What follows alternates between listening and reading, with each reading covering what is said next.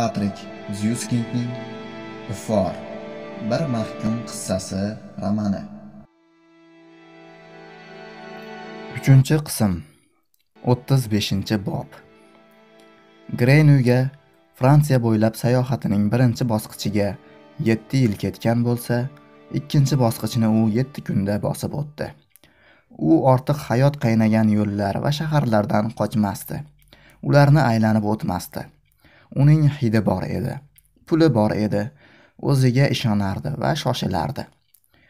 Monpelyeni tark etgan kunining oqshomidayoq grodyu ruaga egmortdan janubi sharqda joylashgan bandargoh shaharga keldi. U yerdan yuk tashiydigan yelkanli kemada marselga suzib bordi. Marsel portida u darhol qirg'oq bo'ylab sharqqa suzadigan kema izladi. Ikki kundan so'ng yassi tog'ning cho'qqisida turardi. Ro'parasida esa ko'p mil uzoqlikda atrofida ulkan yer kosasiga o'xshab daryo hovuzi cho'zilib yotardiki qirg'oqlarini yuksakka yengil ko'tarilgan tepaliklar va tik tog' tizmalari tashkil etardi. Uzoqda daryoning quyilishida esa yangi haydalgan dalalarni ishlov berilgan bog'lar va zaytunzorlarni qoplagan edi. Tamomila o'ziga xos muhit bu kosani to'ldirgan edi. Garchi dengiz shu qadar yaqin bo'lsa-da, uni tepaliklar cho'qqisidan ko'rish mumkin edi. Hech qanday dengizga xoslik yo'q edi.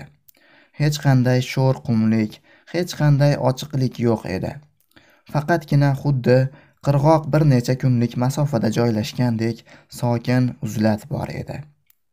Garchi shimolga qarab boshlarida qor yotgan va yana ancha katta tog'lar qad ko'targan bo'lsa-da, bu yerda hech qanday yovvoyilik va g'ariblik, hech qanday sovuq shamol sezilmasdi.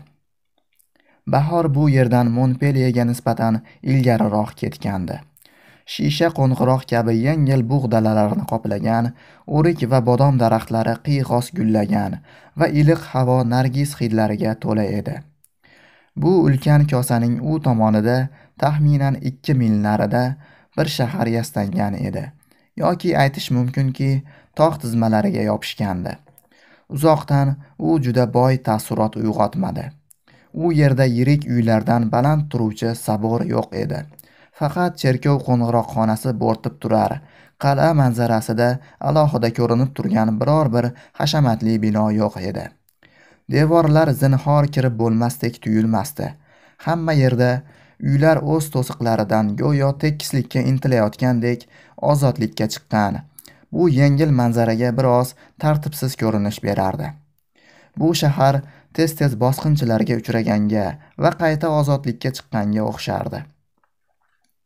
U go'yo kelgusi bosqinlarga jiddiy qarshilik ko'rsatishdan holsizlanganidan emas befarqligidan yoki o'z kuchini sezganidan charchagandek tuyulardi. U go'yo manmanlikni istamasdi. U oyoqlari ostida hid taratib turgan katta muattar kosaga ega va bu bilan go'yo xursanddek edi. Bu ayni damda ko'rimsiz va o'ziga ishongan shaharcha gras deb atalardi. Va bir necha o'n yillarki muattar moddalar attorlik mollari sovun va moylarning pardoz turlari savdosi va ishlab chiqarilishining shubhasiz poytaxti edi. Juzeppe baldini doimo uning nomini orzu va zavq bilan tilga olardi. U aytardiki bu shahar muattarliklar rimi attorlarning orzu qilgan mamlakati va kimki bu yer maktabini o'tamasa attor unvonini olishga haqqi yo'q. Grenuy gras shahriga nihoyatda hushyor nigoh bilan qaradi. U attorlarning orzu mamlakatini izlamagandi. Uning yuragi ham yuksak qoyalarga yopishgan inni ko'rganda dukkullamadi. U qayerdadir bo'lishi mumkinga nisbatan yaxshiligini bilgani muattar hidlar olishning ba'zi texnik usullarini o'rganish mumkin bo'lgani uchun keldi. Ularni o'zlashtirishni istardi ham negaki ularga o'z maqsadlari uchun ehtiyoj sezardi. U cho'ntagidan o'z atiri quyilgan shishachani oldi bir ozgina sepdi va yo'lga tushdi. Bir yarim soatdan keyin tush paytida u grasga yetib keldi. U shaharning yuqori adog'idagi oz er maydonida joylashgan musofirxonada tamaddi qildi. Maydon bo'ylab ko'nchilar terini quritishga yoyishdan oldin yuvadigan ariq oqib o'tardi. Bu yer shunday qo'lansa ediki ba'zi qo'noqlarning ishtahasi bo'g'ilardi. Lekin greynuyning emas. Bu hid unga tanish edi. Grenuy unga ishonardi. Barcha shaharlarda u birinchi navbatda ko'nchilar dahasini qidirardi. So'ng qo'lansa ichidan chiqib shaharning boshqa joylari haqida ma'lumotga ega bo'larkan o'zini endi begona his qilmasdi. Kun bo'yi tushdan kechgacha shahar bo'ylab sandiroqlab yurdi. Shahar o'nlab jilg'alar va favvoralardan oqib turgan suvning katta miqdoriga qaramay yoki aniqrog'i shu tufayli aqlga sig'mas darajada iflos edi. Quvurlarda sharaqlab suv oqar tor ko'chalarni yuvib o'tar yoki balchiq bilan to'ldirardi. Ba'zi kvartallarda uylar shu qadar zich ediki yo'lak va zinalar uchun bor yo'g'i yarim quloch joy qolgan va balchiqdan o'tayotgan yo'lovchilar agar o'tayotgan vaqtni quvib yetish kerak bo'lsa bir birlariga qapishib yurishiga to'g'ri kelardi. Hatto maydonlarda va uncha ko'p bo'lmagan keng ko'chalarda ham karetalar zo'rg'a bir biriga yo'l berardi. Biroq shu bilan birga butun iflosligi va tig'izligiga qaramay hunarmandlarning uddaburroligi shaharni yorib chiqardi. Aylanib chiqishda davom etarkan greynuy yettitacha sovun ishlab chiqaruvchi korxonalar o'n ikkita attorlik va qo'lqop atelyelarini son sanoqsiz mayda distillyatlar yog'upalar va ziravorlar tayyorlovchi korxonalar va nihoyat chamasi yettita xushbo'y mahsulotlar bilan savdo qiluvchi ulgurji do'konlarni sanadi. Nima bo'lganda ham bu yerda xushbo'y moddalar savdosi bo'yicha haqiqiy yirik idoralarga ega bo'lgan savdogarlar bor edi. Ularning uylariga qarab buni bilib bo'lmasdi. Ko'chaga chiqib turgan ayvonlar burjuvacha sipo ko'rinardi lekin ayvonlar ortida omborlarda qaznoq va ulkan yerto'lalarda yotadigan moy to'la bochkalar xushbo'y lavanda sovuni taxlami gul essensiyali ballonlar musallas tindirmalar xushbo'y terilar o'rami ziravorlarga to'la qoplar sandiqlar qutilar grenuy ularning hidini eng qalin devorlar ortidan ham butun tafsiloti bilan tutib olardi. Bu knyazlar ham ega bo'lmagan boylik edi. U ko'chaga chiqadigan kundalik do'konlar va omborxonalar aro kuchliroq hid olar ekan. Ushbu talabga javob bermaydigan burjuva uylarining orqa tomonida eng hashamatli turdagi qurilishlar borligini bildi. Sambit gullar va palmalar o'sadigan va doira ichidagi favvoralar otilayotgan kichik lekin maftunkor bog'lar atrofida qurib bitkazilgan tomorqalardagi janub tomonga ochilgan ichma ich qurilgan hujralar. Quyosh nurlariga cho'mgan devorlari ipak qoplamali yuqori qavatlardagi yotoqxonalar. Quyi qavatlardagi yog'ochlarning ekzotik turlaridan devorlari bor ajoyib mehmonxonalar va ba'zan ravon ko'rinishida bo'lgan boqqa olib chiqadigan yemakxonalar joylashgandi. Bu yerda baldini aytganidek chinni likoplardan tilla sanchqilar pichoq va qoshiqlarda ovqatlanishardi. Ushbu kamtar parda ortida yashovchi janoblardan oltin va hukmronlik og'ir ishonchli boylik hidi kelardi va bu hid grenu mamlakat bo'ylab qilgan sayohati davomida olgan shunday hidlar ichida kuchlisi edi. Bir shu kabi tusini yo'qotgan saroy oldida uzoq turib qoldi. Uy druvat ko'chasining shaharni g'arbdan sharqqacha bor bo'yi bilan kesib o'tadigan ko'chaning boshida joylashgandi. Bir qarashda unda hech qanday o'ziga xoslik yo'q edi. Faqat peshayvonidan boshqa qo'shni binolarga nisbatan kengroq va dabdabaliroq ko'rinardi.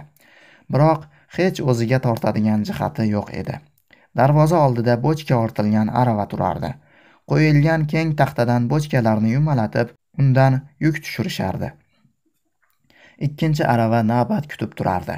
Qog'oz tutgan qandaydir odam idoraga kirdi. Keyin undan boshqa bir odam bilan birga chiqdi va ular darvoza arkida ko'zdan yo'qoldilar. Greynu ko'chaning narigi yuzida turar va bu bema'nilikni kuzatardi. U yerda yuz berayotgan voqealar uni qiziqtirmasdi lekin baribir ketmadi. Uni nimadir joyida tutib turardi. U ko'zlarini yumdi va binodan uchib kelayotgan hidlarga diqqatini jamladi. Bunda sirka va vino bochkalarining hidlari yana omborning yuzlab og'ir hidlari. Yana oltin ter bug'idek devorlarni teshib o'tayotgan boylik hidi va nihoyat chamasi uyning narigi tomonida joylashgan bog'ning hidi bor edi.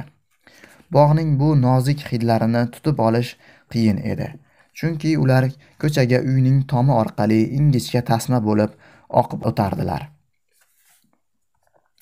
Grenu magnoliya guli sumbul dafne mezerium va alp atirgulining hidini tuydi. Magnoliya yirik yaltiroq to'q yashil bargli va katta oq yoki pushtirang xushbo'y gulli o'simlik. Dafne mezerium yevropa armaniston ozarbayjon kavkaz orti va eronning shimolida o'suvchi buta. Lekin u yerda yana nimadir o'lgiday go'zal anvoyi hid borga o'xshardi. U hayotida hech qachon yoki yo'q hayotida bir bor. Yagona marta hid bilishi orqali bu qadar nafis hidni angladi. Bu hidlar uni o'ziga chorladi. U qo'rg'onchaga shunchaki darvoza arkidan kirib olishga intilsammikin deb o'yladi. Lekin u yerda shuncha odam bochkalarni tushirish va tekshirish bilan shug'ullanardiki ularning diqqatini tortmaslikning iloji yo'q edi. U ko'cha bo'ylab ortiga qaytishga uyni ko'ndalangiga yoqalab olib boradigan yo'lak yoki tor ko'chani topishga qaror qildi. Druvat ko'chasi boshidagi shahar darvozalari oldida to'xtadi. Uni kesib o'tdi. Keskin chapga yo'l oldi va shahar devori bo'ylab pastga tusha boshladi. Yana ozginadan so'ng bog'ning hidini payqadi. Avvaliga zaif dalalar havosiga aralash keyin esa kuchliroq his qildi. Va nihoyat shahar devoriga yondosh bo'lgan bog' juda yaqinda uning naq qarshisida ekanini angladi. Bir oz orqaga chekinib daraxtlarning devor ortida o'sgan shoxlarini ko'rishi mumkin edi. U ko'zlarini qayta yumdi. Uni bu bog'ning muattarligi qoplab oldi. Tiniq va yorqin xuddi kamalakning ranglari kabi. Va o'sha qimmatbaho o'sha uni o'ziga tortgan narsa ham ularning ichida edi. Greynuy huzur qilmoqdan qizib ketdi va dahshatdan muzladi. Xuddi firibgarni tutib olgandek miyasiga qon urdi. Tanasining ichiga qaytdi. Keyin yana ko'tarildi yana qaytdi. U bunga qarshi hech narsa qila olmadi. hidning bu hujumi juda ham kutilmagan edi. Bir lahzaga bir nafasga abadiyatga vaqt ikki hissa cho'zilganday yoki aksincha yo'qolganday tuyuldi. Negaki u idrok qilishdan to'xtadi. Hozir bo'lganmidi? Hozir va shu yerda. Shu yerda yoki hozir bo'lgan. O'shanda. Bu yer esa o'sha joy. Aniqrog'i marey ko'chasida parijda 1753 yilning sentyabrida. Bog'dan oqib kelayotgan muattarlik o'shanda o'ldirgan mallasoch qizning hidi edi. U olamda qayta topgan bu muattarlik uning ko'zlarini huzurli baxtiyor sevinch yoshlariga to'ldirdi. Buning bo'lmasligi ham mumkinligi uni o'lguday qo'rqitgandi. Uning boshi aylanardi biroz chayqaldi va devorga suyanib olishiga va chuqurlikka asta sirg'alib tushishiga to'g'ri keldi. O'sha yerda kuchini yig'ar ekan va ruhiga taskin berarkan mash'um hidni qisqa xavfli nafaslar bilan ichga simira boshladi. Devor ortidagi bu hid garchi mallasoch qizning hidiga juda o'xshasa ham aynan o'shanaqa emasligini bildi. Mallasoch qizdan ham xuddi shunday taralardi. Bunga shubha yo'q edi. U o'z hid bilish tasavvuri bilan grenuy bu qizni ko'z oldida rasmda ko'rgandek ko'rardi. U tinch o'tirmasdi balki irg'ishlab sakrardi qizib ketardi. Keyin yana salqinlanardi. U aniq qandaydir o'yin o'ynardiki bunda tez harakat qilish va bir joyda qotish kerak edi. Ikkinchi bir odam bilan o'ynardi. Uning hidi esa ahamiyatsiz edi. Qizning tanasi ko'z qamashtirarlik darajada oq ko'zlari esa zangor edi. Uning yuzlarida bo'yinlarida ko'kraklarida sepkili bor edi. Ya'ni grenu lahzaga dimiqdi. So'ng burni bilan kuchliroq nafas simirdi va Mare ko'chasidagi qizning hidi haqidagi xotiralarini siqib chiqarishga harakat qildi. Ya'ni bu yerdagi qizning so'zning tom ma'nosida hali ko'kraklari yo'q edi. Uning ko'kraklari endigina bo'rtib chiqa boshlagandi. Unda cheksiz nafis va yengil xushbo'yli sepkil bosgan balki bor yo'g'i bir necha kun balki bor yo'g'i bir necha soat faqat hozirgina bo'rta boshlagan ko'krak tugmachalari bor edi. Bir so'z bilan aytganda bu qiz hali bola edi. Bola bo'lganda qandoq? Grenyuning peshonasini ter bosdi. U bilardiki bolalardan alohida kuchli hid kelmasdi. Go'yo hali yashil ochilmagan g'uncha kabi. Lekin bu gul devor ortidagi hali deyarli yopiq g'uncha hali grenuydan boshqa birov sezmagan g'uncha o'zining dastlabki muattar gulbarglarini chiqarayotgan g'uncha. Allaqachon shunday maftunkor hid taratardiki sochlari tikka bo'lib ketdi. Agar u bor hashamati bilan yuz ko'rsatsa dunyo hali hech qachon bilmagan hidni taratadi. U hatto hozir ham yaxshi hid taratadi o'yladi grenu. Mare ko'chasidagi o'sha qizdan ko'ra u qadar kuchli emas u qadar hashamatli emas lekin nafisroq. Ko'p qirraliroq va bir vaqtning o'zida tabiiy. Ikki uch yildan keyin bu hid yetiladi va shunday kuchga ega bo'ladiki biror bir odam erkak ham ayol ham unga bo'ysunmay iloji qolmaydi. Odamlar taslim bo'ladilar. Bu qizning sehri qarshisida va ular nimaga ekanligini bilmaydilar. Ular shunchalar ahmoqki o'z burunlaridan faqat aksa urushda foydalanadilar va barcha barcha narsani ko'zlari bilan anglayman deb o'yladilar. Ular go'zallikka bu qizning nafosat va maftungorligiga asir bo'ldim deb aytadilar.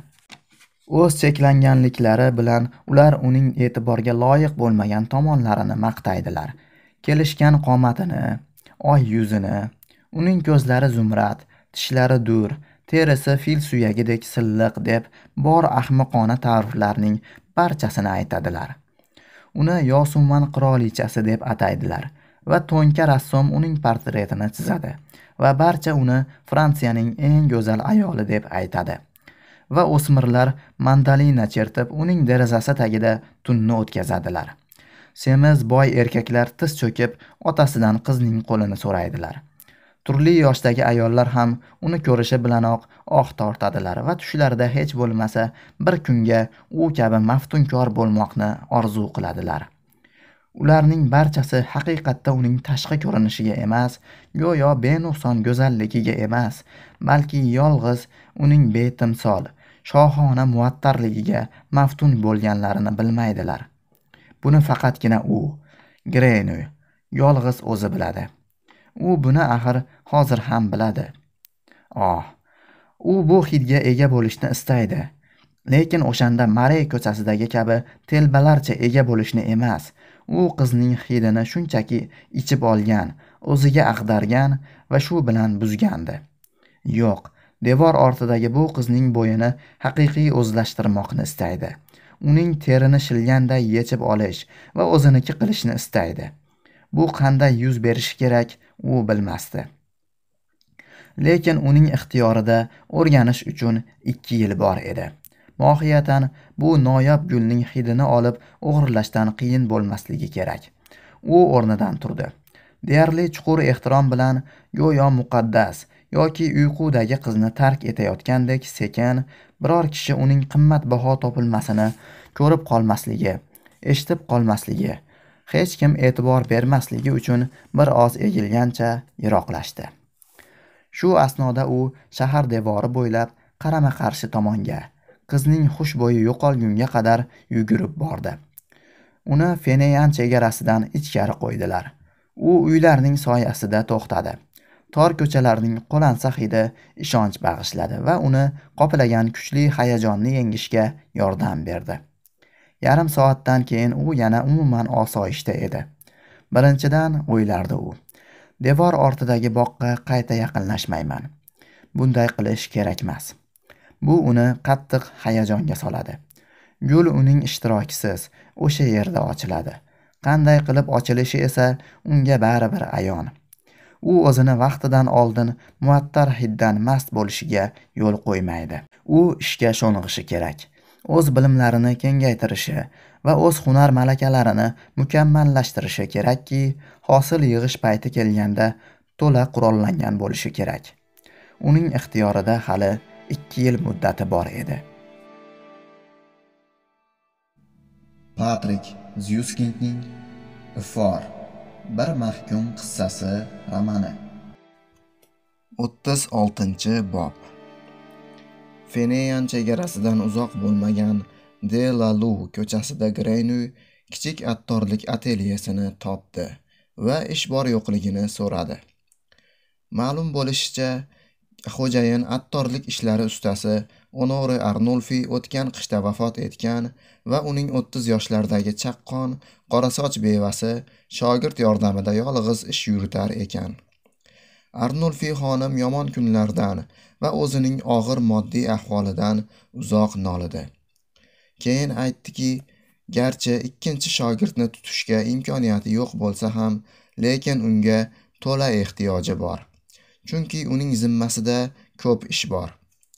Undan tashqari ikkinchi shogirdni uyiga hech kirita olmaydi lekin ikkinchi tomondan uning fransiskan monastiri ortidagi zaytunzor bog'ida kichik kulba bor. Bu yerdan bor yo'g'i o'n daqiqalik masofada. Agar kerak bo'lsa izzat talab bo'lmasa yigitcha tunashi mumkin. Albatta davom etdi xonim. U insofli beka va o'z shogirdlarining jismoniy salomatligi uchun javobgarlikni olishga tayyor. Lekin ikkinchi tomondan kuniga ikki marta issiq ovqat bilan ta'minlashga qodir emas. Bir so'z bilan aytganda arnulfi xonim buni greynuy darhol his etdi. Juda mos sog'lom fikrli ishbilgich ayol edi. Uning o'zini pul qiziqtirmasdi va haftasiga ikki frank choy chaqaga va boshqa faqirona sharoitlarga rozi bo'ldi va ular bir birlariga qo'l berdilar. Birinchi shogirdni Druyo ismli pahlavon yigitni chaqirdilar va greynuy darhol angladiki xonim unga yotog'idan joy berishga odatlangan va usiz ishga oid qarorlarni qabul qilmaydi. U greynuyning bu yovvoyi kelbat oldida shunchaki kulgili alfozda ushoq ko'rinayotgan oldida turdi. Unga sinchkov nazar tashladi. Boshdan oyoq qaradi. Go'yo shu bilan qandaydir qora niyatlarni yoki bo'lishi mumkin bo'lgan raqibni bilib olishni istardi. Nihoyat takabburona tirjaydi va bosh irg'ab roziligini bildirdi. Shunday qilib hammasi hal bo'ldi. Grenuga qo'l berishdi. Sovuq kechki ovqat adyol eski qo'y go'ngi va somon isi kelayotgan derazasiz bostirmadan iborat kulbaning kalitini berishdi. U yerga g'aribona joylashdi. Ertasiga arnulfi xonimning ishiga kirishdi. Nargislar gullagan chog' edi. Arnulfi xonim gullarni o'zining shahardagi kichik maydonlarida yetishtirar yoki ularni har bir savati uchun o'lgiday tortishib savdolashib dehqonlardan sotib olardi. Gullar ateliyega erta tongda keltirilardi. O'n minglab gullarni savatlardan olib yoyardilar.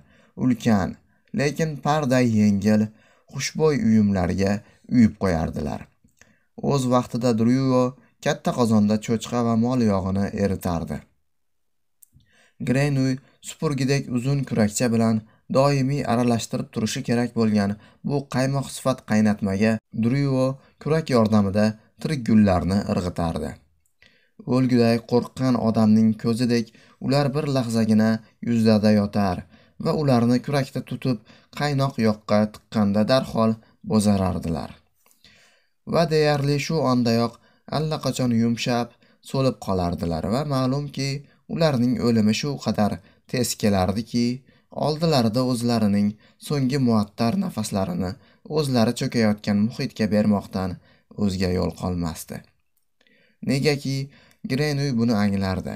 Ta'rifga sig'mas hayrat ila qanchalik ko'p gulni qozonda aralashtirsa yog' shu qadar kuchli hid tortardi. Va axir yog'da o'lik gullar hid taratmasdilar. Yo'q bu gullar atrini o'zlashtirgan yog'ning o'zi edi. Bu orada qaynatma quyuq tortdi. Uni ho'l jasadlardan bo'shatish va yangi gullarga tayyorlash uchun katta elakdan tez o'tkazib olishlari kerak edi.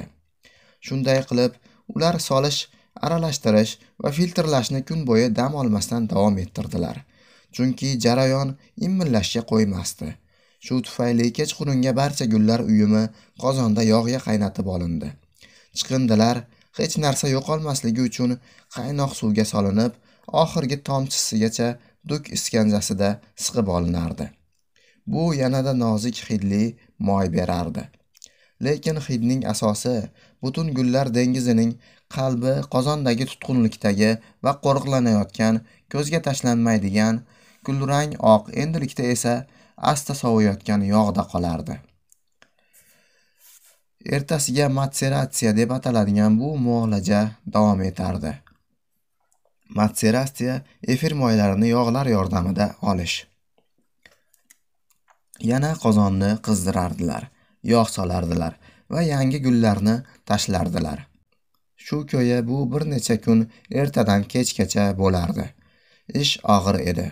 Grenuyning qo'llariga qo'rg'oshinlar quyilib ketar kaftlarida pufaklar shishib chiqar va beli og'rirdi. Kechqurunlari charchaganidan tebranib o'z kulbasiga zo'rg'a yetib olardi. Druyo undan uch karra kuchliroq bo'lsa kerak lekin u bir marta ham qo'lidan aralashtirish uchun kurakni olmasdi. Faqatgina qozonga parda yengil gullarni tashlar olovga qarar va qulay fursat topilsa issiqdan nolib tomog'ini xullashga ketardi. Lekin grenuy nolimasdi. U tinimsiz ertadan kechgacha yog'da gullarni aralashtirar. Bu jarayonda u zo'riqishni his qilmas. Shunday ekan uning ko'zlarida va tumshug'i ostida o'ynayotgan gullarning tez so'lishi va hidlarining yutilib ketishi jarayonidan qayta qayta zavqlanardi. Bir qancha vaqtdan so'ng Druyo yog' to'yingan va ortiq hidni ololmaydi deb hisoblardi. Ular olovni o'chirib so'nggi marta og'ir qaynatmani elakda suzib olardilar. Va u bilan qozonni to'ldirardilar. O'sha zahotiyoq u ajoyib muattar surtma bo'lib qotardi. Endi arnulfi xonimning gali kelardi.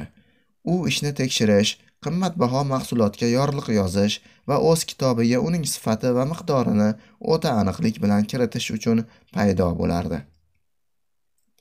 U qozonni o'z qo'llari bilan yopardi muhrlardi va yerto'laning sovuq qa'riga eltardi.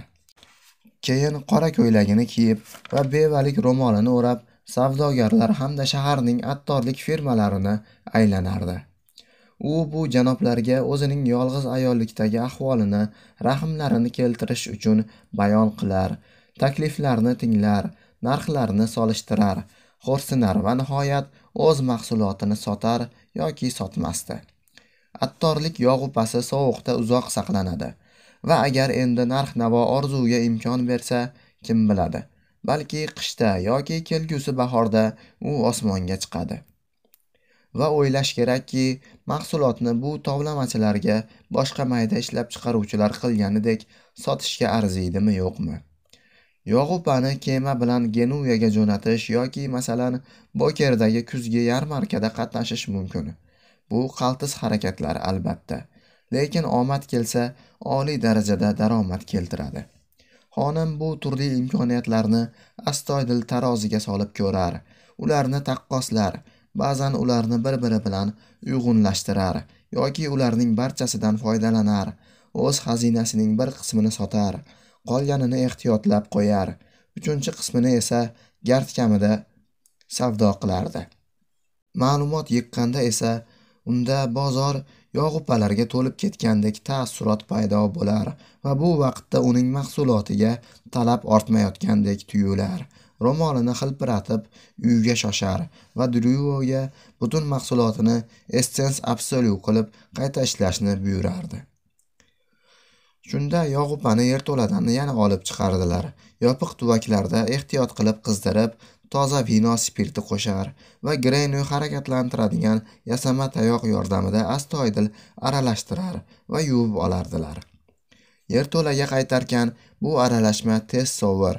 Spirt yog'upaning sovigan yog'idan ajralib qolar va uni tezda shishaga quyib olish mumkin edi. Endi u bir qadar atirga o'xshab qolar lekin katta sa'y harakat tufayli bu vaqtda qolgan yog'upa kabi o'z hidining asosiy qismini yo'qotardi. Shunday qilib gul atri yana bir karra boshqa muhitga o'tardi. Lekin bu bilan ish tugamasdi.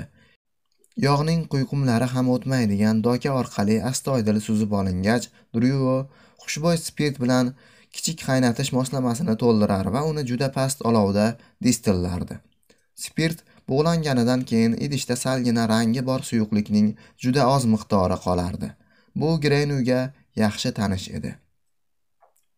Biroq bunday sifat va tiniqlikda u na baldiniyda aytish mumkin na runelda hidlab ko'rilmagan bu yaxlit eng toza yorqin gul yog'i edi.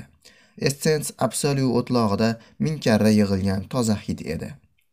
Bu essensiya endi yoqimli hidga ega emasdi. U deyarli xasta zo'riqish bilan o'tkir va keskin hid berardi.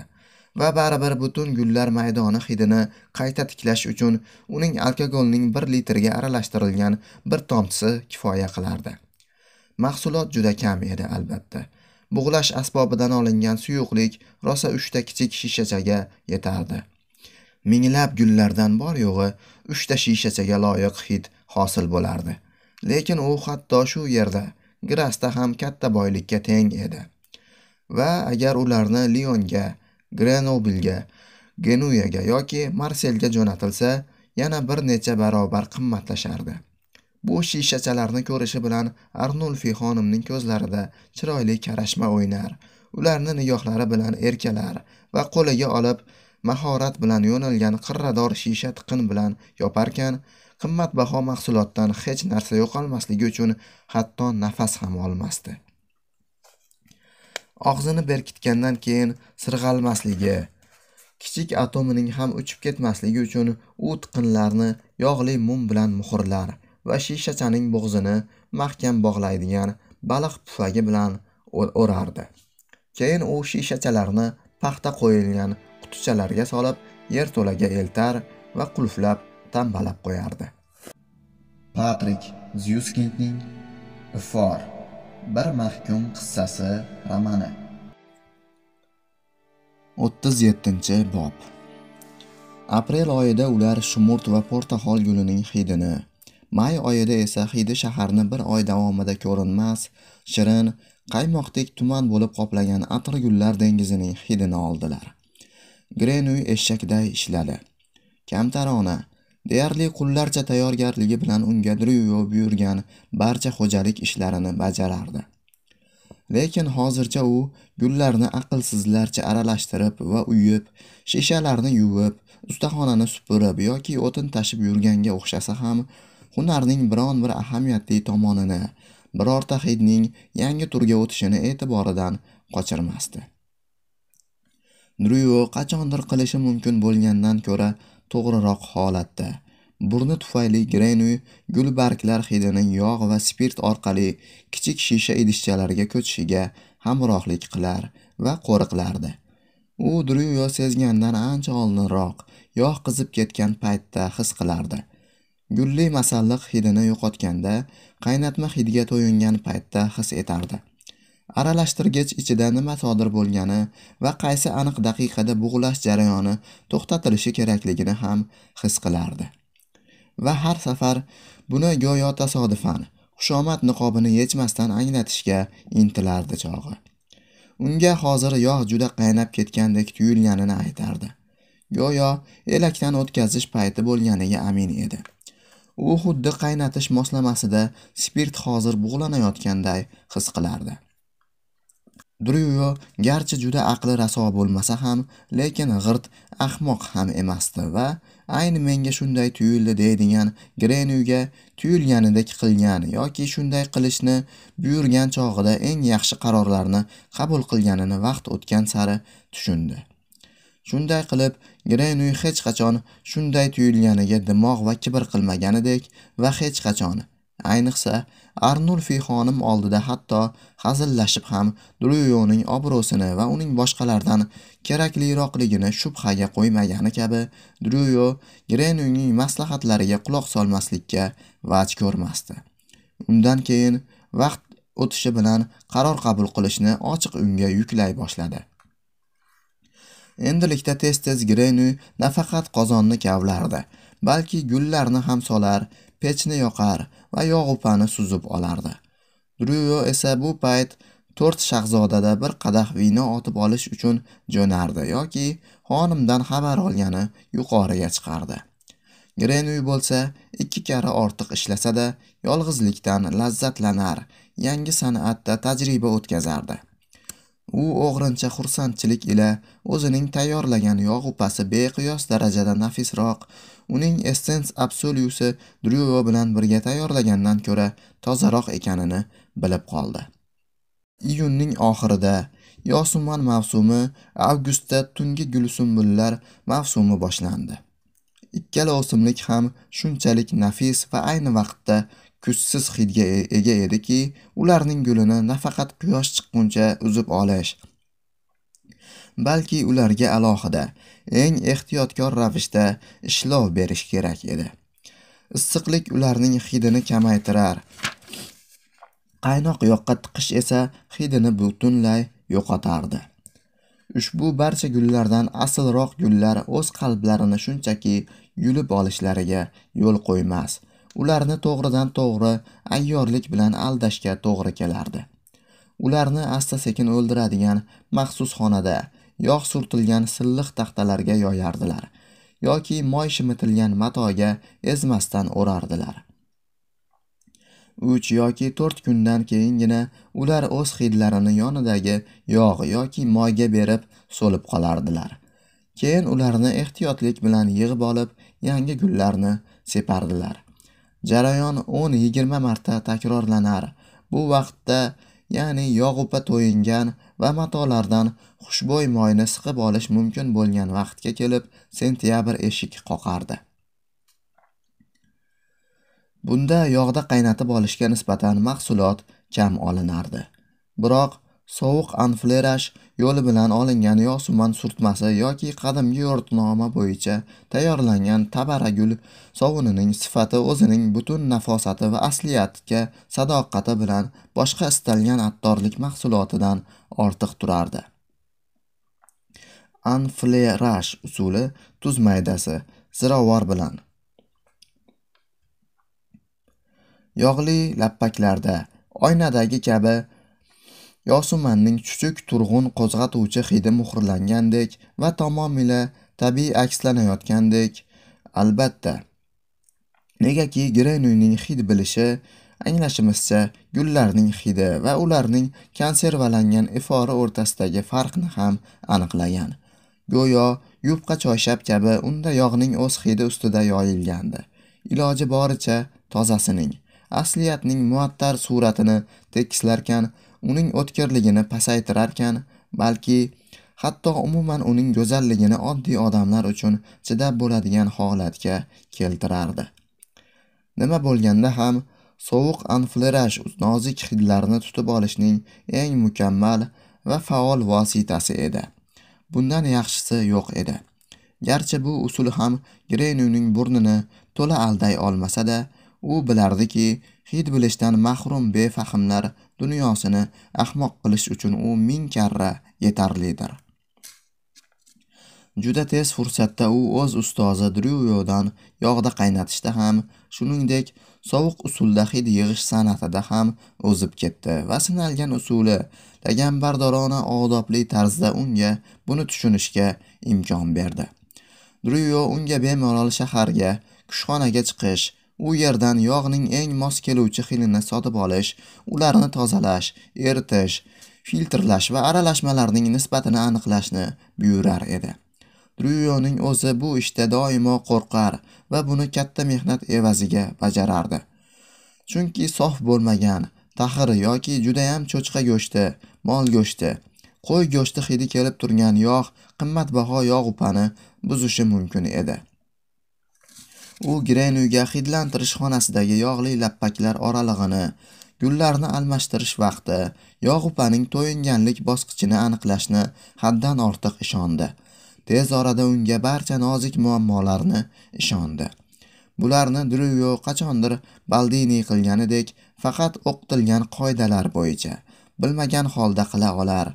Grenu esa Druyo albatta hech qachon shubha qilmaydigan burnining xizmatiga ko'ra ishning mohiyatini bilib qilardi. Uning qo'li yengil derdi Druyo. u nimani qanday qilish kerakligini ichki tuyg'u bilan his qiladi. Ba'zan esa o'ylardi. Ha u mendan ko'ra ko'p narsaga qobiliyatli. Undan menga nisbatan yuz marta yaxshi attor chiqadi. Shu bilan birga uni borib turgan ahmoq deb ham hisoblardi. Chunki grenu uning fikricha o'z qobiliyati bilan allaqachon usta maqomiga yetgandi. Grenu bo'lsa uning bu fikrini mustahkamlardi. O'zini astoydil ahmoqqa solardi. Kibrning kichik bir belgilarini ham ko'rsatmasdi. Go'yo o'z daholigini bilmayotganday tusga kirar va go'yo usiz grenu hech kimday faqat tajribali Druyoning buyrug'i bilangina harakat qilardi. Keyin kuz ortidan qish keldi. Ustaxona sokin bo'lib qoldi. Qozon va shishachalarga berkitilgan gullarning ifori yerto'lalarda turardi. Vaqti-vaqti bilan xonim u yoki bu yog'upani tekshirishni yoki qandaydir bir xalta quruq o'tlarni distillashni buyurardi. Lekin umuman unchalik ish ko'p emasdi. Yana haftasiga savatlar to'la zaytun, undan yog'ning qaymog'ini olib, qoldig'ini esa yog' chiqaruvchilarga topshirardilar. Hamda vino kelardi. Ularning bir qismidan Grenu tozalangan spirt olardi. Ryo ustaxonada borgan sari kam ko'rinardi. U o'z majburiyatlarini xonimning yotog'ida bajarar. Agar ter va ma'ni hidiga botib paydo bo'lsa ham, to'rt shahzodada yo'qolib ketish uchungina kelardi. Xonim ham pastga kam tushadigan bo'ldi. U o'z xos ishlari bilan va motam yili tugashi paytigacha kiyimlarini tayyorlash bilan shug'ullanardi. Greynu ko'p holda kun bo'yi unga tushlikka sho'rva kechki ovqatga non va yog' keltiradigan xizmatkor ayoldan boshqa hech kimni ko'rmasdi. U deyarli shaharga chiqmasdi. Kasbiy hayotda aynan shogirdlarning doimiy uchrashuvlari va yurishlarida uning bor yo'qligi ham bilinmaydigan darajada ko'zga tashlanmaydigan qilib qatnashardi. Uning do'stlari ham tanishlari ham yo'q edi. Lekin uni beyuz va yakkamahov deb ham hisoblamayaptilarmi deb astoydil kuzatib borardi. U boshqa shogirdlarga uning davrasini bemaza va mungli deb topishlariga imkon berardi. U zerikarlilik tarqatish san'ati va o'zini madaniyatsiz ahmoq qilib ko'rsatish san'atiga usta edi. Bundan ko'rinadiki uning ustidan mazax qilib kulish va uni qo'pol sex hazillarining qurboniga aylantirmasliklari uchun unchalik oshirib ham yubormasdi. U umuman zerikarli bo'lib ko'rinishga erishgandi. Uni o'z holiga qo'ydilar. Unga bundan boshqa hech narsa kerak emas edi. Patrik zyuskindning ifor bir mahkum qissasi romani. O'ttiz sakkizinchi bob. U o'z vaqtini ustaxonada o'tkazardi. Dryuoga buni adekalon yo'riqnomasini kashf qilyapman deb tushuntirdi. Aslida u butunlay boshqa hidlar bilan tajriba qilib ko'rardi. Monpelyeda tayyorlagan atiri garchi uni tejamkorlik bilan ishlatsa-da allaqachon tugagandi. U yangisini yaratdi. Lekin bu safar u tasodifiy uchragan asosiy inson hidlari unsurlariga shoshilinch o'xshatish bilan qoniqmadi. Balki o'zining shaxsiy hidini va hatto ko'plab shaxsiy hidlarni yaratishga butun shuhratparastligini bag'ishladi. Avvaliga u o'zi uchun sezilmaslik hidini kulrang sichqonrang kundalik kiyimni tayyorladi. Unda nordon achqimtil inson hidi garchi bor bo'lsa-da go'yo quruq eski teriga tortilgan qalin pishiq jun kiyimdan o'tib borayotgandek salgina bilinardi. Bunday hid bilan uning odamlar orasida yurishi qulay edi. Atir biron atir biror shaxsning borligini hid bilan bilishni asoslash uchun yetarlicha kuch edi. Va bir vaqtning o'zida shu qadar kamtarona ediki uni hech kim sezmasdi. Uning yordamida greynuy hidi bilan go'yo yo'q edi va baribir eng kamtarona ravishda doimo o'zining borligini oqlardi. Bu unga arnulfi xonimning uyida qanday bo'lsa uning shaharga tasodifiy chiqib qolishlarida ham juda qo'l kelardi. To'g'ri ba'zi holatlarda bu kamtar hid xalaqit berardi. Druyoning topshirig'i bilan xarid qilishga to'g'ri kelganda yoki qaysidir sotuvchidan ozgina tibetin yoki bir necha mushuk urug'ini sotib olishni xohlaganda shunday bo'lishi mumkin ediki uning mukammal sezilmasligi orqasida uni umuman payqamasdilar. Va xizmat ko'rsatmasdilar yoki payqasalar ham boshqa narsa berardilar yo xizmat ko'rsatishni unutardilar. Bunday hollar uchun u o'ziga yanada xos bir oz ter hidi keluvchi bir necha hid burchaklari va chiziqlariga ega atir ijod qildi. Bu unga yanada qo'pol tashqi ko'rinish berardi va odamlarni u kechiktirib bo'lmas ishlar bilan shoshayapti deb o'ylashga majbur qilardi. Bundan tashqari druyoga xos aura seminalisga o'xshatish yordamida buni u yog'li matodan ro'molni yangi o'rdak tuxumlari surtmasi va qovurilgan bug'doy unini hidlantirish yo'li bilan olgandi. Qaysidir darajada o'ziga e'tibor qaratish kerak bo'lganda yaxshi natijalarga erishdi. Uning bisotidagi hidlarning navbatdagisi achinish qo'zg'atuvchi ediki o'rta yosh va yoshi o'tgan ayollarga aniq ta'sir qilardi. Bu suyuq sut va toza yumshoq daraxtning hidi edi. Grenuy bunda hatto u soch soqolini olmay aftini burishtirib plashini yechmay yursa ham yordam berish kerak bo'lgan yirtiq kurtkadagi bechora hol rangpar yigitcha taassurotini berardi. Bozordagi sotuvchi ayollar bu hidni sezib unga yong'oq va qurigan noklarni tiqardilar ularga shunday och va himoyasiz ko'rinardi.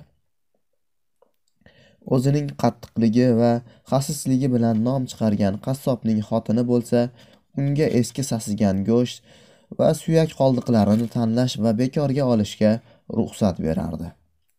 Negaki grenuyning bechoralik hidi uning onalik qalbini chertardi. Bu qoldiqlardan u birinchi navbatda alkogol bilan to'g'ridan to'g'ri to'yintirish yo'li bilan faqat yolg'izlikda qolishni istaganda foydalanadigan hidning asosiy tarkibiy qismlarini chiqarib olardi. Bu hid uning atrofida sokin jirkanish ertalablari yuvilmagan qari og'izdan ufuradigan chirik hid muhitini yaratardi. Ta'siri shu qadar kuchli ediki hatto u qadar hazarchi bo'lmagan dryu ham beixtiyor teskari qarar va toza havoga chiqardi. Uni haqiqatdan ham nimadir tashqariga itarganini sarhisob qilib ham ko'rmasdi shekilli. Bu og'uning kulba ostonasiga to'kilgan bir necha tomchisi esa istalgan chaqirilmagan mehmonni odam bo'ladimi yo hayvonmi? uzoqroqda tutish uchun yetarli edi. Endi tashqi muhitga ko'ra almashtirib turadigan odamlar dunyosida ajralib turmaslik va o'z mavjudligini yashirish imkonini beradigan turli hidlar himoyasida greynu o'zining asl ishqibozligi mukammal darajadagi hidlar oviga berildi. Modomiki uning oldida buyuk maqsad turar ekan va uning ixtiyorida bir yildan ortiq vaqt bor ekan u nafaqat jonsarak g'ayrat bilan balki g'alati tarzda rejali va muttasil ravishda qurolini o'tkirlay. Nozik usullarini takrorlay uslublarini zo'r berib mukammallikka yetkaza boshladi. U baldiniyda nimada qolgan bo'lsa shundan jonsiz narsalardan hid olishdan boshladi. Toshdan metalldan yog'ochdan tuzdan suvdan havodan. Bug'lashning qo'pol uslublari qo'llanishi oqibatida o'shanda ayanchli muvaffaqiyatsizlik bilan tugagan holatlar endi yog'ning kuchli shimib olish kuchiga ko'ra amalga oshardi. Unga sariq misdan qilingan eshik zulfunining sovuq mog'orlagan hidi yoqardi. Unga bir necha kunga mol yog'i surtib qo'ydi. Ko'ringki u yog'ni surtib va natijani tekshirgandan so'ng juda oz darajada bo'lsa-da baribir aynan sariq mis hidini berardi. Hatto alkogol bilan yuvgandan keyin ham hid turardi. Behad kuchsiz uzoq vino spirti bug'i va balki butun dunyoda yolg'iz grenyuning nozik hid bilishiga qulayligi aniqroq lekin baribir u bor edi va bu hech bo'lmaganda asosan uning qo'lida ekanini bildirardi. U ming kun orqama orqa yog' bilan qoplashi mumkin bo'lgan o'n mingta zulfin bo'lganida ham u essens absolyuning istalgan odamga burni ostida asl mis zulfin turgandek tasavvur beruvchi shunday kuchli hidning kichik bir tomchisini ola bilgan bo'lardi. Kulbasi oldidagi zaytunzordan topib olgan g'ovak ohaktosh hidiga ham shunday erishdi. Uni yog'da qaynatdi va tushunarsiz hidi uni ta'rifga sig'mas darajada hayajonga solgan toshli yog'upasining kichik qumalog'ini oldi. Uni kulbasi atrofidan terib olingan turli narsalardan olingan boshqa hidlarning barchasi bilan aralashtirdi va asta sekin fransiskan monastiri ortidagi zaytunzorning kichik modelini yaratdiki uni mitti shishachaga berkitib o'zi bilan olib yurishi va agar xohlasa uni jonlantirishi mumkin edi. Albatta hidlar bilan tuzgan ajoyib ermaklar uning o'zinigina ovuntirardi va uning o'zigagina ma'lum edi. Lekin uning o'zi bu bema'ni o'yinlardan zavqlanar edi va o'yin jazavasida xushbo'y manzaralar natyurmortlar va alohida narsalarning suratlarini yaratar ekan his etgan bunday haqiqatdan o'ta baxtiyorlik uning hayotida oldin ham keyin ham bo'lmagandi. Tez orada esa u tirik obyektlarga o'tdi. U qishki pashsha lichinka kalamush mayda mushuklarni tuta boshladi va ularni qaynoq yoqqa botira boshladi. Kechalari bostirmaga mollar echkilar va cho'chqalar yoniga ularni bir necha soat yog' surtilgan matolar bilan yopmoq yoki yog'li bint bilan o'ramoq uchun tushardi yoki qo'yxonaga xushbo'y yungini vino spirtida yuvish uchun qo'zichoqning junini qirqishga yashirincha kirardi. Avvaliga natijalar u qadar ruhlantiradigan bo'lmadi. Negaki mis lo'kidon kabi chidamli narsalardan farqli o'laroq jonivorlar o'z hidini berishni istamasdi. Cho'chqalar o'zidan bintlarni sidirib yonboshi bilan oxurlariga ishqalanardi. Qo'ylar tunda ularga pichoq bilan yaqinlashganda ma'rardilar sigirlar yelinlaridan yog'li lattalarni astoydil siltab tashlardilar. Tutib olgan qo'ng'izlarning ba'zilari ularni qayta ishlashga uringanda benihoya sassiq ajralmalar chiqarardi. Kalamushlar esa balki qo'rquvdan uning oliy darajada his qilinuvchi yog' upalariga bo'shalib yuborardi. Yog'da qaynatmoqchi bo'lgan jonivorlari gullardan farqli o'raloq o'z hidlarini jimgina sokin nafas bilan topshirmasdilar balki o'limga mardlarcha qarshilik ko'rsatardilar.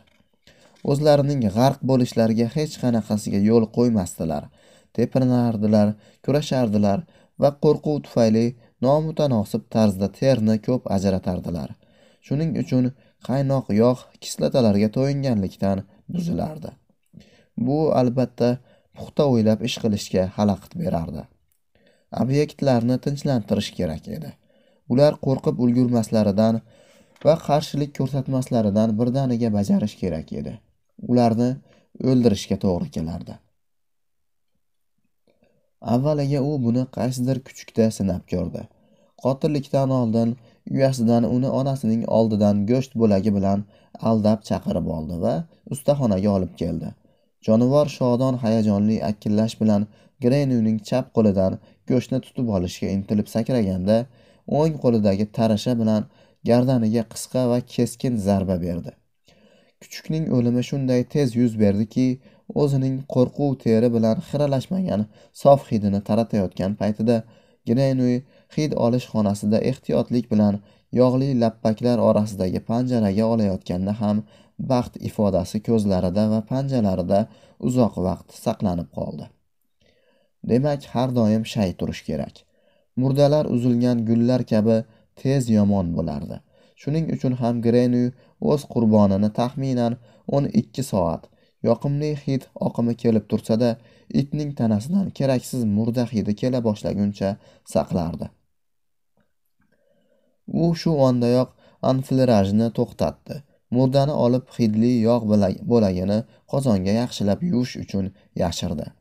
U alkogolni angishvonaday qolguncha bug'ladi va bu qoldiqni jajji shisha naychaga quydi. Atirdan nam yangi yorqin it terisining hidi yaqqol kelib turardi. Hid keskin hatto hayratlanarli ravishda keskin edi.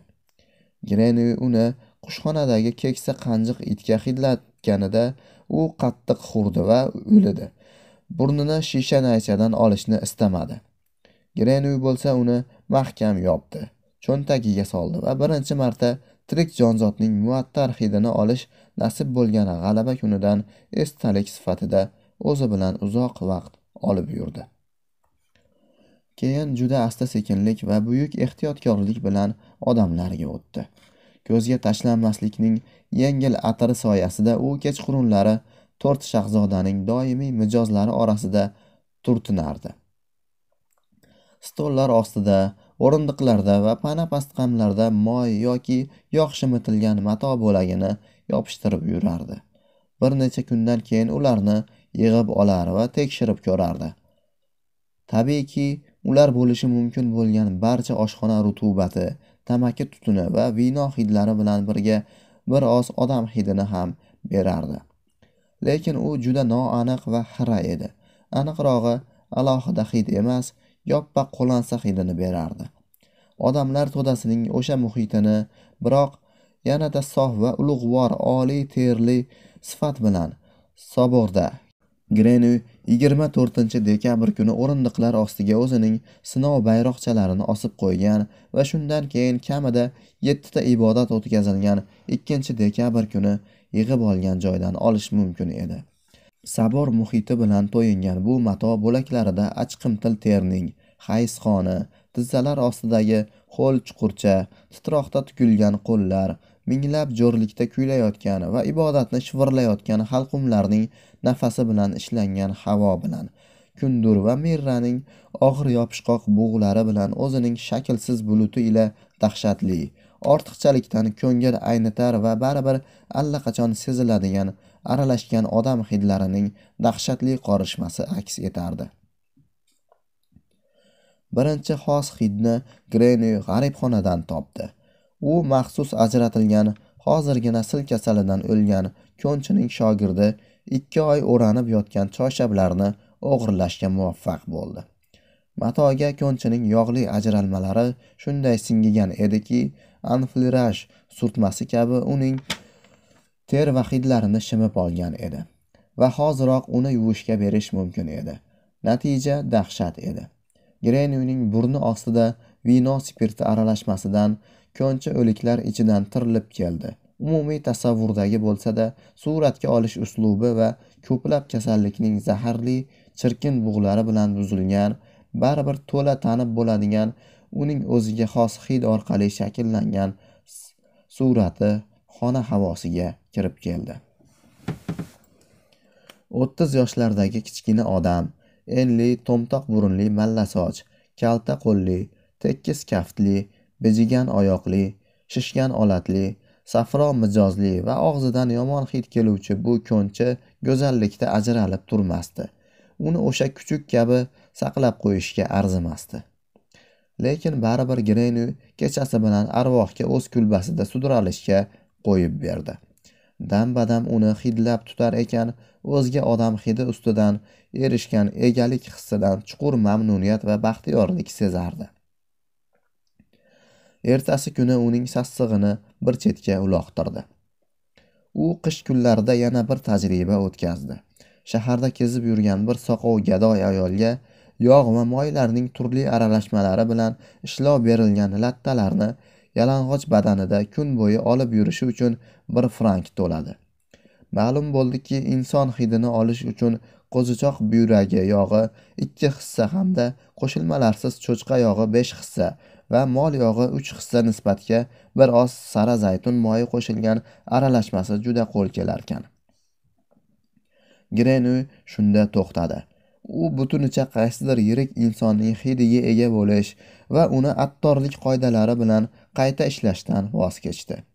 Bu doimo xavfli edi va yangi natijalar berishi qiyin edi. Bilardiki endi u odamlarning hidini majburan olishga imkon beradigan texnik usullarga ega va bu yangi isbotlarni talab qilmasdi. Inson hidi unga farqsiz ham emasdi. Inson hidini u qalbakilik bilan keragicha o'xshata olardi.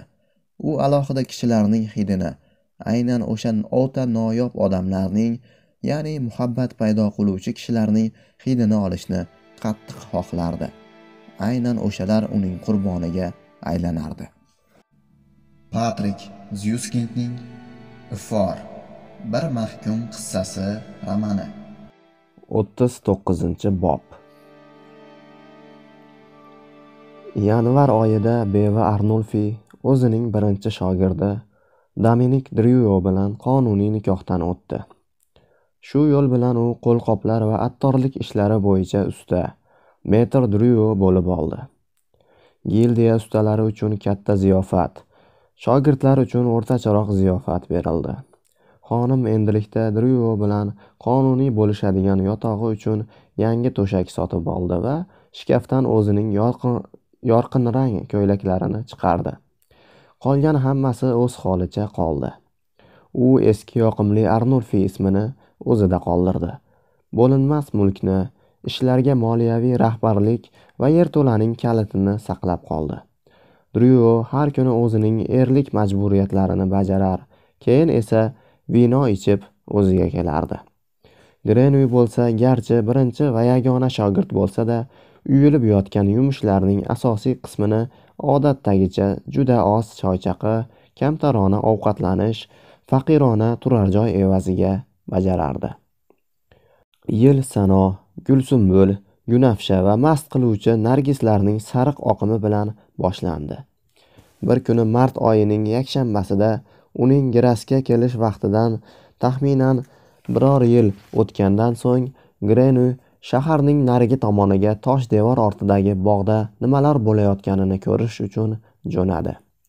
Bu safar u hidga tayyorlangan edi va uni nima kutayotganini deyarli aniq tasavvur qilardi. Va baribir uni his etganida yangi ko'prik yonidayoq devor ortidagi o'sha joyning yarim yo'lidayoq yuragi qattiqroq tepdi va tomirlaridagi qon baxtdan ko'pirganini his qildi. Qiz haliyam o'sha yerda edi. Tengsiz go'zal nihol ziyon zahmatsiz qishdan chiqqan shiraga to'lgan o'sgan tiklangan va nafis cho'xchalar chiqargandi. Uning hidi kutganidek o'z nafosatini yo'qotmagan holda kuchliroq edi. Bir yil oldin parchalar va tomchilar bo'lib uchqunlangan narsa endi tekis biroz zaif hid oqimiga aylangan. Ming xil rang bilan jilolanar va har bir rang yaxlit va mustahkam edi. Bu oqim grenuy baxtiyorlik ila topganidek yanada kuchli manbadan kelardi. Yana bir yil yana faqat bir yilgina yana faqat o'n ikki oy o'tsa manba kuchga to'ladi va kelib uni egallab uning tiyiqsiz ajralayotgan hidini qo'lga oladi. U devor bo'ylab ortida bog' joylashgan tanish joygacha yugurib bordi. Garchi qiz aniq bog'da emas uyda yopiq derazalar ortidagi hujrada bo'lsa ham uning hidi tekis mayin epkin singari esib turardi. Grenu umuman jim turardi. U birinchi safargidek garang va mast bo'lib qolmagandi. U behad sevadigan bir yildan so'ng o'zi bilan olib ketadigan ma'shuqasini uzoqdan orziqib kuzatayotgan oshiqning baxtiyor hissiyotiga to'la edi. Aslida grenu hech qachon sevgini his etmagan va hech qachon sevgi paydo qilmagan bu so'qqabosh kana bu maxluq bu nokas maxluq grenu o'sha mart kunida grasning shahar devori yonida sevardi va o'z sevgisidan nihoyatda baxtiyor edi. To'g'ri u insonni devor ortidagi uydagi qizni sevmasdi. U iforni sevardi. Faqat uni boshqa hech narsani emas va uni go'yo o'zining bo'lajak iforidek sevardi. Bir yildan so'ng unga erishadi. U o'z hayoti bilan shunga qasam ichdi va bu o'ziga xos tantanavor va'da yoki unashtiruvni yakunlab o'zining bo'lg'usi hidiga sadoqat saqlashga ont ichib shodon kayfiyatda ont ichgan joyini tark etdi va dyukur darvozasi orqali shaharga qaytdi. Tunda o'z kulbasida yotib u yana bir bor xotiralari og'ushidan qizning iforini chiqarib oldi. Tashna istakka qarshi tura olmadi. Unga singidi. Uni erkaladi va o'zini ham erkalashga izn berdi. Uni yonginasida shunday yaqin xuddi uyqudagidek his qildi. Go'yo allaqachon unga o'z hidiga o'z shaxsiy hidiga ega edi va bu mastona ajabtovur lahza davom etarkan uni o'zida sevdi va u tufayli o'zini sevdi. U shu o'ziga oshiqlik hissiyoti bilan uyquga ketishni istadi. Lekin xuddi shu ko'zlarini yumgan va orzularga cho'mish uchun bor yo'g'i bir nafas olishi kerak bo'lgan pallada ifor uni tark etdi. Birdaniga yo'qoldi va uning o'rnini echki og'ilining sovuq hidi to'ldirdi. Grenu dahshatga tushdi. Bordiyu o'yladi u. agar bu men egallagan ifor tugasachi axir bu hidlar o'tkinchi bo'lmaydigan xotiralarimdagi kabi emas. Haqiqiy hid tashqi dunyoda to'zg'ib ketadi. U uchuvchan. U to'zg'ib ketganida men uni olgan manba bo'lmaydi. Men yana oldingidek hech vaqosiz qolaman va yana o'zimga qalbakiliklar bilan yordam berishimga to'g'ri keladi. Yo'q oldingidan battar bo'ladi. Axir men uni bilaman va unga mening o'z shohona iforimga egaman va uni unutolmayman. Chunki men hech qachon hidlarni unutmayman. Demak butun umr uning xotiralari bilan azob chekishim kerak. Xuddi hozirgidek. Istaklarim amalga oshishi oldidan bo'lganidek. Unda umuman nega unga egalik qilishni istayman? Menga nega kerak u? Bu fikr favqulodda yoqimsiz edi. Grenu behad qo'rqdi. Hali ega bo'lmagan hidini egallagach uni yana yo'qotishi muqarrarligidan qo'rqdi. Uni qancha uzoq ushlab tura oladi? Necha kun necha hafta? Balki bir oy. Agar juda ehtiyot qilib ishlatsachi keyinchi? U allaqachon shishachadan so'nggi tomchini silkitib olayotganini shishachani vino spirti bilan zarradek qoldig'i ham qolmasligi uchun chayqayotganini uning sevimli hidi abadiyga uchib ketayotgan chog'da hidlayotganini ko'rdi. Bu sokin o'lim edi. U go'yo dimiqqandek aksincha sekin asta azoblarda o'zini bu manfur va qo'rqinch dunyoga to'zg'itar edi. Uni titroq bosdi va o'z rejalaridan voz kechish kecha qa'riga chiqish hamda boshi oqqan tomonga ketish istagi chulg'ab oldi. Uning qor bosgan tog'lardan oshgisi. To'xtamasdan overnigacha yuz milni bosib o'tgisi u yerda o'zining eski g'origa emaklab kirib uxlagisi va uyqusida o'lgisi keldi. Lekin bunday qilmadi. U joyida qoldi va garchi kuchli bo'lsa-da istaklarga berilmadi. Tobe bo'lmadi chunki bosh oqqan tomonga ketish va g'orga kirib olish uning eski istagi edi. U buni boshidan o'tkazgandi. Hali sinab ko'rmagan narsasi bo'lsa inson hidiga shu qadar shohona tosh devor ortidagi qizning hidi kabi hidga ega bo'lish edi. Garchi ega bo'lish va hidning so'nggi tomchisini yo'qotish unga dahshatli ravishda qimmatga tushishini tushunsa-da baribir shunchaki uni ham buni ham rad etishdan ko'ra ega bo'lmoq va yo'qotmoq unga azizroq tuyuldi. Negaki u bir umr rad etib kelgandi lekin hech qachon ega bo'lmagan va yo'qotmagandi. Asta sekin ikkilanishlar va ular bilan bir birga titroq ham chekindi. U o'zini yana qayta issiq qon qizitganini va o'ylagan narsasining amalga oshishi istagi yana qayta uni band etganini his qildi. Uni ilgarigidan kuchliroq egalladi. Chunki endi bu istak sof tashnalikkina emas balki yana puxta o'ylashga qaror sifatida hokimlik qilardi. O'z o'zida qurimoq yoki pastga tushishga o'zini qo'yib berish kabi kana grenu tanlashga ro'para kelgan bu tushish so'nggisi bo'lishini to'la anglagan holda ikkinchisini tanladi.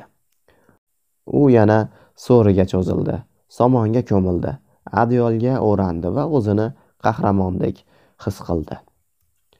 Agar muqarrar qahramonona tuyg'ularga uzoq qonganda Grenoy Grenoy bo'lmasdi.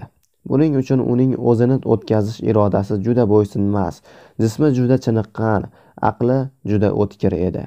Shunday qilib u tosh devor ortida joylashgan bog'dagi qizning hidiga ega bo'lishga qaror qildi. Mayli bir necha haftadan so'ng uni yo'qotsa va bu yo'qotishdan o'lsa ham shunday bo'lsa ham mayli. Lekin o'lmagani va baribir uning hidiga ega bo'lib yoki hech bo'lmaganda bir narsa qilib bu yo'qotish vaqtini cho'zgani yaxshi edi. Hidni turg'un qilish kerak. Attorlik sohasidagi muammo uning tabiatini buzmasdan turib hidning uchuvchanligini yo'qotish kerak. Shunday hidlar borki o'n yillab turadi. Mushk surtilgan sandiq dolchin moyi shimdirilgan teri parchasi anbar yumalog'i kedr daraxtidan quti hid ma'nosida deyarli abadiy yashaydi. Boshqalari esa limetin moyi limetin moyi limon tarkibidagi modda. Bergamot nargis va tabargul ekstrakti va juda ko'p gullarning hidi agar ularni sof holida havoga qo'ysa bir necha soatdan keyinoq uchib ketadi. Attor bu mash'um holat bilan uchuvchan hidlarni turg'unlari bilan bog'lab kurashadi. Go'yo ularga ozodlikka intilishlarini bog'laydigan tushov solayotgandek. Mahorat esa tushovni shafqatsizlik bilan emas balki xuddi hidga bog'langan ozodlikni berayotgandek qilib qo'yganda ko'rinadi. Lekin baribir uni qochib ketmasligi uchun yaqin tutmoq kerak. Bu usul grenuga tabargul moyining beqaror hidini tibetin vanil vanil xushbo'y moddali tropik o'simlik kundur va shamshodning juda oz miqdori bilan tutganda va aynan shu bilan uning nafosatini yuzaga chiqarganda ikki karra qo'l kelgan edi. Qizning hidi bilan ham shunga o'xshash biror narsa qilish mumkin emasmi? Axir qimmatbaho va hidlarning eng nozigini ham sof holida isrof qilish mumkinmi? Qanday ahmoqlik qanday dahshat? Axir olmosga ishlov bermay qoldirib bo'ladimi? Axir oltinni yonmiligicha taqib yuradilarmi? Nahotki u grenu dryo va boshqa yog'da qaynatilgan bug'langan moddalar va gullarni siqib oluvchilar kabi oddiygina hid o'g'risi bo'lsa. U emasmi axir? Dunyoning buyuk attori. U buni ertaroq o'ylamagani uchun peshonasiga alam afsus bilan bir urdi. Albatta bu o'ziga xos yagona hidni tabiiy holida qo'llab bo'lmaydi. Unga qimmatbaho toshdagi kabi gardish kerak.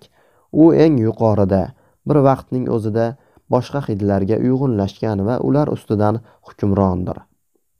U atirni san'atning barcha qoidalari bo'yicha tayyorlaydi va tosh devor ortidagi qizning hidi uning qalbi bo'ladi. Ma'lumki bas tenor va soprano bir biriga mos kelmaganidek jarangdor ohangning o'tkirligi va turg'unligi uchun na mushk na tibetin na atirgul moyi na anbar to'g'ri keladi. Bu aniq. Bunday atirlar uchun bunday inson ifori uchun unga boshqa tarkib kerak. Patrik zyuskindning ifor bir mahkum qissasi romani. Qirqinchi bob. O'sha yilning may oyida atirgullar maydonida grasdan sharqiy yo'nalishda joylashgan opno degan joyning yarim yo'lida o'n besh yoshli qizning yalang'och murdasi topildi u gardaniga tayoq bilan urib o'ldirilgandi murdani ko'rgan dehqon qo'rqinchli topildiqdan shunday dahshatga tushdiki politsiya leytenantiga titroq ovoz bilan xabar berarkan garchi aslida u bundan dahshatliroq hodisani hech qachon ko'rmaganini aytmoqchi bo'lsa-da, bunday go'zallikni hech qachon ko'rmaganini aytib, sal bo'lmasa o'ziga shubha uyg'otay dedi. Qiz haqiqatda nafis go'zallik bilan ajralib turardi. U to'q, quyuq va shirin, g'ayrioddiy yopishqoq asalni eslatuvchi dabdabali ayollar turiga mansub edi. Bu ayollar bir nozik harakat bilan, bir qayrilib qarash bilan arqon aylanishi kabi ohista yagona boqish bilan borliqni egallaydilar va bunda xuddi o'zlari erkaklarninggina emas ayollarning ham qalbi va ehtirosini jalb etayotgan tortish kuchini sezmayotgandek girdob markazida xotirjam qoladilar u bo'lsa yosh edi yetilayotgan chog'i edi uning maftunkorligi hali kamolga yetmagandi Uning go'zal qomati, shakllari hali qattiq va silliq edi. Ko'kraklari tarang edi. Uning qalin qora sochlari bilan qoplangan tekis yuzi esa hali nafis chizgilarini va qirralarining sirli noaniqligini saqlagandi. Aytgancha, sochlarining o'zi yo'q edi. Qotil uni kesib olib, o'zi bilan ko'ylagini qanday olib ketgan bo'lsa, shunday olib ketgandi. Gumon lo'lilardan edi. Lo'lilardan har narsani kutish mumkin edi. Lo'lilar ma'lumki eski ko'ylaklardan gilamlar to'qir, yostiqlarni odamlarning sochi bilan to'ldirar, osilganlarning terisi va tishlaridan kichik qo'g'irchoqlar yasardilar. Bunday g'ayrioddiy jinoyatni faqatgina lo'lilardan ko'rish mumkin edi. Lekin bu vaqtda hech qanday lo'li yo'q edi. Hududning hech qayerida yo'q edi. Ular bu yerdan oxirgi marta dekabrda o'tgandilar. Lo'lilar yo'qligi uchun mavsumiy italyan dehqonlaridan shubhalana boshladilar. To'g'ri, italyanlar ham yo'q edi. Ular bunday erta paydo bo'lmasdilar. Ular yosuman terimiga yollanish uchun faqatgina iyunda keladilar. Demak, bu italyanlar ham emas. Va nihoyat sartaroshlar shubha ostiga olindi. O'ldirilgan qizning sochlarini topish uchun ularni tintuv qildilar. Foydasiz. Keyin yahudiylardan shubha qilishdi. Keyin Benedikt monastirining xirsi baland monaxlaridan shubhalanganday bo'lishdi. Garchi ular allaqachon 70 dan oshib ketgan bo'lsalar ham, keyin sisterionlar, keyin frank masonlar frankmasonlar katolik rohiblar tariqati a'zolari. Keyin jinnixonadagi jinnilar keyin go'lahlar keyin gadoylar va hatto axloqsiz zodagonlar asosan markiz de kabridan shubhalanishdi chunki u uchinchi marta uylangandi. Aytishlaricha yerto'lalarida ayshu tarafga berilgan katolikcha ziyofatlar tashkil qilar va bunda erlik kuchini oshirish uchun bokiralar qonini ichardi. To'g'ri aniq hech narsani isbot qilishga erishilmadi. Hech kim qotillikka guvoh bo'lmagan murdaning na ko'ylagi, na sochlarini topdilar. Bir necha haftadan keyin politsiya leytenanti ter tergovni to'xtatdi. Iyunning o'rtasida italyanlarning ko'plari oilalari bilan Yosuman terimiga yollanish uchun kelishdi. Dehqonlar, To'g'ri, ularni ishga olishdi, biroq qotillikni yodda tutib, o'z xotinlari va qizlariga ular bilan muomalada bo'lishni taqiqladilar. O'zingga mahkam bo'l, qo'shningni o'g'ri tutma. Bu mavsumiy ishchilar sodir etilgan jinoyatga chindanam javob bermasalarda, lekin baribir ular shuni sodir etishi ham mumkin edi. Shuning uchun yaxshisi ulardan ehtiyot bo'lgan yaxshiroq. Tez orada Yosuman terimi boshlangandan keyin yana ikkita qotillik yuz berdi. Yana qizlar, o'shanday qora jingala soch go'zallar qurbon bo'lgandi. Yana ularni gullar maydonida yalang'och va qirtishlangan holda gardanida yopiq jarohat bilan topishdi. Yana jinoyatchining hech qanday izi yo'q edi. Yangilik yashin tezligida tarqaldi va kaltaklanish xavfi kelgindi xalq tepasiga keldi. Ma'lum bo'lishicha, ikkala qurbon ham italyan bo'lib, bir genuyalik dehqonning qizlari edi. Bu odamlarni dahshatga soldi. Ular endi o'zlarining ojiz g'azablarini kimga sotishni bilmasdilar. To'g'ri, kimdir hali jinnalardan yoki quturgan markizlardan shubha qilardi. Lekin bunga unchalik ham ishonishmasdi, chunki jinnalar tunu kun nazorat ostida edi. Markiz esa allaqachon Parijga ketgandi. Odamlar bir-biriga qapisha boshladilar. Dehqonlar o'z bostirmalarini ilgari ochiq dalada tunaydigan mavsumchilar uchun ochdilar. Shaharliklar har bir kvartalda tungi qorovulliklarni tashkil qildilar. Politsiya leytenanti shahar darvozalarida qorovullarni kuchaytirdi. Lekin barcha ehtiyotkorliklar behuda bo'lib chiqdi. Ikkita qotillikdan bir necha kun o'tgach yana oldingilari kabi mayib qilingan holda qizning murdasini topishdi. Bu safar sardiniyalik qiz haqida gap borardi. U yepiskop saroyining kir yuvuvchisi fonten de la fudan uzoq bo'lmagan joyda aniqrog'i to'g'ri shahar darvozasida o'ldirilgandi. Va garchi hayajondagi shaharliklarning bosimi ostida elchilar kengashi qattiq tekshiruvlar tungi qorovulliklarni kuchaytirish qorong'i tushgandan keyin ayol jinsidan bo'lgan barchaga ko'chaga chiqishni taqiqlash kabi keyingi chora tadbirlarni qabul qilgan bo'lsa-da, bu yozda biror joyda yosh qizning murdasi topilmagan biror hafta yo'q edi. Va har doim qiz hali endigina ayol bo'layotgan o'sha yoshdagi va har safar ular o'sha favqulodda turdagi qoracha go'zallar edi. Aytgancha, tez orada qotil o'z e'tiborini mahalliy aholi o'rtasida yumshoq, oq tanli va biroz to'laroqligi bilan ko'rinib turgan qizlarga qaratdi. Hatto ofatijon qora soch, hatto qo'ng'ir sochlar, agar ular juda oriq bo'lmasa, keyingi paytda uning qurbonlariga aylandilar. Ularni har yerda ta'qib qilib yurdi. Endi nafaqat Gras, yon atrofida, balki shahar ichida, hatto uylarning ichida ham. Bir duradgorning qizi o'zining 5-qavatdagi xonasida o'lik holda topildi va uyda hech kim, na biror kichik shovqinni, na biror itning ular odatda uzoqdan hid olar va begonaga qattiq hurardi. Hatto akkillamaganlar ham. Ovozini eshitmagan. Qotil qo'lga tushmas, vujudsiz ruhga o'xshardi. Odamlar g'azablanar va hokimiyatni so'kardi. Kichik xabar to'qnashuvlarga olib kelardi. Bir daydi savdogar uning kukunlarida go'yo maydalangan qiz bola sochi borligi uchun sevgi sharobi va boshqa firibgarona dorilari bilan sal bo'lmasa olomon ichida burda-burda bo'lib ketay dedi. Allakim Markiz Dekabrining dang'illama imorati g'aribxonani yoqib yubormoqchi bo'ldi. Movut tayyorlovchi Aleksandr Minar tunda uyga qaytayotgan o'z xizmatkorini mashhur qizlar qotili deb o'ylab otib qo'ydi. O'smir qizlarini uzoq qarindoshlarinikiga yoki Nitsa, X yoki Marseldagi pansionlarga jo'nata olganlar jo'natdi. Politsiya leytenanti shahar kengashining zo'ri bilan vazifasidan bo'shatildi. Uning o'rniga kelgan sochi kesilgan go'zallarning murdasini bokiralik holatiga tekshirishlari uchun vrachlar kollegiyasini taklif qildi. Ma'lum bo'lishicha, ularga tegilmagandi. Bu xabar ajib bir tarzda vahima dahshatini kamaytirmadi, aksincha kuchaytirdi. Chunki har bir odam o'zicha qizlarni zo'rlashgan deb o'ylardi.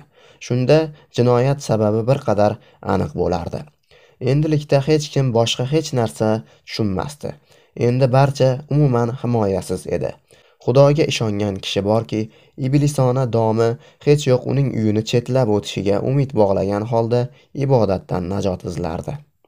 Shahar kengashi Grasning 30 ta eng boy va hurmatli burjua dvoryanlarining nufuzli yig'ilishi, asosiy qismi ma'rifatli va antiklerikal kayfiyatdagi janoblar shu paytga qadar yepiskop bilan hech narsada hisoblashmagan va mamnuniyat ila monastir va abbatlikni mahsulot omborlari va fabrikalarga aylantirgan bo'lardilar.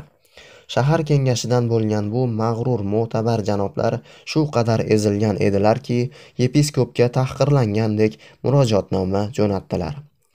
U shu ma'noda ediki, oldida dunyoviy hokimiyat ojiz bo'lgan, qizlarning boshiga yetayotgan maxluqni xuddi 1708-yilda uning muqaddas salafi shahar dahshatli kulfatga, butun mamlakatga xavf solgan chigirtka bosqiniga yuz tutganda qilganidek quvmoqni so'ragandilar.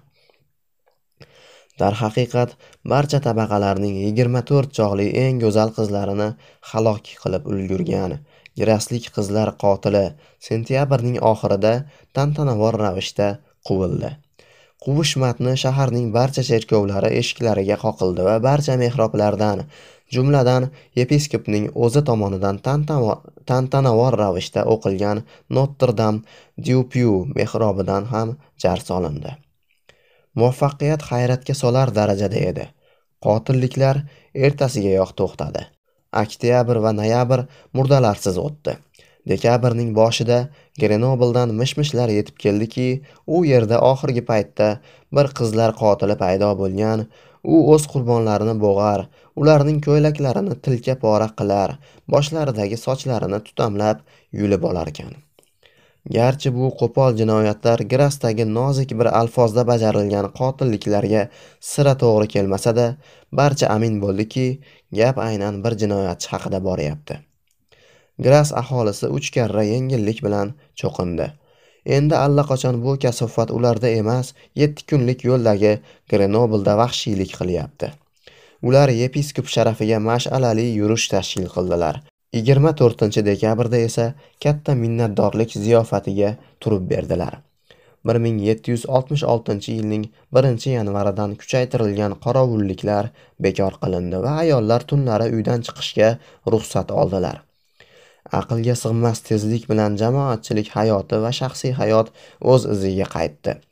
Qo'rquvni go'yo shamol olib ketgandek. Bor yo'g'i bir necha oy muqaddam shahar va uning atrofida hukm surgan o'sha dahshat haqida birov boshqa gapirmasdi. Hatto qurbonlarning uyida ham bu haqda gapirilmasdi. Yepiskop jar solib o'qigan tavqi la'nat nafaqat qotilni balki u haqdagi barcha xotiralarni ham quvgandi. Odamlarga esa xuddi shu kerak edi. Faqatgina mo'jizaviy o'smirlik chog'iga kirayotgan qizlari bo'lganlargina uni nazoratsiz qoldirmaslikka harakat qilar shom tushishi bilan qo'rquvni his etar. Ertalablari esa uni sog' va salomat ko'rganidan garchi o'zi nimadanligini bilmasa-da baxtli edi. Patrik zyuskindning ifor bir mahkum qissasi romani. Qirq birinchi bob. Biroq grasda bir odam bor ediki u paydo bo'lgan xotirjamlikka ishonmasdi. Uning ismi antuan reshi edi. U ikkinchi elchi vazifasini bajarardi va druvat ko'chasining boshida shahar qo'rg'onida yashardi. Reshi beva edi va uning laura ismli qizi bor edi. Garchi u qirqqa ham bormagan bo'lsa-da va havas qilgudek sog'ligi bilan ajralib tursa-da yangitdan nikohdan o'tishga shoshilmasdi. Avvalo u qizini erga berishni xohlardi. Lekin har holda bu nasl nasabning tantanali xonavayronligidan munosibroq va xudoga xush keladiganroq edi. Uning mo'ljalida o'g'li va vansda mulki bo'lgan buyon ismli bir baron e-, bor edi. Baronning obro'si yaxshi mulki behisob edi. Va rishi allaqachon bolalarining bo'lg'usi nikohiga uning roziligini olgan edi. Qachonki laura qat'iy o'rnashib olgandan so'ng biror bir dre moberov yoki fon mishel kabi oliy nasab oilalardan biriga changal soladi. Zinhor shuhratparastligi va to'shakda zodagon rafiqaga ega bo'lish fikri yarq etgani uchun emas balki u sulolaga asos solish va o'z avlodini oliy ijtimoiy holat va siyosiy nufuzga eltuvchi yo'lga qo'yishni xohlagani uchun. Buning uchun unga eng kamida yana ikki o'g'il kerak edi. Biri uning ishini davom ettirgan ikkinchisi esa yuridik sohada va eks parlamentida muvaffaqiyatlarga erishgan va shu yo'l bilan yuqoriga dvaryan sulolasiga yorib kirgan bo'lardi.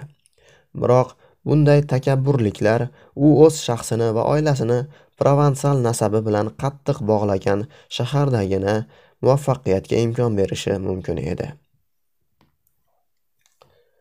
Bu qadar chuqur rejalar uning ertaklardagi kabi boyligi bilan oqlanardi. Antuan rishi hududdagi istalgan burjuydan ko'ra ancha boyroq edi. U nafaqat gras tevaragida portaxol kungaboqar bug'doy va suli yetishtiradigan katta yerlarga ega edi balki vans antip ostida ham ijara yerlari bor edi. Eksda uning uylari butun mamlakat bo'ylab uylari bor edi. Hindistonga boruvchi kemalardan o'z ulushini olardi. Genuyada doimiy idorasiga va fransiyada muattar mahsulotlar ziravorlar moylar va teri saqlanadigan eng yirik savdo omboriga ega edi. Biroq rishining haqiqiy boyligi uning qizi edi. Uning yagona farzandi edi. Rosa o'n oltiga kirganda to'q sariq sochli va yashil ko'zli edi. Uning yuzi shunday jozibali ediki istalgan jins va yosh vakili bo'lgan keluvchilar hayratdan qotib qolar va undan ko'zini ololmay qolardilar. Ular to'g'ridan to'g'ri ko'zlari bilan uning yuzini yalardilar. Xuddi muzqaymoq yalaganday. Va bu dam ularda shunga o'xshash mashg'ulotlar uchun xos bo'lgan ahmoqona berilish ifodasi paydo bo'lardi. Rishining o'zi ham o'z qizini ko'rishi bilan bir qancha muddat chorak soat yarim soat balki butun dunyoni va butun ishlarini unutayotganini anglab qolardi. Bunday holat unda hatto tushida ham yuz bermagan malika qizni kuzatishga sho'ng'ib ketar va keyin nima bilan mashg'ul ekanligini eslolmasdi bir qancha vaqtdan beri esa o'ziga bu haqda o'kinch bilan hisob berardi. Kechalari joyiga yotqizarkan yoki ba'zan ertalablari uni uyg'otgani kelganida hali u xuddi yaratganning o'zi tomonidan allalaganday uxlab yotar va tungi kiyimi ostida uning sonlari va ko'kraklari bilinib turar. Ko'ylakning bo'ynidagi ochiq joyi qo'ltiq osti yuzlari orom topgan bilaklarining va silliq qo'lining chuqurchalaridan xotirjam va qaynoq nafasi quyulardi. Bu vaqtda uning ichida nimadir afsus ila qisardi tomog'ini bo'g'ar va so'lagini yutishga majbur qilardi. Va marhamatli egam u bu ayolga begona emas ota bo'lgani qandaydir tashqaridan kelgan erkak bo'lmagani uchun o'zini qarg'ardi. Balki uning oldida xuddi hozirgidek yotgan bo'lardi. U esa balki uning yoniga yotgan uning ustiga uning ichiga butun egalik hissi bilan yotgan bo'lardi. Va bu maxluqona fikrni bo'g'arkan uni ter bosardi va uning butun tanasi titrar va axloqli otaning o'pichi bilan qizni uyg'otmoq uchun uning ustiga egilardi. O'tgan yili qotilliklar davrida u hali bu kabi tushunarsiz olishuvlarni his qilmagandi. O'sha paytda uning ustidan qizi ega bo'lgan sehrli hukmronlik unga har holda shunday tuyulardi. Hali bolalikning sehrli hukmronligi edi. Shuning uchun u hech qachon laura ma'lum bo'lishicha bolalarga ham ayollarga ham hujum qilmayotgan. Lekin favqulodda hali bokiraligini yo'qotmagan yetuk qizlarga tashlanayotgan qotilning qurboniga aylanadi deb jiddiy xavfsiramasdi. Baribir uy soqchilarini kuchaytirdi. Yuqori qavatning derazalariga yangi panjaralar qo'yishni buyurdi va oqsochga lauraning yotog'ida tunashni buyurdi. Lekin uni shahardan chiqarib yuborish haqidagi fikri o'z toifasidagi o'rtoqlari qilganidek qizlari hatto butun oilalari bilan jo'natish fikri uning uchun chidab bo'lmas holat edi. U bu kabi xatti harakatni kengash a'zosi va ikkinchi elchi uchun sharmandali va nomunosib deb topdi. Uning fikricha o'z yurtdoshlariga vazminlik mardlik va egilmaslik namunasini ko'rsatishga burchli edi. Bundan tashqari u shunday odam ediki unga na vahima bosgan olomon na bor yo'g'i bittagina yashirin jinoyatchi o'smir. Hech kim o'z qarorlarini majburlab qabul qildirolmasdi va butun dahshatli davr davomida u shahardagi qo'rquv talvasasiga tushmagan va aqlini yo'qotmagan ozchilikning biri edi. Lekin qiziq bir holatda endi barchasi o'zgardi. Odamlar ko'chalarda go'yo qotilni dorga osgandek uning yovuzliklari tugaganini bayram qilayotgan va o'sha mash'um kunlarni unutayozgan paytda antuan rishining qalbida yomon bir zahardek kuydiruvchi qo'rquv paydo bo'ldi. Avvaliga aynan qo'rquv uni payti kelgan safarlarini qoldirishga shaharga kamroq chiqishga tezroq qaytish uchungina tashrif va yig'ilishlarni qisqartirishga majbur qilishiga qo'yib bergisi kelmadi. O'z o'ziga ishga bandligi va zo'riqqanligini bahona qilib o'zini oqladi. Biroq oxirida angladiki u biroz tashvishli uning o'rnida bo'yi yetgan qizi bo'lgan har bir ota kabi tashvishli edi. Axir bunday tashvishlilik oddiy holku axir uning go'zalligi shuhrati allaqachon olamga tarqalmadimi? Axir yakshanba kunlari u bilan cherkovga borganingda hamma bo'ynini cho'zib qaramaydimi? Axir ba'zi janoblar kengashda allaqachon o'z nomidan yoki o'g'illarining nomidan bo'lishi mumkin bo'lgan sovchilikka ishora qilmadilarmi? Patrik zyuskindning ifor bir mahkum qissasi romani. Qirq ikkinchi bob. Lekin mart oyining kunlaridan birida rishi mehmonxonada o'tirardi va lauraning boqqa chiqqanini ko'rdi u ko'k ko'ylak kiygandi. Uni quyosh nurida tovlanayotgan malla sochlari yoyilib yotardi. Uni hech qachon bunaqa chiroyli ko'rmagandi. Qiz chetanning ortida ko'zdan pana bo'ldi va u yerdan balki kutganidan kechroq yurakning ikki marta urishidan kechroq paydo bo'ldi va rishi o'lardek qo'rqib ketdi. Chunki yurakning ikki urishi davomida qizini butunlay yo'qotib qo'ydim deb o'yladi. Shu kechasiyoq dahshatli tushdan uyg'ondi. Tushini eslamadi. Biroq tush laura bilan bog'liq edi. Va uning xonasiga otildi. Uni o'lik o'ldirilgan xo'rlangan va sochi kesilgan holda ko'rishiga ishonib kirdi. Biroq uni ziyon zahmatsiz ko'rdi. U hamma yog'ini ter bosgan va hayajondan titragan ko'yi o'z yotog'iga qaytdi. Yo'q hayajondan emas balki qo'rquvdan. Endi oxir oqibat buni tan oldi. Tinchlandi va miyasi ravshan ishlay boshladi. To'g'risini aytganda u avval boshdanoq yepiskopning tavqi la'nati ta'siriga ishonmagandi. Qotilning grenoblda yashirin faoliyatda ekaniga ham ishonmagandi. Uning umuman shaharni tark etganiga ham ishonmagandi. Yo'q u shu yerda yashagan gras aholisining ichida va qachondir yana zarba beradi. Avgust va sentyabrda rishi ba'zi o'ldirilgan qizlarni obdon tekshirdi. Bu tomosha uni dahshatga soldi va tan olish kerakki bir vaqtda junbushga soldi. Negaki ularning barchasi va har biri o'z holicha alohida go'zallik bilan ajralib turardi. U grasda shuncha qadriga yetilmagan go'zallik borligini hech qachon o'ylab ko'rmagandi. Qotil uning ko'zini ochdi. Qotil xos bir tab bilan ajralib turardi va bir tizim bo'yicha faoliyat ko'rsatgandi. Barcha qotilliklar birday saranjomlik bilan bajarilgani yetmaganday qurbonlar tanlanishining o'zi ham deyarli aniq hisob kitobni berardi. To'g'ri qotil o'z qurbonlaridan nima istayotganini rishi bilmasdi. Negaki ularning asosiy boyligi go'zallik va yoshlik maftunkorligi axir bu u bularni o'g'irladimi yoki o'g'irlamadimi? Nima bo'lganda ham bu qanday bema'ni jaranglasa ham qotillikning maqsadi vayronlik emas ehtiyotlab kolleksiya yig'ish shekilli. Agar masalan fikrlardir ishi. Barcha qurbonlarni alohida kimsalar holida emas balki qandaydir bir oliy talabning qismi sifatida tasavvur qilsak va ularning turli xususiyatlarini yagona bir butunlikka jamlagan holda xayolparastlarcha fikrlasak bunday mozaikadan tuzilgan ushbu manzara umuman go'zallik manzarasi bo'lgan bo'lardi. Va undan kelayotgan sehr jodu odamga xos emas balki ilohiy kuchga ega bo'lardi. Ko'rganimizdek rishi hatto mushrikona xulosalardan ham qo'rqib ketmaydigan ma'rifatli va tafakkuri kuchli odam edi. Garchi u hid bilish orqali emas balki ko'rish orqali fikrlasada baribir butunlay haqiqatga yaqin edi. Deylik fikrini davom ettirardi rishi qotil shunday go'zallik kolleksioneri bo'lsa va mukammallik surati ustida ishlayotgan bo'lsa mayli bu tahayyul uning kasal miyasi mahsuli bo'lsin.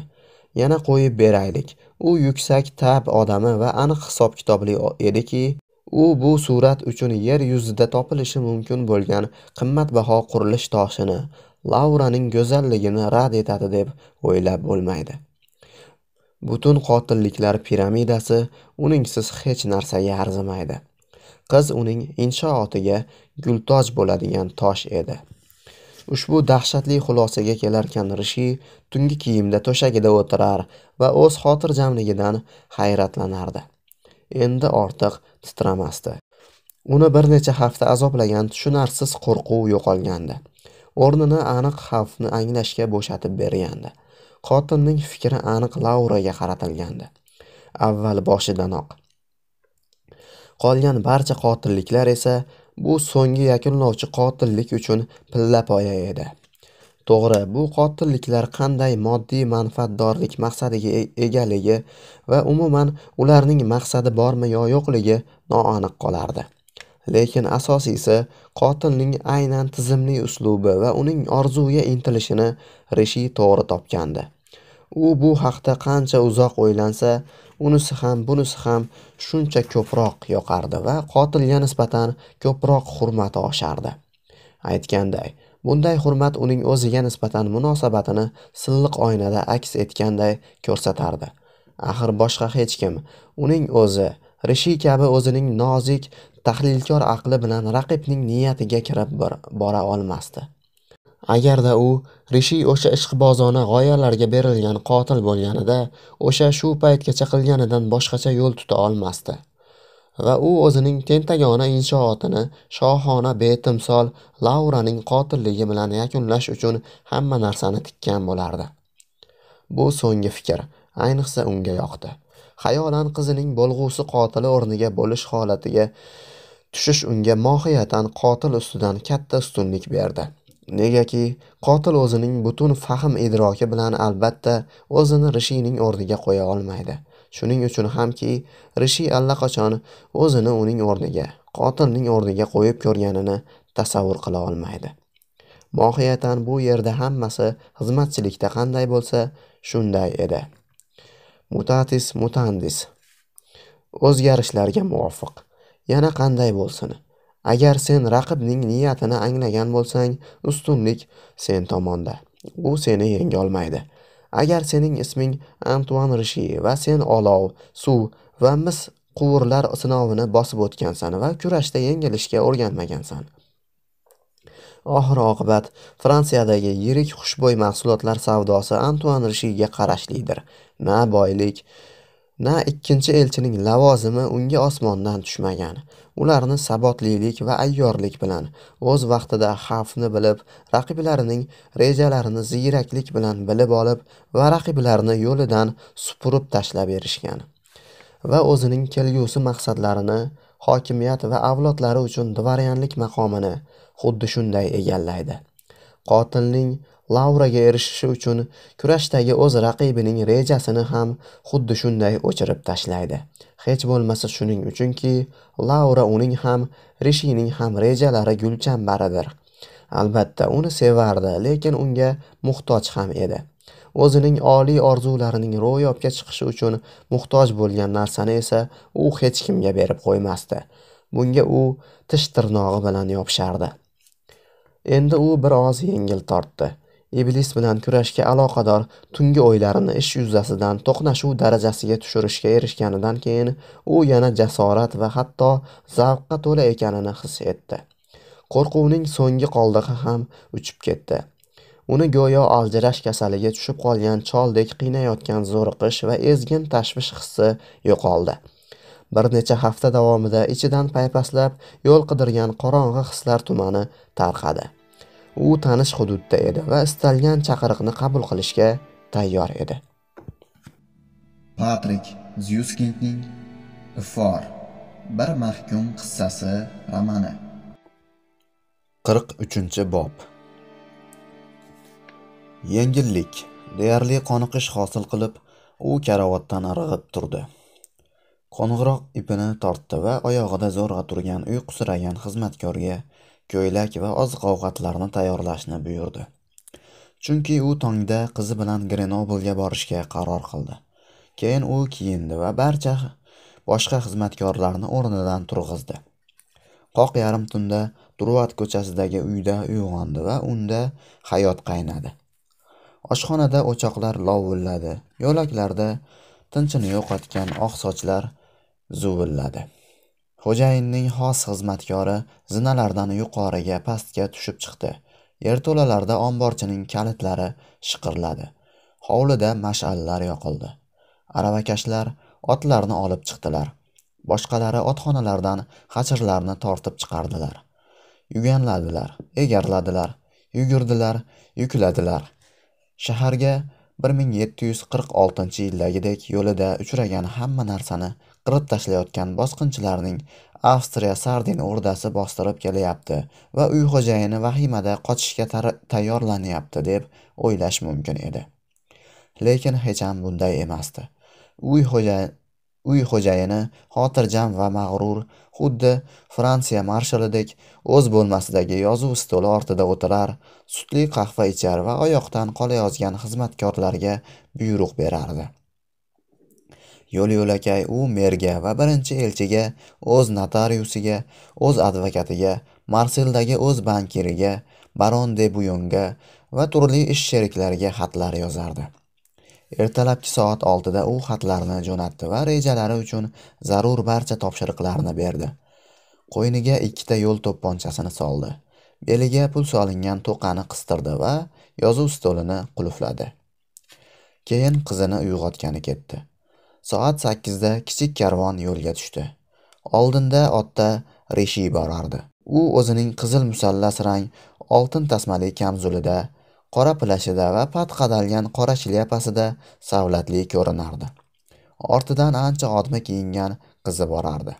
Biroq shunday ko'z qamashtiradigan go'zal ediki ko'chadagi va derazadan boqqan odamlar undan ko'zini ololmasdi. Olomondan ehtirom to'la oh vohlar eshitilardi. Erkaklar shlyapasini yechardi. Aslida esa qirolichadek o'tirgan bu qiz oldida hurmat bajo keltirardilar. Uning ortidan oq sochi borardi. Keyin rishining xizmatkori yuk yuklangan ikki ot bilan aravadan foydalanish grenobl yo'lining yomonligi tufayli istisno qilingandi. Ikki xizmatkor kuzatuvida har turli mahsulotlar yuklangan o'nlab xachirlar karvoni tutashib ketgandi. Dyukur qorovulxonasida qo'riqchilar saflandilar va miltiqlarini so'nggi xachir darvozadan o'tib ketgandan keyingina tushirdilar. Bolalar tik egri bugri yo'ldan sekin uzoqlashib borayotgan bu karvon ortidan uzoq yugurdilar. Ortidan qo'l silkitdilar. Antuan rishining qizi bilan bu safari odamlarda ajib bir chuqur taassurot qoldirdi. Ularga xuddi qandaydir qadim qurbonlik marosimida qatnashayotganday tuyulardi. Atrofda faqat rishi grenoblga ya'ni yaqin vaqtlardan beri qizlarni o'ldiradigan maxluq yashayotgan shaharga ko'chayotgani haqida gap borardi. Odamlar bu haqda nima deb o'ylashni ham bilmasdilar. Rishining xatti harakatini qanday tushuntirish mumkin? Nomunosib yengiltaklikmi yoki maqtovga loyiq mardlikmi? Bu chorlovmidi yoki xudolarning rahmini keltirishga urinishmidi? Lekin ularni malla sochli go'zal qizni so'nggi marta ko'rib turganliklarini sezishdek bezovta tuyg'u qiynardi. Ular laura rishining halokatini oldindan sezardilar. Bu bashorat ro'yobga chiqdi. Garchi u mutlaqo yolg'on xulosalarga asoslangan bo'lsa-da gap shunda ediki rishi umuman grenoblga jo'namagandi. Shavkatli yurish makkorlikdan boshqa narsa emasdi. Grasdan shimoli sharqqa bir yarim mil uzoqlikda sen vals qishlog'i yaqinida u to'xtashni buyurdi. Xizmatkoriga vakolatni va yo'l xatni topshirdi. Xachirlar karvonini grenoblga yetkazishni buyurdi. Kuzatuvchi xizmatkorlarni ham karvon bilan jo'natdi. O'zi esa laura va uning oqsochi bilan kabriga burildi. U yerda tushlikka to'xtadilar. Keyin tanneron tog' yo'li orqali janubga harakatlandilar. Bu yo'l favqulodda og'ir edi. Lekin u gras va gras vodiysini keng yarim aylana bo'lib g'arbdan aylanib o'tish va kechqurunga bilinmasdan qirg'oqqa yetib olish imkonini berardi. Rishi ertasiga laura bilan leren orollarining eng kichigida mustahkam joylashgan sent anore monastiriga yetib olishni rejalashtirgandi. Monastir xo'jaligini keksaligiga qaramay hali ham o'zini eplay oladigan monahlar to'dasi boshqarardi. Rishi ularni yaxshi bilardi. Chunki ko'p yillar ketma ket monastirdan evkalipt likyori piniya urug'i va shamshod yog'i mahsulotlarini olib sotardi. Aynan o'sha yerda if qal'asi va sent margaret orolidagi davlat turmasi qatorida joylashgan provansda eng ishonchli joy sanalgan sent anore monastirida u dastlab qizini yashirishga harakat qildi. O'zi esa qirg'oqqa tez qaytadi va grasni bu safar sharqdan antip va kanin orqali shu kuni oqshomga qadar vansga yetish uchun bosib o'tadi. U allaqachon u yerga o'z notariusini baron baron de buyon bilan ularning bolalari laura va alfonsning nikoh shartnomasini imzolash uchun taklif qilgan bu yonga rad eta olmaydigan taklifni aytmoqchi. Baronning qirq ming livr hajmidagi qarzini to'lash shuncha hajmda qalin bir necha yer maydonlari va maganusk ostidagi yog' korxonasi yoshlar uchun 3 ming livr hajmida yillik renta. Rishining yagona sharti shu ediki shartnoma 10 kundan keyin kuchga kirishi kerak va yoshlar to'ydan keyinoq vansga ko'chishlari kerak. Rishi bunday hovliqish oilasining ushbu buyonlar oilasi bilan birlashuvi uchun to'lov hajmini behad ko'tarib yuborishini tushunardi. Agar uning kutgani vaqti bo'lganida edi anchagina arzon to'lagan bo'lardi. O'shanda bu baron tilanchi kabi boy savdogardan ushbu bitimni yalinib so'rashiga to'g'ri kelardi. Axir lauraning go'zalligi shuhrati rishining boyligi kabi oshib boradi. Buyonlar esa buni ko'rib tamom bo'lishadi. Hay mayli axir uning raqibi baron emas noma'lum qotil. Mana kimning oshiga pashsha tushishi kerak. Bokiraligini yo'qotgach erli ayol va balki homilador endi uning nafis galereyasiga uyg'un kelmaydi. Bu mozaikaning so'nggi katagi bo'sh qoladi. Laura qotil uchun butun qimmatini yo'qotadi. Uning rejasi barbod bo'ladi. Unga mag'lubiyat qayg'usini his qildirish ham kerakda. Rishi grasda katta ziyofat berib el yurt oldida to'y qilmoqchi edi. Mayliga o'z raqibini bilmasa ham va hech qachon tanimasa ham baribir u voqealarda ishtirok etishi va laziz luqmani tumshug'i ostidan olib ketayotganlarini o'z ko'zlari bilan ko'rayotganini his qilish huzurlidir. Reja juda nozik hisob kitob qilingandi. Biz yana haqiqatga yetishga yaqin bora olgan rishining shuuridan hayratlanmog'imiz kerak. Negaki laura rishining baron de buyon o'g'li bilan nikohi haqiqatda graslik qizlar qotilining butunlay mag'lubiyatini anglatardi. Lekin reja hali ro'yobga chiqmagandi. Rishi hali laurani yashirmagandi. Hali uni sent anore monastirining qutqaruvchi ishonchli boshpanasiga yetkazmagan. Hali uch otliq yo'lchi qahri qattiq tanneron dovoni orqali yo'l bosardi. Ba'zan yo'l shunday qiyinlashardiki otliqlar piyoda yurardilar. Hammasi juda sekin borardi. Kechgacha ular la napul yonidagi qirg'oq kandan uzoq bo'lmagan qishloqqa yetib olishni umid qilardilar. Patrik zyuskindning ifor bir mahkum qissasi romani. Qirq to'rtinchi bob.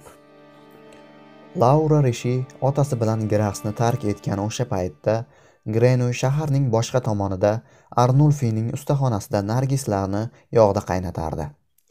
U yolg'iz va yaxshi kayfiyatda edi. Uning grasdagi muddati tugab borardi. G'alaba kuni yaqin edi. Uning kulbasida paxta solingan qutichalarda yigirma to'rt begunoh qizning ifori tomchilari o'tgan yili Grenoy tomonidan tanalarni sovuq anfilirash qilish yo'li bilan soch va ko'ylaklar hidini moyga shimitish, spirtda yuvish va bug'lash yo'li bilan olingan qimmatbaho essensiyalar quyilgan 24 ta jajji shishachalar turardi. 25-sini esa eng dabdabali, eng muhim essensiyani u bugun oladi. Allaqachonoq u qayta-qayta tozalangan yog' solingan idish, yupqa mato qiyqimi va toza spirtni ushbu so'nggi o'lja uchun tayyorlab qo'ygan. Joy o'rganilgan. Yangi oy chiqqandi. U druvat ko'chasidagi qo'rg'on yaxshi qo'riqlanishini va unga buzib kirishning iloji yo'qligini bilardi. Shuning uchun u yerga qosh qorayganda darvozalar yopilguncha kirib olishni va uni ko'rinmas odamdek odamlar va hayvonlarga sezilarsiz qilgan o'z hidsizligidan foydalanib uyning biror burchagida yashirinishni istardi. Keyinroq hamma uxlaganda u qorong'ida hid bilish yo'l ko'rsatkichi ortidan borib yuqoriga o'z xazinasi oldiga ko'tariladi. Uni yog' shimdirilgan choyshabga o'rab o'sha yerdayoq joyida ishlov beradi. Faqat sochlari va ko'ylagini doimgidek o'zi bilan olib ketadi. Chunki bu qismlar to'g'ridan to'g'ri vino spirtida yuvilishi mumkinki buni ustaxonada bajarish qulayroq. Yog'upaning oxirgi ishlovi va uni bug'lab quyuq modda olish uchun yana bir kecha kerak edi. Agar hammasi yaxshi ketsa hammasi yaxshi bo'lishiga shubhasi ham yo'q edi. Unda indiniga u dunyodagi eng yaxshi atirlarni tayyorlash uchun zarur barcha essensiyalarning egasiga aylanadi va yer yuzidagi eng yaxshi hidli odamdek grasni tark etadi. Tushlikkacha u nargislarni tugatdi. Olovni o'chirdi yog'li qozonni yopdi va havo olish uchun ustaxonadan chiqdi. Shamol g'arbdan esardi. Birinchi nafasdanoq u sergaklandi. Havoda nimadir joyida emas nimadir bo'lgandi. Shahar havosida uning ushbu libosida minglarcha iplardan to'qilgan ko'rinmas etagida oltin rishta yetishmasdi. So'nggi bir necha haftada bu muattar rishta shunday mahkamlandiki grenuy uni shahardan tashqarida o'z kulbasida ham bemalol his qilardi. Endi esa u yo'q edi yo'qolgandi. Uni mashomi ila sezish mumkin emasdi. Grenuy qo'rquvdan qotib qoldi. U o'lgan deya o'ylardi. Keyin yanada dahshatlirog'i kimdir mendan ko'ra olg'irlik qilgan deb o'yladi. Boshqa odam mening gulimni uzgan va uning iforini o'zlashtirgan. U qichqirmadi. Buning uchun uning qayg'usi juda buyuk edi. Lekin ko'z yoshlari ko'zlarining chetidan sizib chiqdi va birdaniga shashqator quyildi. Shu payt tushlikka dryu to'rt shahzodadan qaytdi va aytdiki bugun ertalab ikkinchi elchi o'n ikki hachiri va qizi bilan grenoblga jo'nab ketibdi. Grenu yoshlarini yutdi va shaharni bosib dyukur qopqasiga yugurish uchun tashlandi. U darvoza maydonida to'xtadi va hid oldi va musaffo shahar hidlari bilan bulg'anmagan g'arb shamolida u yana oltin rishtasini topdi. Uning ifori grenoblga eltadigan shimoli g'arbdan emas balki janubi g'arbdan kabri yo'nalishidan kelardi. Grenuy qorovullardan ikkinchi elchi qaysi yo'ldan ketganini so'radi. Qorovullardan biri shimolni ko'rsatdi. Kabriga emasmi? Balki u janubga oriboga yoki la napulga jo'nagandir? Yo'q albatta dedi qorovul. Buni u o'z ko'zlari bilan ko'rgandi. Grenu ortiga tashlandi. Shahar orqali o'z kulbasiga xurjuniga mato bo'lagi yog'upa uchun tuvakcha kurakcha qaychi va zaytun yog'ochidan kichkina silliq tayoqni tiqdi va kechiktirmay yo'lga otlandi. Grenobl yo'liga emas balki mashomi ko'rsatgan yo'lga janubga otlandi. Bu yo'l to'g'ri la napulga eltardi. Daryo frayer va siyan irmoqlarini kesib tanneron tizmalari bo'ylab eltardi. Yurish yengil edi. Grenuy ildam olg'a bosardi. O'ng yonda xuddi tog'larning ustida osilgandek Oribo manzarasi paydo bo'lgandi. U qochoqlarni deyarli quvib yetganini sezdi. Tez orada ular bilan bir xil balandlikka yetdi. Endi ularning har birini alohida his qilardi. U hatto otlarining hidini ham farqlardi. Ular balki ko'pi bilan undan bir mil uzoqda, Tanneron o'rmonlarining qayeridadir edi. Ular janub tomonga dengizga tomon yo'l olgandilar. Xuddi u kabi. Kunduzgi beshlar atrofida grenu la napulga yetib keldi. U karvonsaroy topdi ovqatlandi va tunash uchun arzon joy so'radi. Aytishicha u nitsi konchisining shogirdi va marselga ketyapti. Otxonada tunash mumkin degan javob bo'ldi. U yerda burchakka tiqildi va uxladi. Uch otliqning yaqinlashishini uzoqdan his qildi. Endi faqat kutish qolgandi. Ikki soatdan keyin allaqachon g'ira shira bo'lgandi. Ular yetib keldilar. O'zlarini bildirmaslik uchun uchalalari ham kiyimlarini almashtirdilar. Ikkala ayol ham to'q rang ko'ylak va chimmatda edi. Rishi qora kamzulda u o'zini kastellanlik dvoryandek ko'rsatardi. Ertaga u leren orollariga yo'l olishni istaydi. Uy egasi tong otishiga nonushta tayyorlasin. Uyda boshqa mijozlar ham bormi? Yo'q dedi uy egasi. Faqatgina nitsidan ko'nchining shogirdi bor. Faqat u otxonada tunaydi rishi ayollarni xonalariga yubordi. O'zi aytganidek otxonaga yuklardan nimanidir olish uchun kirdi. Avvaliga u shogirdni topa olmadi va otboqardan chiroq keltirishni so'rashiga to'g'ri keldi. Shunda uni burchakda ko'rdi. Ko'nchining shogirdi somon va eski yopqich ustida yotar va boshi ostiga xurjunini qo'yib qattiq uyquda edi. U shu qadar ko'rinmas va sezilmas tuyulardiki rishiga bir boqishda umuman yo'qdek tuyuldi. Ushbu maxluq chiroqning titroq yog'dusida aldamchi soyadek ko'rindi. Har ehtimolga qarshi rishiga shu ondayoq aniq bo'ldiki bu to'g'ridan to'g'ri beozor rahmni keltiradigan jonzotdan kichik bir xavf ham yo'q. Uning uyqusini buzmaslik uchun asta uzoqlashdi va uyga qaytdi. Qizi bilan uning xonasida kechki ovqatni yedi. Jo'nash oldidan u qiziga sayohatlarini maqsadini tushuntirmagan edi. Hozir ham bunday qilmadi. Garchi qiz buni so'rasa ham ertaga hamma narsani unga ma'lum qilishini nimaiki rejalashtirsa va qilsa unga yaxshi bo'lishiga qaratilgan va kelgusida unga baxt keltirishini aytdi. Kechki ovqatdan keyin ular bir necha partiya lomber o'ynadilar va u yutqizdi. Chunki o'z kartasiga qaramasdan qizining yuzi go'zalligiga mahliyo edi. To'qqizlarda uni o'z xonasi ro'parasidagi xonasiga kuzatib qo'ydi va eshikni tashqaridan qulfladi. Keyin o'zi ham qulashayotdi. U birdaniga qattiq charchoqni his qildi. Og'ir kun va kelayotgan tun yuki ta'sirini ko'rsatgandi. Lekin bir vaqtning o'zida u o'zidan va ishning borishidan mamnun edi. Kichik bir tashvishsiz kechagi kungacha har safar chiroqni o'chirganida uyqusizlik bilan uni qiynagan qorong'i o'ylarsiz shu zahotiyoq uxlab qoldi.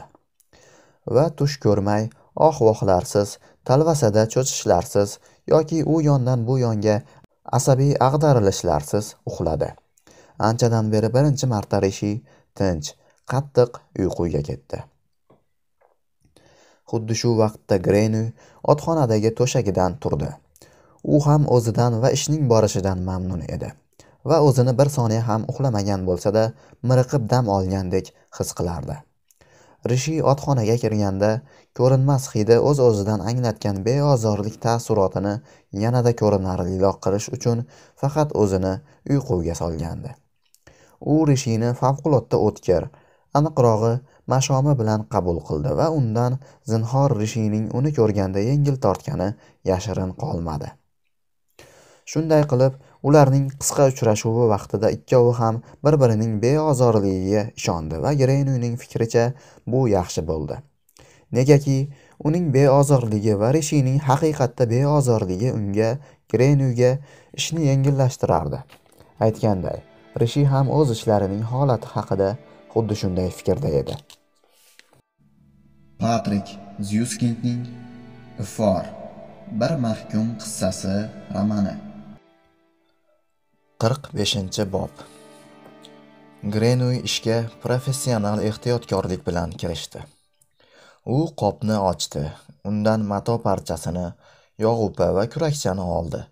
Matoni o'zi yotgan yopqich ustiga yoydi va unga yog'li pastani surta boshladi. Bu ish vaqtni olardi chunki yog'ni bir tekisda emas qayerdadir yupqa qayerdadir qalin tananing qaysi qismiga matoning u yoki bu qismi to'g'ri kelishiga qarab surtish kerak edi? Og'iz va qo'ltiq osti ko'krak jinsiy a'zo va oyoq kafti ko'proq hid chiqarardi. Masalan boldir kurak yoki tirnoqlarga nisbatan kaftlarning ichki tomoni tashqarisiga nisbatan ko'proq qoshlar kipriklarga nisbatan va hokazo va ularga mos ravishda ko'proq yog' kerak bo'ladi. Shuning uchun grenu bir yo'la ishlov beriladigan tananing hid tasvirini matoda chizib oldi va ishning bu qismi to'g'risini aytganda unga katta qoniqish berdi. Negaki gap his qilish a'zolari taxayyul va qo'llarni undan tashqari kutilayotgan oxirgi natijadan lazzatni tatib ko'rishga imkon beradigan artistlik texnikasi haqida borardi. Idishdagi yog'upaning hammasini ishlatib bo'lib u bir necha yakunlovchi chiziqlar tortdi. Qayerdadir yog' qatlamini quyuqroq quydi. Qayerdadir ortiqcha yog'ni olib tashladi. Yana bir bo'yoq berdi va yana bir karra yog' bilan modellashtirilgan yuzani tekshirib ko'rdi. Aytgancha ko'zlari bilan emas burnidan foydalanib chunki hammasi mumkinki grenuning birdek quvonchli kayfiyati uchun yana bir sabab bo'lgan qorong'u tunda yuz berardi. Ushbu yangi oy chiqqan kechada hech narsa uni chalg'itolmadi dunyoda hiddan boshqa hech narsa ehtimol dengizdan kelayotgan qirg'oqqa urilayotgan to'lqinlar shovqinidan boshqa hech narsa yo'q edi. U o'z olamida edi. Keyin u matoni yog' surtilgan yuzalar bir biriga to'g'ri kelishi uchun devor qoplamasi bo'laklarini taxlaganday taxladi. Uning uchun bu og'riqli jarayon edi. Negaki u yaxshi bilardiki ming ehtiyot bo'lganda ham modellangan chiziqlarning qismlari bunda suvaladi va siljiydi. Lekin unda matoni olib borishning boshqa imkoni yo'q edi. Uni qiyinchiliklarsiz qo'ltig'iga qistirish uchun mos qilib taxlab cho'ntagiga kurakcha va qaychini soldi. Zaytun yog'ochidan bo'lgan tayoqni oldi va yashirincha hovliga chiqdi. Osmonda bulutlar suzardi. Uyga qorong'ulik cho'kkandi bu qorong'i kechada yolg'iz uchqun sharq tomonda eltirardi la napuldan bir mil masofada joylashgan sent margaret orasidagi bandargoh mayog'i qarg'aning qanotidek qora chodirada yaltirayotgan to'g'nog'ich uchini eslatardi Grenoy devoriga narvon qo'yilgan oqlanayotgan bostirmaga yaqinlashdi. U bo'sh o'ng qo'li bilan uchta zinani tutdi. Narvonni tik holatda tutib ko'tardi va o'ng yelkasiga chiqib turgan uchini tiradi. Uni hovli orqali qizning derazasiga olib o'tdi. Deraza xiyol ochiq edi. Go'yo qulay zinalardan yurayotgandek yuqoriga ko'tarilarkan, o'zini shu yerda La Napulda bu qizning ifora hosilini yig'ib olish imkoniyati borligi holati bilan tabrikladi. Grasda derazalar panjarali. Uy qattiq qo'riqlanadigan joyda hammasi bir muncha qiyinroq edi. Bu yerda u hatto yolg'iz uxlardi. Uning xizmatkor ayolni bir yoqli qilishiga ham hojat yo'q edi. U deraza zulfinini ochdi. Xonaga sirg'alib kirdi va polga taxlangan choyshabni qo'ydi. keyin karavotga o'girildi uning sochlarining hidi yetakchi edi chunki u qorni bilan pastga qarab yostiqqa bilagi bilan o'rab olgan yuzini tiqib yotardi va uning gardani to'ppa to'g'ri tayoq urishga judayam mos holda edi. Tayoq tovushi bo'g'iq va g'ijirlaydigan edi. Uni yomon ko'rardi. Uni shuning uchun yomon ko'rardiki bu shovqin uning shovqinsiz ishidagi shovqin edi. Tishini tishiga qo'yibgina u bu yoqimsiz tovushga chidardi va tovush tingach yana bir qancha vaqt qotgan va achinarli holatda titroq qo'li bilan tayoqni qisib xuddi tovush aks sadodek qayerdandir qaytishi mumkinligidan qo'rqqandek turardi. Lekin tovush qaytmadi. Xonada esa yana sukunat hukm surdi. Hatto yanada og'irroq sukunat. Negaki endi uning qizning notekis olayotgan nafasi buzmasdi. Va Greyni holatini o'zgartirganida bu holatni hurmat bajo aylagan yoki sukut saqlash daqiqasidek qandaydir titroq bir holatga o'xshatish mumkin edi. Tanasi bo'shashdi, yengil tortdi. U tayog'ini bir tomonga qo'ydi va butun hafsalasi bilan ishga kirishdi. Avvaliga u olib kelgan matosini yoydi va yog'li tomoniga tegmaslik uchun uni toza tomoni bilan stol va stullarga to'shadi. Qizning birdaniga iliq qo'yiq to'lqindek urilgan go'zal ifori bu safar uni to'lqinlantirmadi. Axir bu hid unga tanish edi. Mast bo'larlik darajada keyinroq haqiqatda unga ega bo'lgandan keyin lazzatlanadi. Endi uni tezroq iloji boricha ko'proq yig'ib olish kerak edi. Uni kamroq yo'qotish kerak edi. Endi undan diqqatni yig'ish va chaqqonlik talab qilinardi. Qaychining yengil harakati bilan tungi ko'ylakni qiydi. Undan qizni chiqarib oldi. Choyshabni tutdi va yana va uni yalang'och tanaga tashladi. Keyin badanni bir oz ko'tardi. Ostidan osilgan mato qismini o'tkazdi va matoga o'radi. Pishiriq tayyorlaydiganlar ruletni shunday o'raydi. Uchlarini yig'di va uni mo'miyolangandek bintga o'radi. Boshidan oyog'igacha. Faqatgina sochlari bintga o'ralmay qoldi. Ularni iloji boricha terisiga yaqinroq qirqib oldi. Tungi ko'ylakka o'radi va tugun qilib tugdi. So'ng u qirilgan boshni bo'sh mato bo'lagi bilan yopdi va oshirib tashlangan uchini barmog'i bilan ohista bosib tekisladi. U butun o'ramani tekshirdi. Unda ifor tarqalib ketishi mumkin bo'lgan na biror tirqishdan na biror teshik na biror tekislanmagan yig'ilib qolgan joy bor edi. Qiz ajoyib tarzda o'ralgan edi. Endi boshqa qiladigan ish qolmagandi. Faqat kutish kerak edi. Tonggacha olti soat kutish kerak edi. U qizning ko'ylagi yotgan kichik o'rindiqni oldi. Uni to'shak yoniga qo'ydi va o'tirdi. Keng qora kiyimda hali uning yo'l oldidan cho'ntagiga solgan anis kulchasining hidiga qo'shilgan yengil ifor bor edi.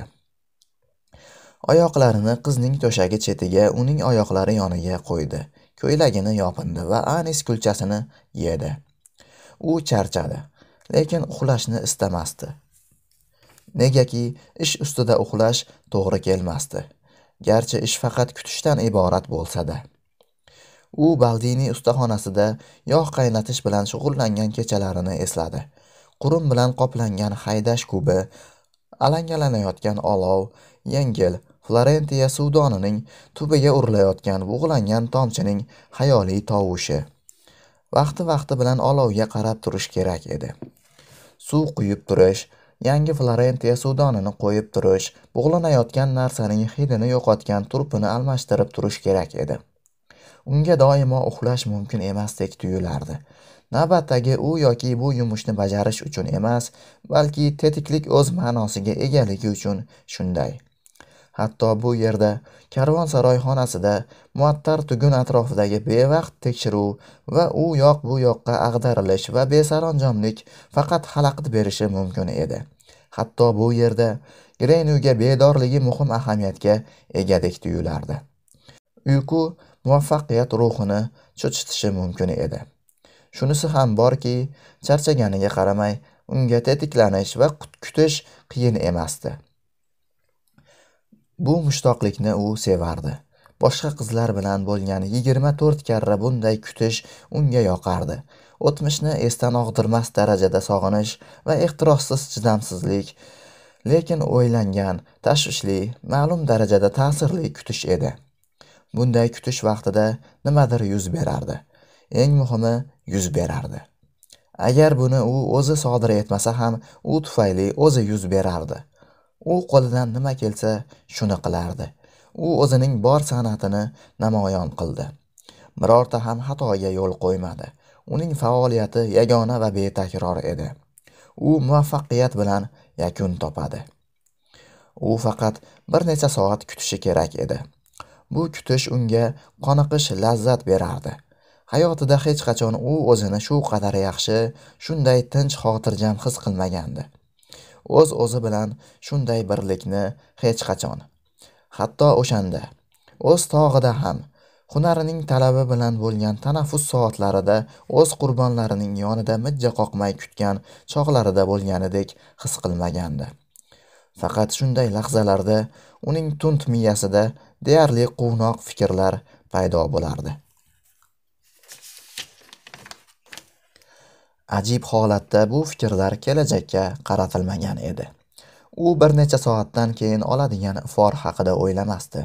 25 qiz iforidan olingan atirlar haqida emas, kelajak haqidagi rejalar haqida emas, baxt haqida emas, muvaffaqiyat haqida emas. Yo'q, u o'tmishni eslardi. U xotirasida o'z hayot yo'lidagi bekatlarni chaqirardi. Gayer xonimning uyi va quyoshda qizigan nam o'tinlar taxlamadan kichkina baliq isi keladigan Lanapul posyolkasiga qilgan bugungi sayohatigacha. U ko'ncha Grimal, Giuseppe Baldini, Markiz de la Tayat Espinasni esladi. U Parij shahrini esladi. Uning ulkan, minglab jilolarga ko'milgan sassiq bug'larini, mare ko'chasidagi malla soch qizni, yerning ozodlik yerning ozod kengliklarini, yengil shamol, o'rmonni esladi. U Overnidagi tog'ni ham esladi, lekin bu xotiradan zinhor qochmadi. Tushlarini esladi. U bu narsalarning hammasini katta mamnuniyat bilan esladi. Ha, ortiga boqarkan o'ylardi u. Baxt, omad unga alohida kulib boqdi va taqdir uni chalkash bo'lsa ham oxir oqibat ishonchli yo'lga boshladi. Yo'qsa u hozir shu yerda, bu qorong'i xonada o'z orzulari ro'yobi yonida bo'larmidi? U agar yaxshi o'ylasa, haqiqatda omadli shaxs. U royishlik va minnatdorlik og'ushida butunlay eridi. Sendan minnatdorman, sekingina dedi u.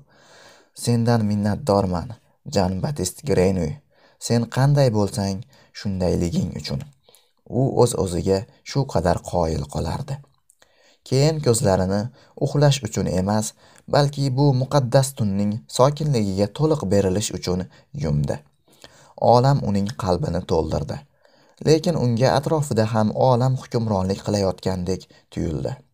U qo'shni xonadagi oqsochning tinch uyqusi, ro'para xonadagi Antuan Rishining qattiq tinch uyqusi hidini oldi xo'jayinning va xizmatkorlarning tinchgina mudrashi itlar ko'ralardagi hayvonlarning butun joyning va dengizning hidini oldi. Shamol tingandi. Hammayoq tinch edi. Olam tinchligini hech narsa buzmasdi. Bir marta u oyog'ini siljitdi va lauraning oyog'iga juda yumshoq tegib ketdi. Aniqroq aytganda oyoqlar emas uni o'rab turgan teskari tomoniga yog' surtilgan matoga qizning iforini qizning o'zining shohona iforini shimib olgan matoga tegib ketdi. Patrik zyuskindning ifor bir mahkum qissasi romani. Qirq oltinchi bob. Qushlar sayray boshlaganda tongga hali ancha bor paytda o'rnidan turdi va ishini yakunladi u matoni ochdi va uni o'likdan malham kabi ajratib oldi. Yog' teridan yaxshi ajradi. Faqat botiq joylarda hali bir oz to'planib qolganlari bor edi. Ularni kurakcha bilan yig'ib olishiga to'g'ri keldi. Surtmaning qolgan yuqlarini lauraning ichki ko'ylagi bilan artdi. U bilan oxirida butun tanani boshidan oyog'igacha shunday hafsala bilan artdiki yog'ning kichik tomchilarini ham uning teri teshiklaridan va ular bilan birga so'nggi iplarni va qizning ifori bo'laklarini chiqarib oldi. Endi uning uchun qiz haqiqatdan o'lik edi. Gullarning chiqindilari kabi so'ligan siniqqan va po'k edi. U ichki ko'ylakni ichida faqatgina o'sha qiz yashashda davom etayotgan katta hidga to'yingan mato ichiga tashladi. U yerga qizning sochlari solingan tungi ko'ylakni ham tashladi va barchasini qo'ltig'idagi kichik xaltaga o'radi. U murdani joyiga yopib qo'yish uchun o'zini ovora qilmadi. Garchi tun qorong'usi allaqachon tongning kulrang ko'kimtirligiga aylangan bo'lsa-da va xonadagi buyumlar elas elas ko'rina boshlagan bo'lsa-da qaytib bir marta bo'lsa ham ko'zlari bilan ko'rish uchun qizning to'shagiga qaramadi. Qizning qomati uni qiziqtirmasdi. Qiz ortiq uning uchun tana sifatida mavjud emasdi. Faqatgina hidsiz tana edi xolos. Hid esa uning qo'ltig'ida edi va uni o'zi bilan olib ketdi. U sekingina tokchaga sakrab chiqdi va qo'yilgan narvon orqali pastga tushdi. Hovlida yana shamol turgandi. Osmon tiniqlashgan va yer uzra sovuq to'q ko'k yog'du sochardi. Yarim soatdan keyin xizmatkor ayollardan biri oshxona o'chog'iga o't yoqdi. Hovliga o'tin uchun chiqarkan suyab qo'yilgan narvonga ko'zi tushdi. Lekin hech narsa o'ylamadi chunki u hali uyqusirar edi. Tez orada oltidan keyin quyosh chiqdi. Ulkan ranglari tillo tanganikiday u dengizdan ikkala lerin orollari aro bosh ko'tardi. Osmonda bir parcha ham bulut yo'q edi. Yop yorug' bahor kuni boshlanayotgan edi. Xonasi g'arbga qaragan rishi yettida uyg'ondi. Bir necha oy ichida birinchi marta uyquga to'yib uyg'ondi va odatga qarshi chorak soat to'shakda taltayib yotdi. Keyin xurramlik ila kerishdi va chuqur nafas oldi. Oshxonadan kelayotgan yoqimli tovushlarga quloq tutdi. Shundan keyin u turdi va derazani keng ochdi. Hovlida ajoyib ob havoni ko'rdi. Ertalabki shirin toza havodan nafas oldi. Dengiz to'lqinlari tovushini eshitdi.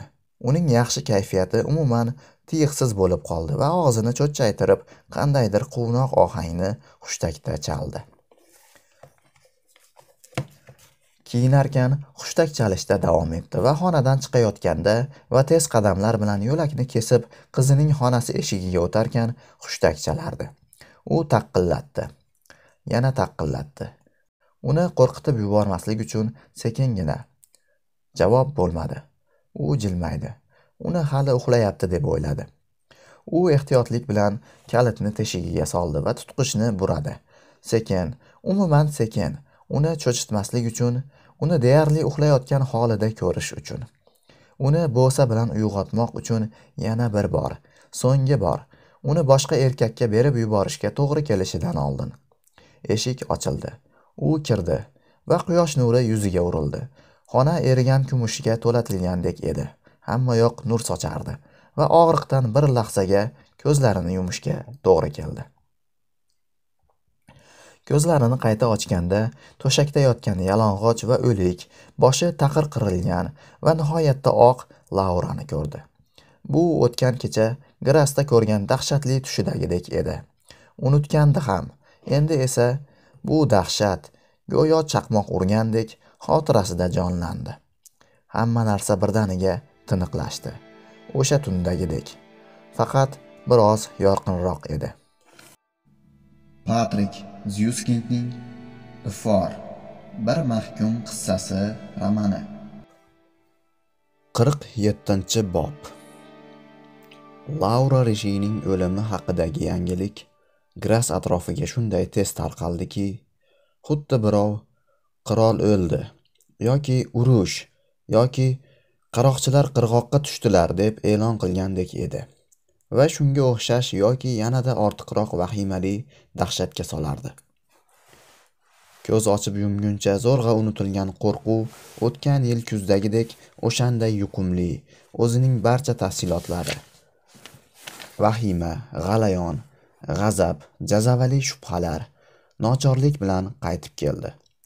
Kechalari odamlar uylaridan chiqmas qizlarini qulflab qo'yar to'siqlar qo'yar bir biriga ishonmas va ularga uyqu begona edi. Har biri o'ylardiki endi hammasi o'shandagiday takrorlanadi. Har hafta qotillik yuz beradi. Vaqt yarim yil ortga qaytganday edi. Qo'rquv yarim yil oldingidan ham tahdidkorroq edi. Negaki allaqachon yo'qolgan deb hisoblashgan xavfning birdaniga qaytishi odamlar orasida chorasizlik hissini tarqatardi. Yepiskopning qarg'ishi ham yordam bermaganidan keyin agar antuan rishi hammadan zo'r rishi shaharning eng boy fuqarosi ikkinchi elchi nufuzli mulohazakor o'z o'zini himoya qilishning barcha vositalariga ega bo'lgan inson o'z qizini ehtiyot qila olmaganidan keyin nahot qotilning qo'li lauraning samoviy go'zalligini ko'rib qaltiramagan bo'lsa. Negaki qiz haqiqatdan ayniqsa endi o'lganida uni kimki bilsa hammasiga muqaddas tuyulardi. Qanday qilib bularning hammasidan so'ng qotildan qutulib qolishga umid bog'lash mumkin? U vabodan ham dahshatliroq edi. Chunki vabodan qochib ketish mumkin bu qotildan esa yo'q. Buni rishi misolida ko'rish mumkin. U aniq g'ayritabiiy qobiliyatlarga ega. U albatta iblis bilan aloqada. Iblisning o'zi bo'lmasa agar. Va ko'pchilikka eng avvalo sodda fikrlaydigan oddiyroq kishilarga faqat bir narsa cherkovga borish va ibodat qilishgina qolgandi. Har bir hunarmandlar sulolasi o'z shafiqiga chilangarlar muqaddas aloisga to'quvchilar muqaddas krispinga bog'bonlar muqaddas antoniyga attorlar muqaddas yusufga ibodat qilardi. Va ular o'zlari bilan xotinlari va qizlarini olib yurar. Ular bilan birga ibodat qilar cherkovda ovqatlanar va uxlardilar. U yerdan hatto kunduzi ham chiqmasdilar. Ular faqatgina mushkul ahvoldagi kelgindi jamoat himoyasida va madonna ro'parasidagina maxluqdan xavfsiz bo'lishlariga. Yana qandaydir boshqa xavfning o'zi bormidi? Ishonardilar. Boshqalar sal fahmliroq kallalar diniy guruhlarga birlashgandilar. Negaki cherkov bir karra ojiz qoldi. Katta pullarga gurdondan o'zini yaxshilab tavsiya qilgan jodugarni yolladilar. Qandaydir gras yerto'lalarining ko'p sonli g'orlariga emaklab kirdilar. Yovuz ruhga unga bosh egishga rozi ekanliklarini ko'rsatish uchun ilmu amallar qildilar. Bir qancha muhtaram burjuylar va o'qimishli dvoryanlar ilmiy uslublarga pul tikdilar. O'z uylarini magnitlashtirdilar o'z qizlarini gipnoz qildilar. O'z uylarida yashirin flyuidal to'garaklar tashkil qildilar. Va masofaga fikrlarni birgalikda yuborish yo'li bilan qotilning ruhini telepatik haydashga urindilar. Cherkov xodimlari grasdan lanapulga va yana ortga tavba tazarru yurishlarini tashkil etdilar. Shaharning besh monastiri monaxlari ibodat qo'shiqlarini aytib kunu tunlik taomillarni bajarishni odat qildilar. Shuning uchun shaharning goh u goh bu chetida kunu tun tinimsiz tilovatlar eshitilardi. Deyarli hech kim ishlamasdi. Shunday qilib grasning butun aholisi tahlikali faoliyatsizlikda edi. Keyingi qotillikni deyarli intiqib kutardilar. Uning muqarrarligiga hech kim shubha qilmasdi. Botinida har bir odam bu yangilik unga emas kimgadir boshqaga tegishli bo'lishi haqida yagona umid bilan dahshatli yangilikni tezroq eshitishni istardi.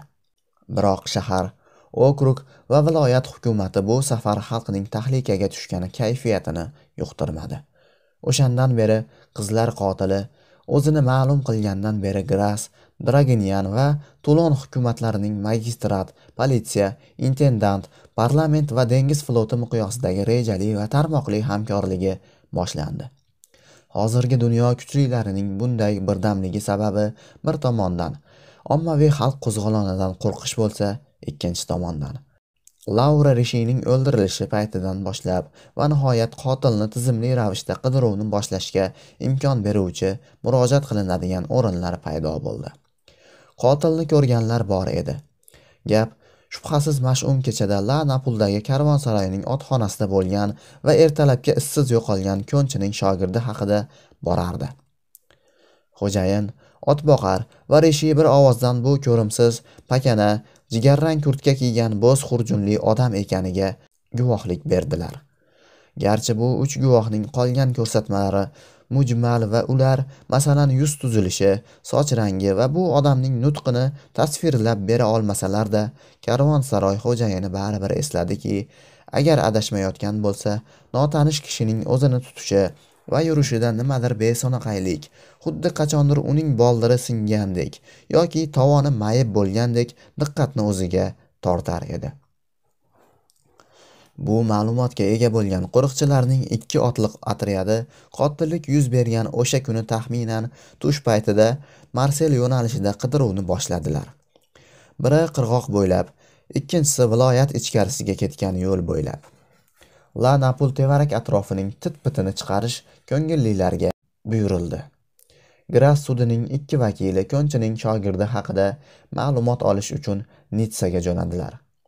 Frech kan va antibda barcha dengizga kirgan kemalar tergovga tortildi. Saroyga barcha yo'llar berkildi. Sayohatchilardan shaxsini tasdiqlovchi hujjatlari talab qilindi. Jinoyatchini ta'riflagan tezkor varaqa gras vans gurdonning barcha shahar darvozalari oldida va qishloqlardagi cherkovlarning eshiklari oldida o'qishni bilgani barchaga yetkazildi. Kuniga uch marta uni jarchilar maydonlarda o'qidilar. To'g'ri oqsoqlikni eslatish jinoyatchi iblisning o'zi bo'lganiga shubhani kuchaytirdi va ishonchli ma'lumotlar yig'ishga yordam berish o'rniga ko'proq vahima tug'dirdi. Gras sudining raisi rishi nomidan jinoyatchi haqidagi ma'lumotlar uchun 200 livrdan kam bo'lmagan mukofotni va'da qilgandan so'nggina grasda opno va gurdonda chaquvlarga ko'ra bir necha shogirdlar qo'lga olindi. Ulardan biri haqiqatda oqsoqlik baxtsizligiga duchor edi. Uni ko'plab guvohlar shohidlik bergan aybsizligiga qaramay qiynoqlarga solishga tayyor edilar. Biroq shu payt qotillikning o'ninchi kunida hokimlikka shahar soqchilaridan bir kishi murojaat qildi va sudyalarga quyidagilarni arz qildi. U gabriel talesko soqchilar kapitani odatdagidek dyukur chegarasida xizmatni bajarayotgan kunning tush payti unga hozir tezkor varaqada yozilgan belgilarga go'yo to'g'ri kelayotgandek tuyulgan bir kimsa murojaat qilgan. Bu kimsa ikkinchi elchi o'z karvoni bilan shahardan qaysi yo'l bilan chiqib ketganini qayta qayta so'ragan. Kapitan bu voqeaga o'shanda ham keyin ham hech qanday ma'no bermagan va bu kimsani u juda ko'rimsiz edi. Agar uni tasodifan bu yerda grasda de la lu ko'chasida metr dryo va arnulfi xonimning atelyesi oldida uchratib qolmaganida umuman eslamagan ham bo'lardi. Va bu safar ustaxonaga kirarkan bu odam sezilarli darajada oqsoqlanayotgani ko'zga tashlandi. Bir soatdan keyin grenu qamoqqa olindi. Oldinroq grasga boshqa tutqunlarni tanish uchun chaqirilgan la napuldagi karvonsaroy xo'jayini va uning otboqari ularda tunagan ko'nchining shogirdini darhol tanidilar bu o'sha boshqa birov emas deyishdi ular. Bu o'sha qidirilayotgan qotilning o'zi. Ustaxonani tintuv qildilar. Fransiskans ibodatxonasi ortida zaytunzordagi kulbani tintuv qildilar. Burchakda deyarli yuzada laura rishining qiyilgan tungi ko'ylagi ichki kiyimi va malla sochlari yotardi. Yerni kavlaganlarida esa birin ketin qolgan yigirma to'rt qurbonning ko'ylaklari va sochlari topildi. Tayoq jinoyat quroli va bo'z xurjun topildi. Dalillar junbushga keltiradigan edi. Qo'ng'iroqda bong urishga buyurildi. Sud raisi e'lonlar yopishtirish va bir yildan beri tutilmagan qizlar qotili va nihoyat tutilgani va turmaga qattiq nazorat ostida o'tirg'izilganidan jarchilar orqali xalqni xabardor qilishni buyurdi. Avvaliga odamlar bu xabarga ishonmadilar. Ular bu hokimiyatning o'z ojizligini yashirish maqsadida xalqda yetilgan qo'zg'alishni tinchlantirish uchun o'yini deb hisobladilar. Hamma qotil grenoblga yo'qoldi deb gapirgan paytlarini hali juda yaxshi eslardi.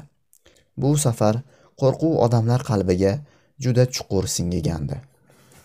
Faqat ertasigagina sud binosi oldidagi sabor maydonida barchaga namoyish qilish uchun dalil ashyolar ko'rgazmaga qo'yilgandagina qo'riqchilik tayoqqa o'rnatilgan va qator qo'yilgan bu yigirma besh kiyim va yigirma besh soch tutamiga qarash qo'rqinchli edi. Faqat shundagina jamoatchilik fikri o'zgara boshladi. Ko'p minglab odamlar ushbu dahshatli galereya yonidan ohista yurib borardilar. Qurbonlarning qarindoshlari ko'ylaklarni tanigach qichqirib o'zlaridan ketardilar. Qolgan olomon bir qismi shov shuvni yaxshi ko'rganidan bir qismi ikkilanishlarni yo'qotishni istab qotilni ko'rsatishni talab qilardi. Tez orada baqir chaqirlar shunday balandlashdiki odamlar oqimi quyilib kelayotgan kichik maydondagi qo'zg'olish shunday xavfli tus oldiki sud raisi qaror qildi. U grenuyni bo'lmadan olib chiqishni va uni olomonga ikkinchi qavatdan ko'rsatishni buyurdi. Grenuy derazaga yaqinlashganda olomon tinchlandi hamma dalaga ishga ketgani yoki uylarning soyasiga o'zini urgan jazirama yoz kuni tush paytida bo'lganidek birdaniga suv quygandek tinchlandi. Na oyoq tovushi na shitirlash na nafas olish eshitilmasdi. Rosa bir daqiqa olomon ko'zlarini va og'zini ochib turdi. Hech kim u yerda derazada turgan bu kuchsiz kichkina bukri odam bu chuvalchang bu bir hovuch tuproq bu yaramas o'nlab qotilliklar qilganini fahmlay olmasdi u shunchaki qotilga o'xshamasdi. To'g'ri hech kim qotilni ushbu iblisni o'zicha shunday tasavvur qilganman deya olmasdi. Lekin bir narsada barcha ham fikr edi. Bunday emas.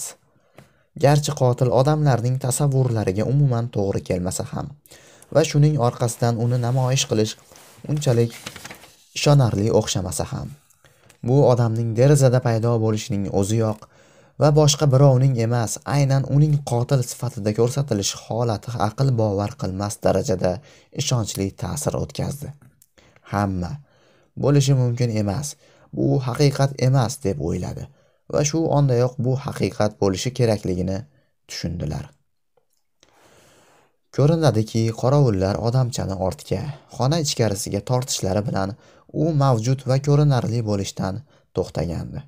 Lekin hali qisqa vaqtga bo'lsa-da sal bo'lmasa odamlar miyasida jirkanch qotil ramzi xotirasi bo'lib qolishda davom etdi. Olomonning esankirashi o'rnini ta'sirlanishga o'xshash hodisaga bo'shatib qo'yildi. Tillar ishga tushdi minglab ko'zlar qayta jonlandi. Shunda barcha baqir chaqirlar yakka yagona g'azab va qasos mama va qasos momaqoldirog'iga quyilib birlashdi. Uni bizga bering. Va ular o'z qo'llari bilan uni bo'g'ish parchalash tilkapora qilish uchun sud binosiga hujumga tashlandilar. Soqchilar qiyinchilik bilan darvozalarga to'siq qo'ydilar va turgan olomonni siqib chiqardilar. Grenuyni tezda qamoqxonaga tiqishdi. Rais deraza yoniga kelib sud tez va shafqatsiz bo'ladi deb va'da berdi. Olomon tarqalishi uchun kamida bir necha soat va shahar bir oz tinchlanishi uchun bir necha kun kerak bo'ldi. Darhaqiqat grenuyga qarshi qo'zg'algan ish jarayoni favqulodda tez harakatlandi.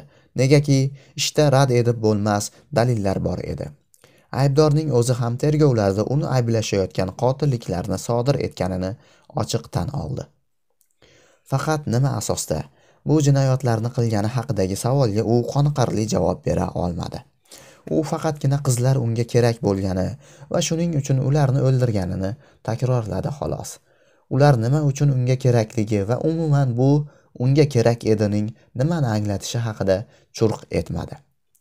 Shunda uni qiynoqqa soldilar. Bir necha soatga oyog'idan osib qo'ydilar. Unga yetti pint suv quydilar.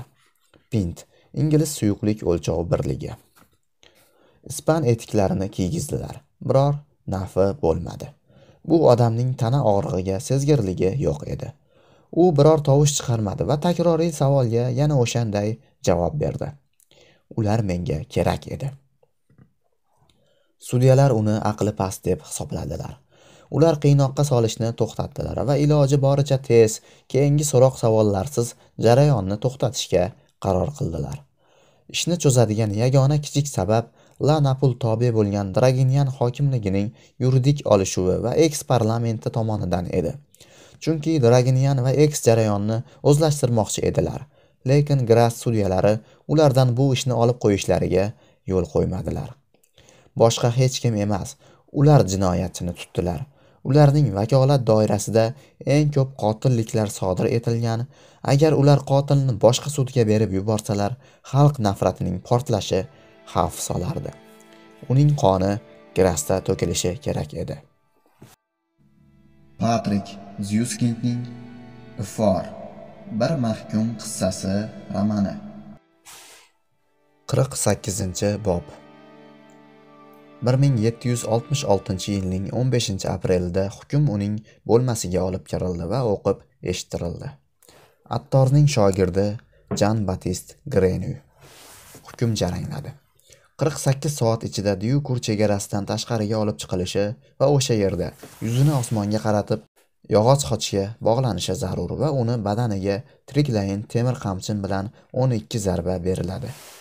Bu zarbalar uning qo'l oyoq son va yelka bo'g'inlarini parchalab tashlaydi.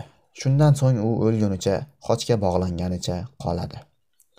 Bu safar jallodga jinoyatchiga odatdagi shafqat. Bo'g'inlar maydalangandan keyin ip bilan bo'g'ish qat'iy taqiqlandi.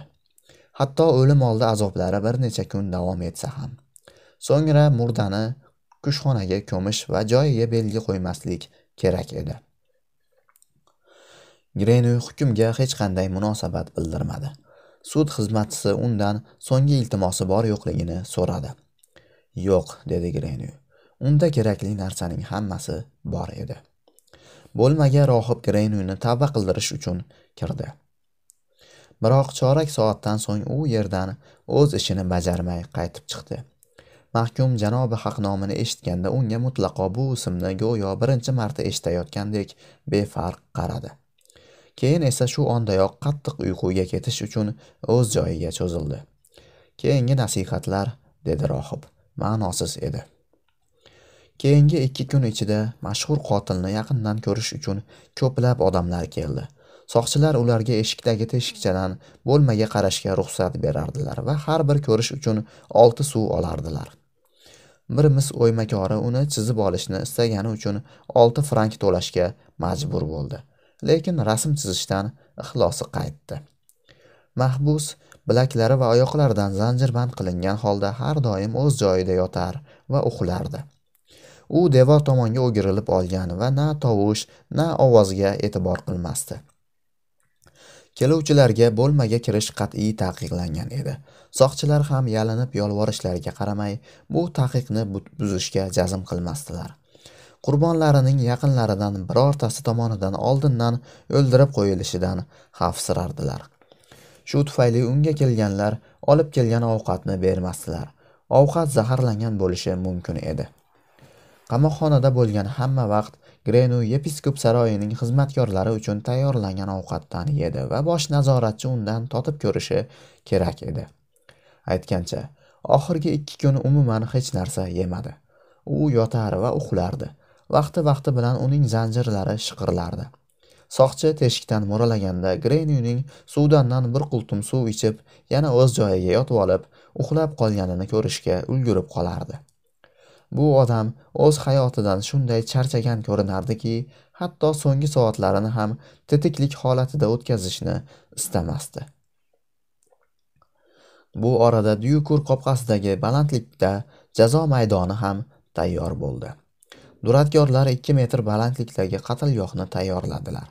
Taxtadan qilingan tepalik uch metrli tomonlari bilan tutqichlari bor va mustahkam zinasi bilan bunday ajoyibi grasda hali bo'lmagandi. Undan tashqari ular oddiy xalqdan masofa saqlash uchun mo'tabar mehmonlar uchun yog'och minbar va to'siq yasadilar. Dyukur qopqasining o'ng va chap tomonidagi uylarning derazalari yonidagi va shahar qo'riqxonasi binosidagi joylar allaqachon misli ko'rilmagan narxlarda ijaraga berilgandi. Hatto biroz qiya joylashgan g'arib xonada jallodning yordamchisi bemorlardan ularning xonasini vaqtincha ijaraga oldi va ularni juda katta foyda evaziga hukm ijrosini ko'rmoqchi bo'lgan qiziqqanlariga topshirdi. Limonad sotuvchilar qizil miya suvini xumlarga yig'ib qo'ydilar. O'ymakor qamoqxonada qilingan va taxayyul ila bezalgan qotil portretini bir necha yuzlab nusxada ko'paytirdi. O'nlab sayoq savdogarlar shaharga oqib keldi. Nonvoylar esdalik pishiriqlari pishirdilar. Allaqachon juda ko'p yillardan beri bo'g'inlarni maydalash orqali hukm ijro etmagan jallod mise papon temirchiga og'ir to'rt qirrali temir qamchin buyurdi va u bilan kushxonaga hayvonlar o'ligi ostida zarba berishni mashq qilgani bordi. Uning faqat 12ta zarba berishga haqqi bor edi va bu o'n ikki zarba bilan 12 ta bo'g'in albatta maydalangan bo'lishi kerak edi. Lekin bunda tananing noyob qismlari masalan ko'krak qismi yoki bosh zarar topmasligi kerak edi. Bu barmoqlarning ulkan sezgirligini talab qiladigan mushkul vazifa. Shahar aholisi bu voqeaga tantanali bayram kabi tayyorlandi. Bu kuni ish kuni bo'lmasligi o'z o'zidan ayon edi. Ayollar o'zlarining yakshanbalik kiyimlarini dazmolladilar. Erkaklar belburma kamzullaridan va kurtkalaridan changlarni tozaladilar va etiklarini yaltiratib artdilar. Kimki harbiy unvonga yoki lavozimga ega bo'lsa sex ustasi advokat notarius birodarlik boshlig'i bo'lsa yoki yana nimadir ahamiyatga ega bo'lsa mundir yoki mantiya orden sharf zanjirlar va bo'r kabi oq upali parik bilan yasandi. Dindorlar post festum cherkovda ibodat qilish uchun to'planishni shayton malaylari esa lyutsiferga dabdabali minnatdorchilik ziyofati tashkil qilishni o'qimishli zodagonlar kavri vilnev va font mishel mehmonxonalariga oxiraboli seanslarga jo'nashni mo'ljalladilar. Allaqachon hamma yerda oshxonalarda pishiriqlar va qovurdoqlar tayyorlardilar. Yerto'lalardan musallas bozorlardan dasturxon bezash uchun gullar keltirardilar. Saborda arg'anunchi va cherkov jo'rligi mashq qilardi. Druat ko'chasidagi rishining uyida tinchlik edi. Rishi o'ziga xalq orasida jazo kuni atalmish ozodlik kuniga har qanday tayyorgarlikni taqiqladi. Hamma narsa uni jirkantirardi. Odamlarning favqulodda tirilgan dahshati jirkanch ularning jazavadagi quvonch lazzati jirkanch edi. Va ularning o'zlari bu odamlar ularning barchasi uning uchun jirkanch edi. U jinoyatchini uning qurbonlarini sabor maydonida namoyish qilishganda ham sudlanuvchining bo'lmasi oldidagi bekorchilarning jirkanch tomoshalarida ham qatnashmadi.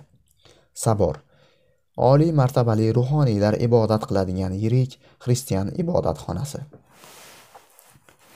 Qizining sochlari va ko'ylagini tanish uchun sud a'zolarini uyiga taklif qildi. Qisqa va ixcham qilib o'z ko'rsatmalarini berdi va bu buyumlarni xotira sifatida unga qoldirishlarini so'radi. Shunday qilindi ham. Ularni lauraning xonasiga eltdi. Kesilgan tungi ko'ylakni va ichki kiyimni karavotiga qo'ydi. Yostiqqa uning malla sochlarini yoydi. Karavot oldiga o'tirdi va boshqa u yerdan ketmadi. Go'yo bu navbatsiz navbatchilik la napuldagi o'sha tunda u qilmagan ishning o'rnini to'ldirishi kerakday edi. U shunday jirkanish hissiga butun olamdan va o'z o'zidan jirkanish hissiga to'la ediki shu tufayli yig'lay olmasdi. U qotilga nisbatan ham jirkanish his qilardi. U ortiq unda insonni ko'rishni istamasdi. Faqatgina halokatga mahkum bo'lgan qurbonni ko'rardi. Uni faqatgina jazo onida u xochga bog'langan va unga o'n ikki zarba urilgan holida ko'radi. Mana qachon uni ko'radi? Nihoyatda yaqindan ko'radi. U o'ziga eng birinchi qatordan joy qoldirdi. Haloyiq tarqalganda bir necha soatdan so'ng o'shanda u qotilning oldiga qonli kundaga chiqadi va yonma yon o'tiradi. Kunu tun navbatchilik qiladi. Agar uning ko'zlariga qizining ushbu qotiliga qarash kerak bo'lsa va jon talvasasidagi qotilga o'zining butun nafratini o'tkir ishqor kabi tomchilab quyadi. Toki bu yaramas o'lgunicha. Keyinchi. U keyin nima qiladi? U buni bilmasdi. Balki u odatiy hayotga qaytar balki uylanar balki o'g'ilga harakat qilar. Balki hech narsa qilmas balki o'lar. Bu umuman farqsiz edi. Bu haqda o'ylash unga o'limdan keyin nima qilish haqida o'ylash kabi shu qadar bema'ni tuyulardi. Ma'lumki endilikda u bilishi mumkin bo'lgani hech narsa. Patrik zyuskindning ifor bir mahkum qissasi romani. qirq to'qqizinchi bob qatl tushdan keyin soat beshga belgilangan edi. Ertalabdanoq birinchi tomoshaga uch kishilar kelib olgan va o'zlariga joy olgandilar. Ular o'zlari bilan stul va o'tirg'ichlar o'tirgani yostiqcha yegulik musallas hamda bolalarini ham olib kelgandilar. Tushga yaqin har tomondan shaharga qishloq odamlari oqib kela boshladilar. Dyukur qopqasi yonidagi maydon allaqachon shunday tirband ediki yangi kelganlar dalalarda va pastda va past tekislik yon bag'rlaridagi tepaliklar bilan bo'lingan bog'larda va grenobl yo'li bo'ylab joylashishlariga to'g'ri keldi. Sayoq sotuvchilar allaqachon hamma yoqqa yoyilib olgandilar. Odamlar yeb ichar atrofda shovqin suron va yarmarkadagi kabi qo'lansa hid anqir edi. Tez orada qirolicha jasmin bayramidagidan ham ko'p eng katta xoch ostida yurishdan ham ko'p umuman qachondir grasda yig'ilganidan ham ko'p o'n minglab xalq yig'ildi. Odamlar hamma yonbag'irliklarga yoyildilar. Ular daraxtlarga chiqib olgan devor va tomlarga tirmashgan edi. Ular o'n o'n beshtadan bo'lib deraza ko'zlaridan tiqilib qarardilar. Maydon o'rtasidagina to'siqning ortida xuddi olomon xamiridan pichoq bilan kesib olgandek hali minbar va kunda uchun bo'sh joy qolgandiki u birdaniga o'yinchoq yoki qo'g'irchoq teatri sahnasidek tamoman kichkina bo'lib qolgandi. Yana qatlgohdan dyukur chegarasigacha va druvat ko'chasida ingichka o'tish yo'li bo'sh qolgandi. Taxminan soat uchlarda mesье papon va uning qo'l ostidagilar paydo bo'lishdi. Ularni ma'qullovchi g'ala g'ovur bilan kutib oldilar. Ular kunda ostiga g'o'lalardan qoqilgan xochni tortib olib bordilar va ishlash uchun kerakli balandlikni mo'ljallab to'rt og'ir duradgorlik moslamasiga o'rnatdilar. Duradgorning shogirdi uni moslamaga mixladi. Jallod qo'l ostidagi kishilarning har bir harakatini olomon qarsaklar bilan kuzatib bordi. Shundan so'ng kundaga papon temir bilan yaqinlashganda xochni har tomondan aylanganda qadamlarining sonini o'lchab va goh u goh bu tomondan zarbalar berishni tasavvur qilayotganda esa haqiqiy qiy chuv ko'tarildi. To'rtlar atrofida minbarga odam to'la boshladi. Juda ko'p oliyjanob zotlar malayli va xushqiliq boylar chiroyli xonimlar katta shlyapalar yaltir yultur yasan tusonlar paydo bo'ldi. Tomosha qilishga narsa ko'p edi. Butun shaharning va viloyatning aslzodalari yig'ilgandi. Shahar kengashining a'zolari ikkala elchi boshchiligida jips qatorini tutib o'z joylariga o'tdilar. Rishi qora kiyingan qora paypoq qora shlyapada edi. Kengash ortidan sud raisi rahbarligi ostida boshqarma ko'rindi. Eng so'ngida ochiq zambilda binafsharang kiyim yog'dusida va yashil bosh kiyimda yepiskop ko'rindi. Hali shlyapasini yechmaganlar hech bo'lmasa endi yalang bosh bo'lishga shoshildilar. Tantanali lahza yaqinlashardi. Keyin o'n daqiqalar chamasi hech narsa yuz bermadi. Janoblar joylarini egalladilar. Xalq suv quygandek tinchidi. Ortiq hech kim ovqat yemas hamma kutardi. Papon va uning yordamchilari kunda sahnasida xuddi qoqqan qoziqdek turardilar. Katta va sariq quyosh esterel uzra balqqandi gras vodiysidan gullagan portaxol daraxtlarining hidini olib kelgan iliq shabada esardi. Kun issiq edi va aql bovar qilmas darajada shunday tinch edi. Va nihoyat zo'riqish chegarasiga yetganga o'xshaganda va ming ovozli faryod ur sur mushtlashish va to'dadagi yana qandaydir voqea tinchlikni buzishiga oz qolganda tuyoqlarning dupuri va aravaning g'ichirlashi eshitildi. Druvat ko'chasida ikki otli kareta politsiya leytenantining karetasi paydo bo'ldi. U shahar darvozasidan o'tdi va endilikda hammaga ko'rinib turardi. Qatlgohga olib boradigan tor yo'lakka kirdi. Politsiya leytenanti yetkazib borishning shu usulini qattiq talab qildi. Chunki jinoyatchining xavfsizligini boshqacha kafolatlay olmayman deb o'ylardi. Umuman olganda bunday qabul qilinmagan edi. Qamoqxona qatlgohdan bor yo'g'i besh daqiqalik masofada joylashgandi va agar mahkum qandaydir sabab bilan bu masofani piyoda bosib o'tolmasa u holda uni ochiq eshak aravada keltirishardi. Kishini qatl uchun boy ekipajda aravakash bilan xos kiyimdagi malaylar va otliq soqchilar bilan keltirishlari bunaqasi hali bo'lmagandi. Shunga qaramay olomonda na besaranjomlik na norozilik paydo bo'ldi. Aksincha barcha umuman nimadir yuz berayotganidan mamnun edi va ekipajni muvaffaqiyatli g'oya sifatida qabul qildilar. Ko'plar bosh qahramonning bunday chiqishini hatto o'rinli deb topdilar. Bunday favqulodda manfur jinoyatchiga istisnoviy munosabat zarur edi. Uni oddiy qaroqchi kabi maydonga zanjirlarda tortib kelish va qamchin bilan urish mumkin emasdi axir. Bunda shov shuvli hech narsa bo'lmas edi. Yaxshisi uni boy ekipajning yumshoq o'rindig'idan ko'tarib xochga eltish kerak.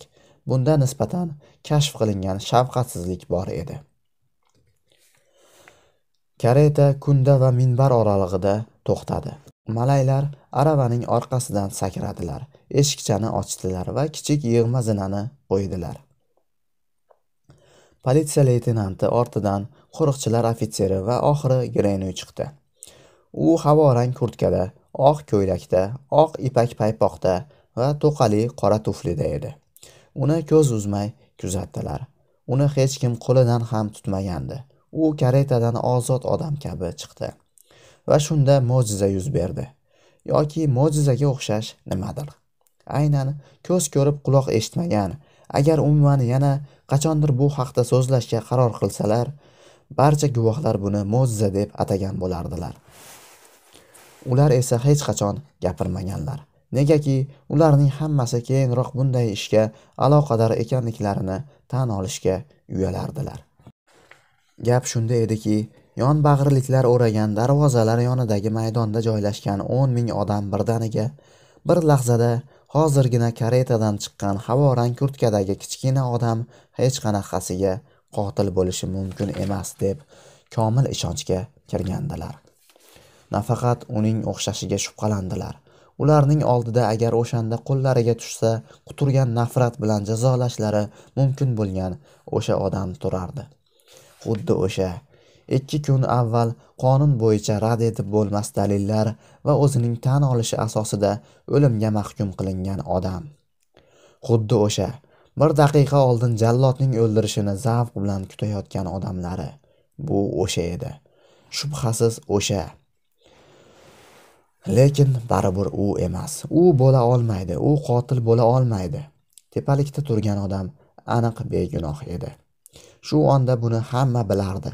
Episkopdan limonad sotuvchigacha markizdan kichik kir yuvuvchigacha sud raisidan ko'cha bolasigacha va papon buni bilardi. Uning temir qamchi ushlagan mushtumlari titrardi. Uning kuchli qo'llari birdaniga shunday kuchsiz tizzalari shunday bo'shashgan yuragi yosh bolanikidek hurkak bo'lib qoldi. U bu qamchini ko'tara olmasdi. Hayotda hech qachon kichkina begunoh odamga qarshi uni ko'tarishga kuch topmasdi. Oh uni bu yerga yuqoriga olib kelishadigan lahzadan qo'rqqandi. U ho'ngradi tizzasi bo'shashib yiqilmaslik uchun o'zining o'ldiradigan qamchisiga tayanishga majbur bo'ldi. Katta kuchli popon va yig'ilgan o'n ming erkaklar va ayollar bolalar va keksalar xuddi shuni his qildilar. Ular nomusiga tekkanning jozibasiga dosh bera olmaydigan kichkina qizlar kabi kuchsiz bo'lib qoldilar. Ularni ishtiyoq nafislik bolalarcha g'o'r sevgi ha xudo shohid kichkina yovuzga muhabbatning kuchli tuyg'usi qamrab oldi va ular unga qarshilik qila olmas xohlamasdilar.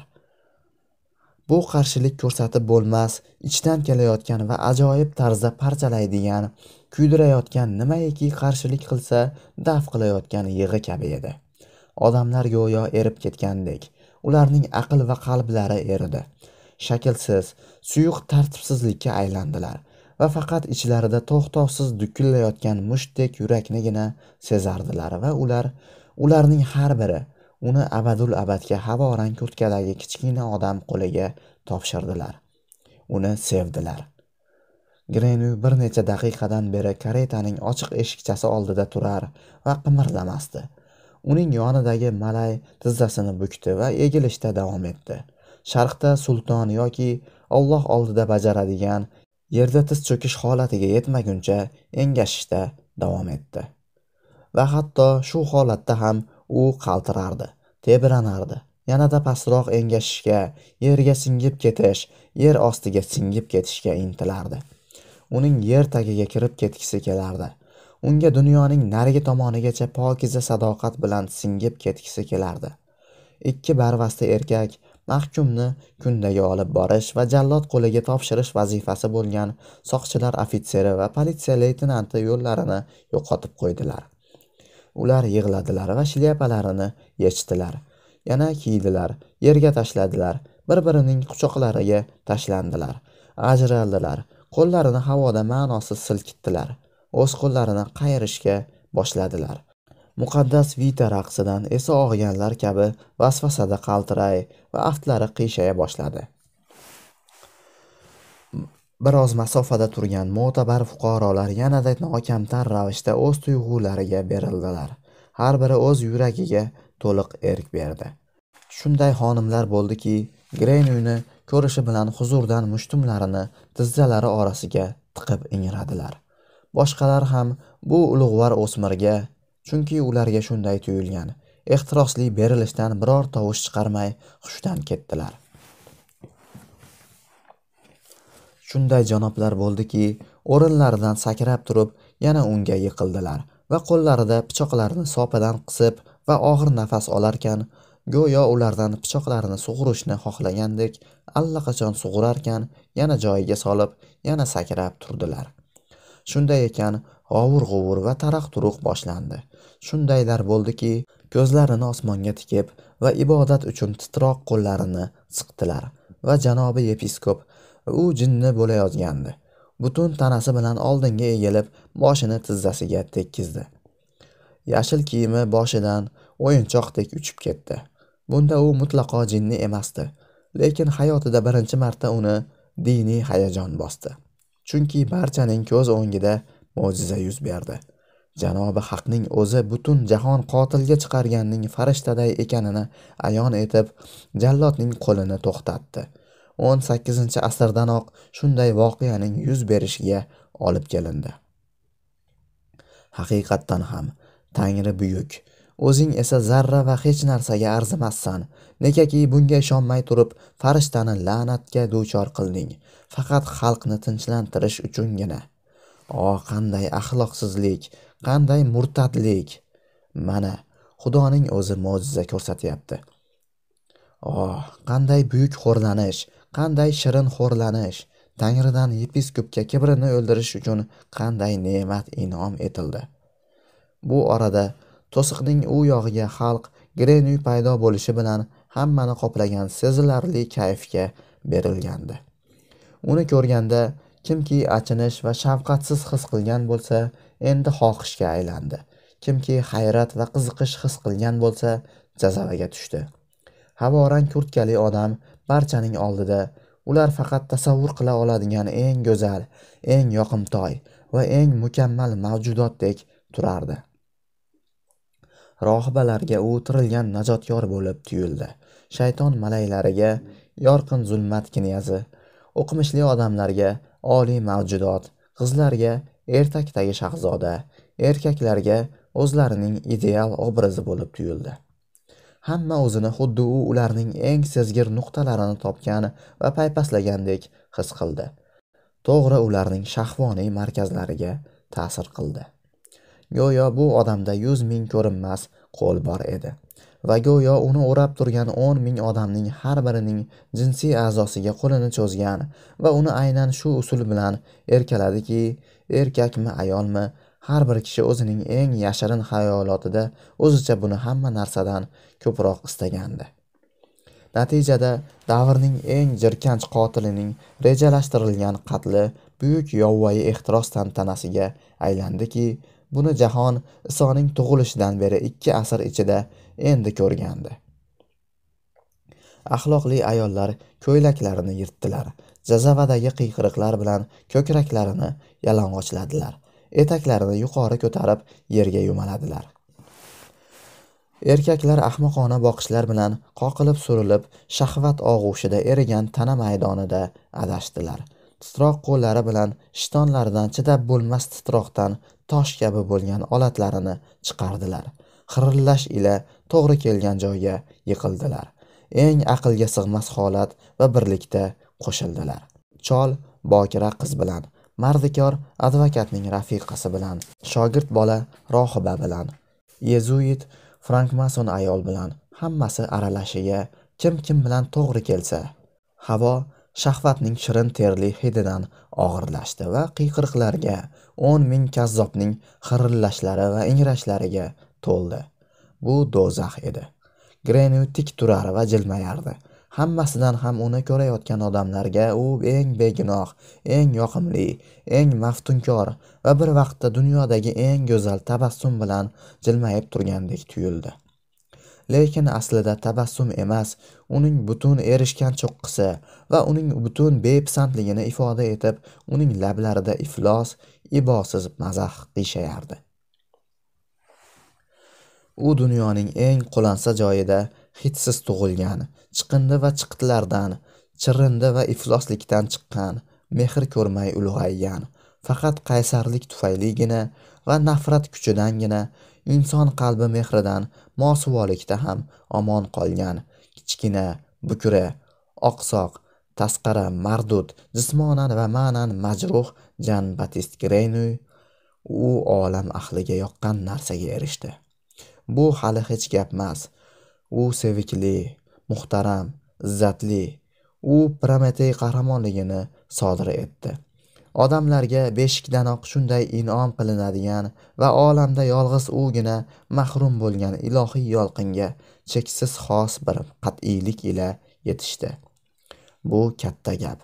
U aslida bu yolqinni o'zi o'z menida uchqunlantirdi.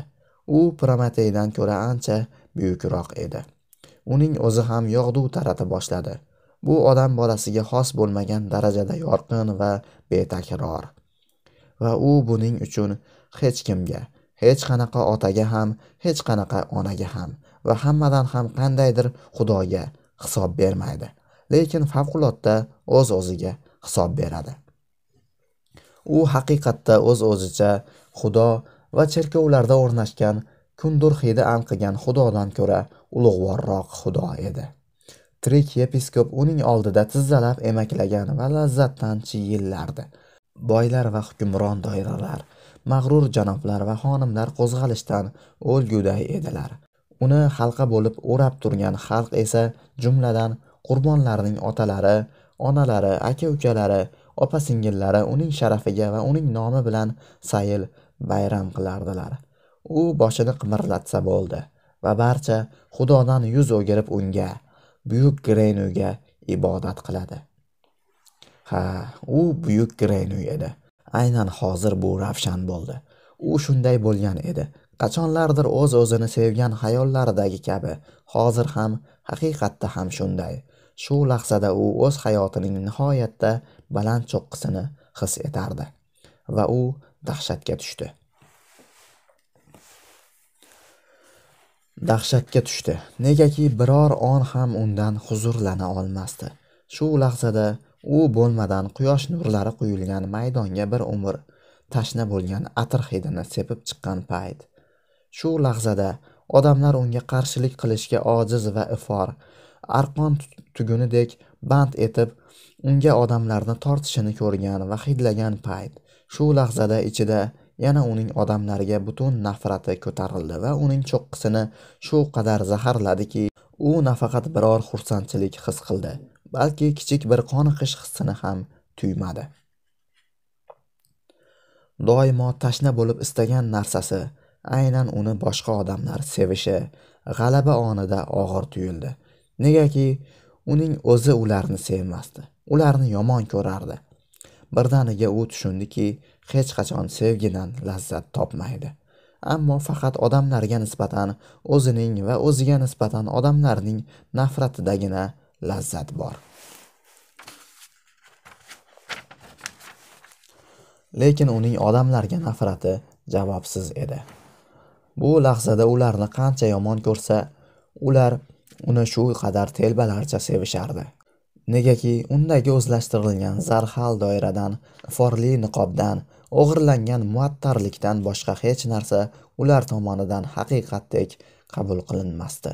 Bu esa aslida ilohiylashtirishga munosib edi. Endi u odamlarning barchasini bu ahmoq qo'lansa va shahvatga berilgan odamchalarni o'shanda qarg'a qanotidek qora qalbi mamlakatida begona hidlarni o'chirishni istaganida yer yuzidan supurib tashlashdan xursand bo'lardi. Va u istardiki ularni ushbu yagona qachondir sinab ko'rilgan asl tuyg'uga shunday nafrat bilan javob berishlari uchun shunday yomon ko'rishini sezishlarini va o'zlaricha boshidayoq o'ylaganlaridek uni yer yuzidan yo'qotishdan xursand bo'lishlarini istadi. U umrida hech bo'lmasa bir bor fosh bo'lishni istadi. Hayotida bir bor uning boshqa odamlar kabi bo'lgisi va o'z ichini tashqariga o'girgisi keldi. Ular o'z sevgilari va ahmoqona ulug'lashlarini qanday yalang'ochlasalar u ham o'z nafratini shunday yalang'ochlagisi keldi. U bir marta bor yo'g'i yakka yagona marta o'z haqiqiy mohiyatida qabul qilingan bo'lishni va odamlardan o'zining yagona haqiqiy tuyg'usi nafratga javob olishni istadi. Lekin bundan hech narsa chiqmadi. Bundan biror narsa chiqmasa ham axir u dunyodagi eng a'lo atir bilan niqoblangan edi. Bu niqob ostida uning yuzi yo'q edi. Yalpi hidsizlikdan boshqa hech narsa yo'q edi. Shu dam birdaniga ko'zi tindi. Chunki u yana qayta tumanlar ko'tarilayotganini his qildi. G'ordagi kabi hobida uyqusida yuragida uning tahayyulida birdaniga tumanlar ko'tarildi. Hid bilish orqali bilib bo'lmaydigan o'z hidining palit tumanlari negaki u o'zgacha tabiatga ega edi. Va o'shandagi kabi cheksiz dahshat va qo'rquv his qildi va hozir nafasi bo'g'ilib qoladi deb o'yladi. Lekin hozir bu tush ko'rish va uyqu emasdi balki ochiq voqelik edi. U g'orda yolg'iz o'zi ham yotmasdi. Balki maydonda o'n minglab odam ko'z oldida turardi. Va hozir bu yerda uni uyg'otadigan va ozod qiladigan qichqiriq ham yordam bermasdi. Va ortga saxiy ila qutqaruvchi olamga yo'l ham yo'q edi. Negaki bu shu yerda va hozir dunyo edi. Bu shu yerda va hozir uning ro'yobga chiqqan tushi edi. Va uning o'zi buni shunday xohlagandi. Dahshatli qo'lansa tumanlar qalbining tubsiz botqog'i qa'ridan haloyiq tutuq bo'lmas shahvoniy qaltiroqqa kuchi yetmay uning atrofida ingramaguncha ko'tarilardi. Uning oldiga qandaydir odam yugurib kelardi. U mo'tabar tomoshabinlar minbarining eng oldingi qatoridan shunday intilish bilan sakradiki qora shlyapasi boshidan uchdi. Keng yoyilgan qora kamzulda qatlgohdan qarg'adek yoki qasos farishtasidek uchib o'tdi. Bu rishi edi u meni o'ldiradi o'yladi grenui u mening niqobim adashtirmagan yagona odam. U o'zini aldashlariga qo'ymaydi. Menda qizining hidi bor. Bu dalil qon kabi rad etib bo'lmasdir. U meni tanishi va o'ldirishi kerak. U buni qilishi kerak. Va unga tashlanayotgan farishtani quchog'iga qabul qilish uchun qo'llarini ishqaladi. U allaqachon hozir qilich yoki hanjar zarbasini his qilayotgandek tuyulgandi. Bu yoqimli zarbani naq ko'ksiga urilganini his qiladi. Xuddi ustara barcha iforli sovutni va qo'lansa tumanlarni yorib o'tib va muz qalbining qoq o'rtasiga kirib borayotganini nihoyat nihoyat uning yuragida nimadir nimadir boshqa narsa o'zidan boshqa narsani his qiladi. U deyarli allaqachon xalos bo'lishni his qilgandi. Aslidachi rishi uning ko'ksida yotardi. Qasos farishtasi emas chuqur hayajondagi ayanchli hiqillayotgan rishi va uni qo'llari bilan quchib xuddi yoqimli dengizda boshqa qo'noq topmagan odamdek to'g'ridan to'g'ri unga yopishib olgandi. Hech qanaqa xalos qiluvchi qilich zarbi hech qanaqa yurakka botgan tig' yo'q edi. Hatto hech qanaqa qarg'ish yoki hech bo'lmasa nafrat qichqirig'i yo'q edi. Buning o'rniga rishining ko'z yoshlaridan ho'l bo'lgan yanog'i uning yanog'iga yopishdi. Titroq lablari esa unga ingrash bilan cho'zildi. Meni kechir o'g'lim aziz o'g'lim kechir meni. Shu on hamma narsa ko'zlari ichida oqarib ketdi. Tashqi dunyo esa qoradan qora tusga kirdi. Chiqishga yo'l topmagan tumanlar biqirlagan suyuqlik bo'lib ko'pik ostidan ko'tarilayotgan qaynayotgan sutdek quyildilar uni o'rab oldilar. Beqiyos kuch bilan tanasining ichki qobig'ini ezdilar. Lekin hech qayerga chiqib keta olmadilar. Uning qochib ketgisi keldi. Xudo haqqi lekin qayerga? O'z o'ziga dimiqib qolmaslik uchun uning yorilib ketgisi portlagisi keldi. Nihoyat u yerga quladi va hushdan ketdi. Patrik zyuskindning ifor bir mahkum qissasi romani. Elliginchi bob. Qaytib o'ziga kelganida u laura rishining to'shagida yotganini bildi. Undan yodgor narsalar kiyimi va sochlari olib tashlangandi. Tungi stolchada sham yonib turardi. Qiya ochiq derazadan bayram og'ushidagi shaharning uzoqdagi shovqini kelib turardi. Antuan rishi uning to'shagi yonida o'rindiqda o'tirar va uxlamasdi. U grenyuning qo'lini qo'llari bilan ushlab isitardi ko'zlarini ochishdan oldin grenyu tevarak atrofni tekshirdi. Ichida sokinlik edi. Ortiq hech narsa qiynamas va bo'g'masdi. Uning qalbida ongini muz kabi tiniq qilish uni o'zidan tashqariga u yerda o'z atirlarining hidini tinglardi. Yo'naltirish uchun odatdagi sovuq tun qayta hukm surardi. Atir o'zgargandi. Uning shavqi biroz pasaygan.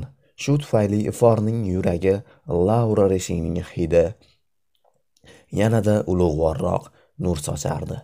Mayin qorong'i miltillagan olov kabi. U o'ziga ishonch hosil qildi. U yana bir necha soat daxlsiz bo'lishini bildi va ko'zlarini ochdi. Rishi undan ko'z uzmasdi. Uning nigohida cheksiz saxovat mayinlik ta'sirlanish bor edi va to'lasicha ahmoqona oshiq nigohi edi. U kuldi. Grenyuning qo'lini qattiqroq qisdi va dedi endi hammasi yaxshi bo'ladi. Boshqarma hukmni bekor qildi. Barcha guvohlar ko'rsatmalarini rad etdi. Sen ozodsan. Sen nima xohlasang qilishing mumkin lekin men uyimda qolishingni istayman. Men qizimni yo'qotdim. Men seni o'g'il qilib olishni istayman. Sen unga shunday o'xshaysanki u qanday go'zal bo'lsa sen ham shunday go'zalsan. Sochlaring lablaring qo'llaring. Men hamma vaqt qo'llaringni ushlab turdim. Qo'ling ham uniki qanday bo'lsa xuddi shunday.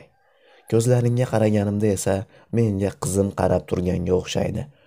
Sen uning akasisan va men o'g'lim mening quvonchim mening faxrim mening merosxo'rim bo'lishingni istayman. Ota onang tirikmi? Greynuy boshini chayqadi va rishining yuzi baxtdan alvon qizil tus oldi. Demak sen menga o'g'il bo'lishga rozisan. Yengil nafas oldi u va karavot chetiga o'tirish Grenuyning ikkinchi qo'lini ham qisish uchun o'rindig'idan sakrab turdi. Rozimisan rozimisan. Sening otang bo'lishimni xohlaysanmi hech narsa gapirma gaplashma. Sen hali gaplashishga juda madorsizsan. Faqat boshingni qimirlat.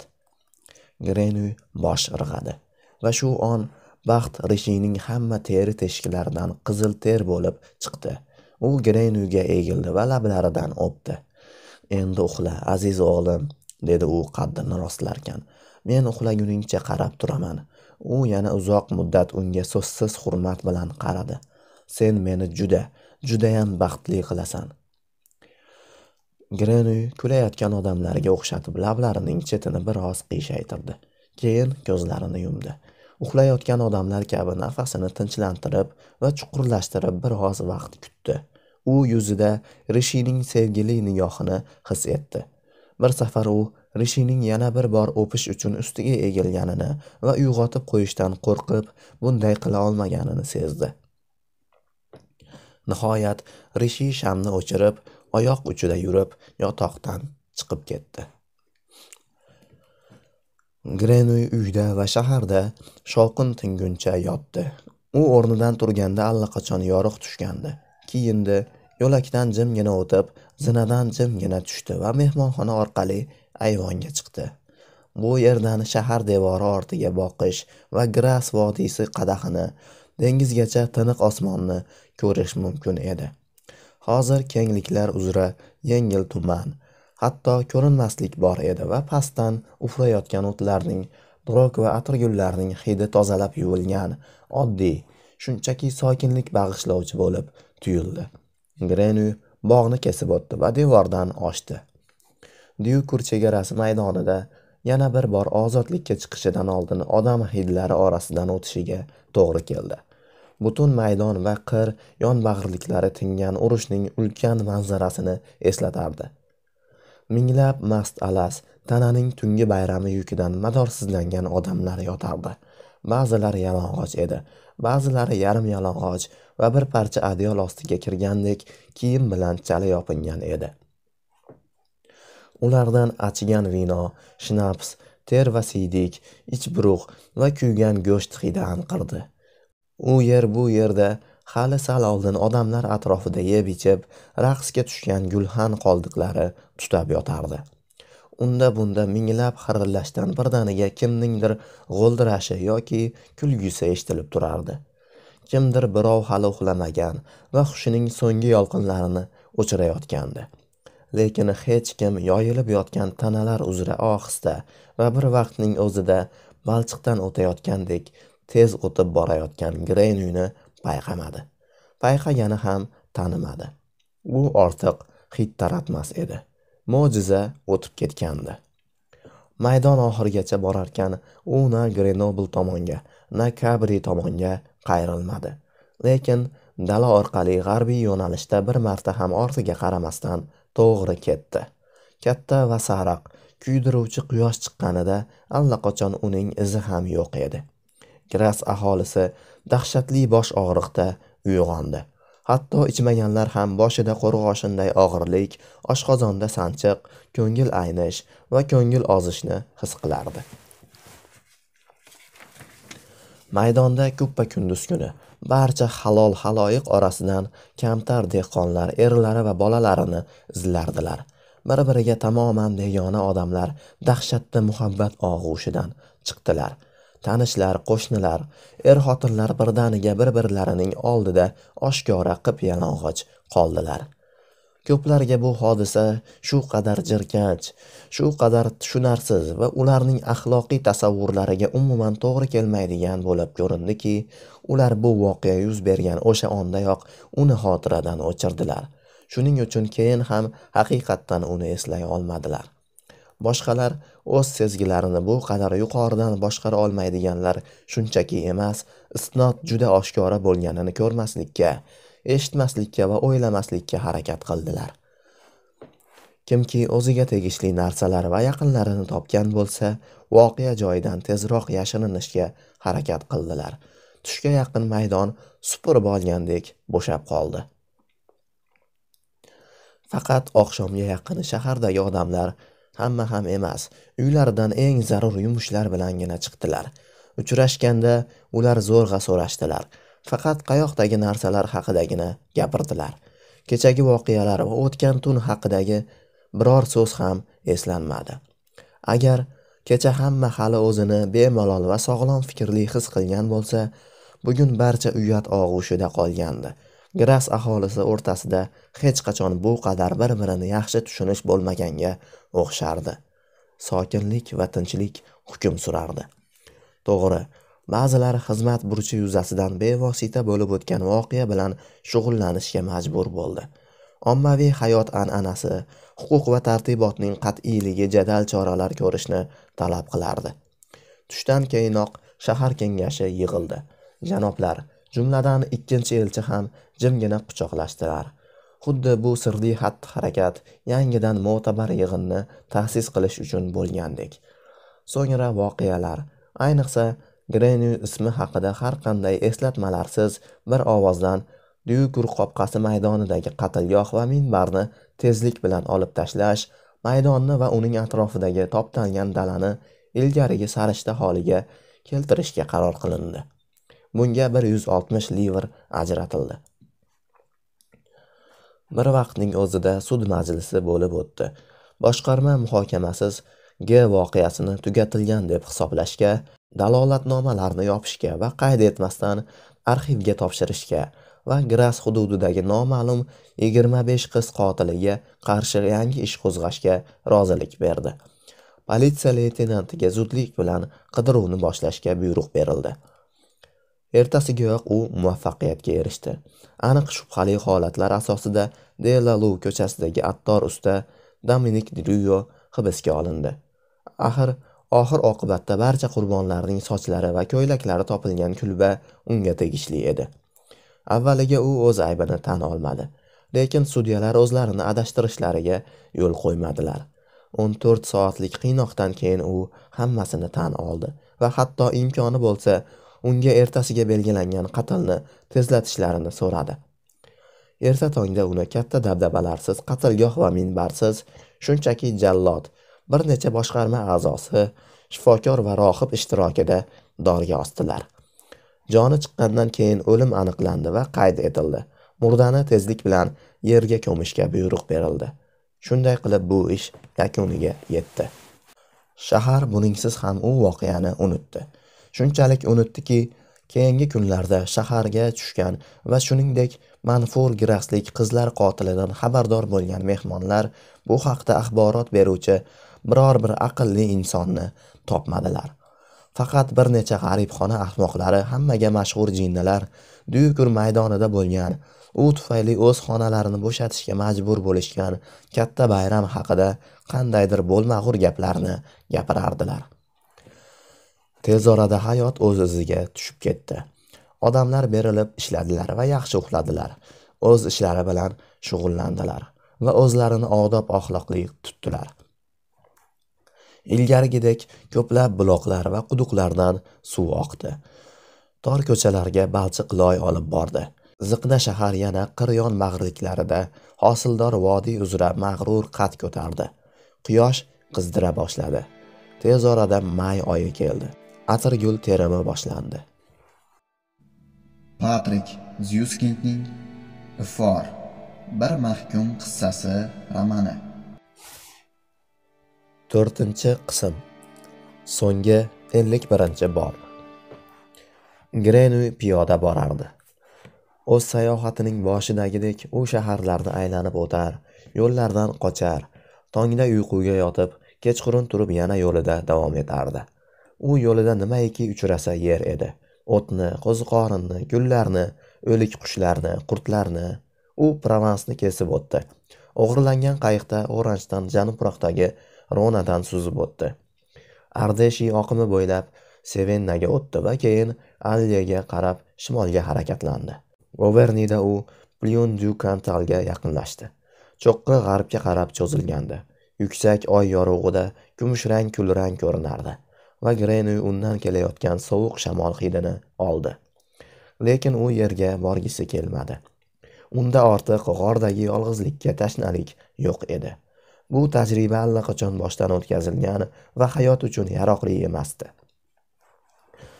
Xuddi shunday boshqa tajriba ham odamlar orasidagi tajriba ham u yerda ham bu yerda ham bo'g'ilasan. Uning umuman yashagisi kelmasdi.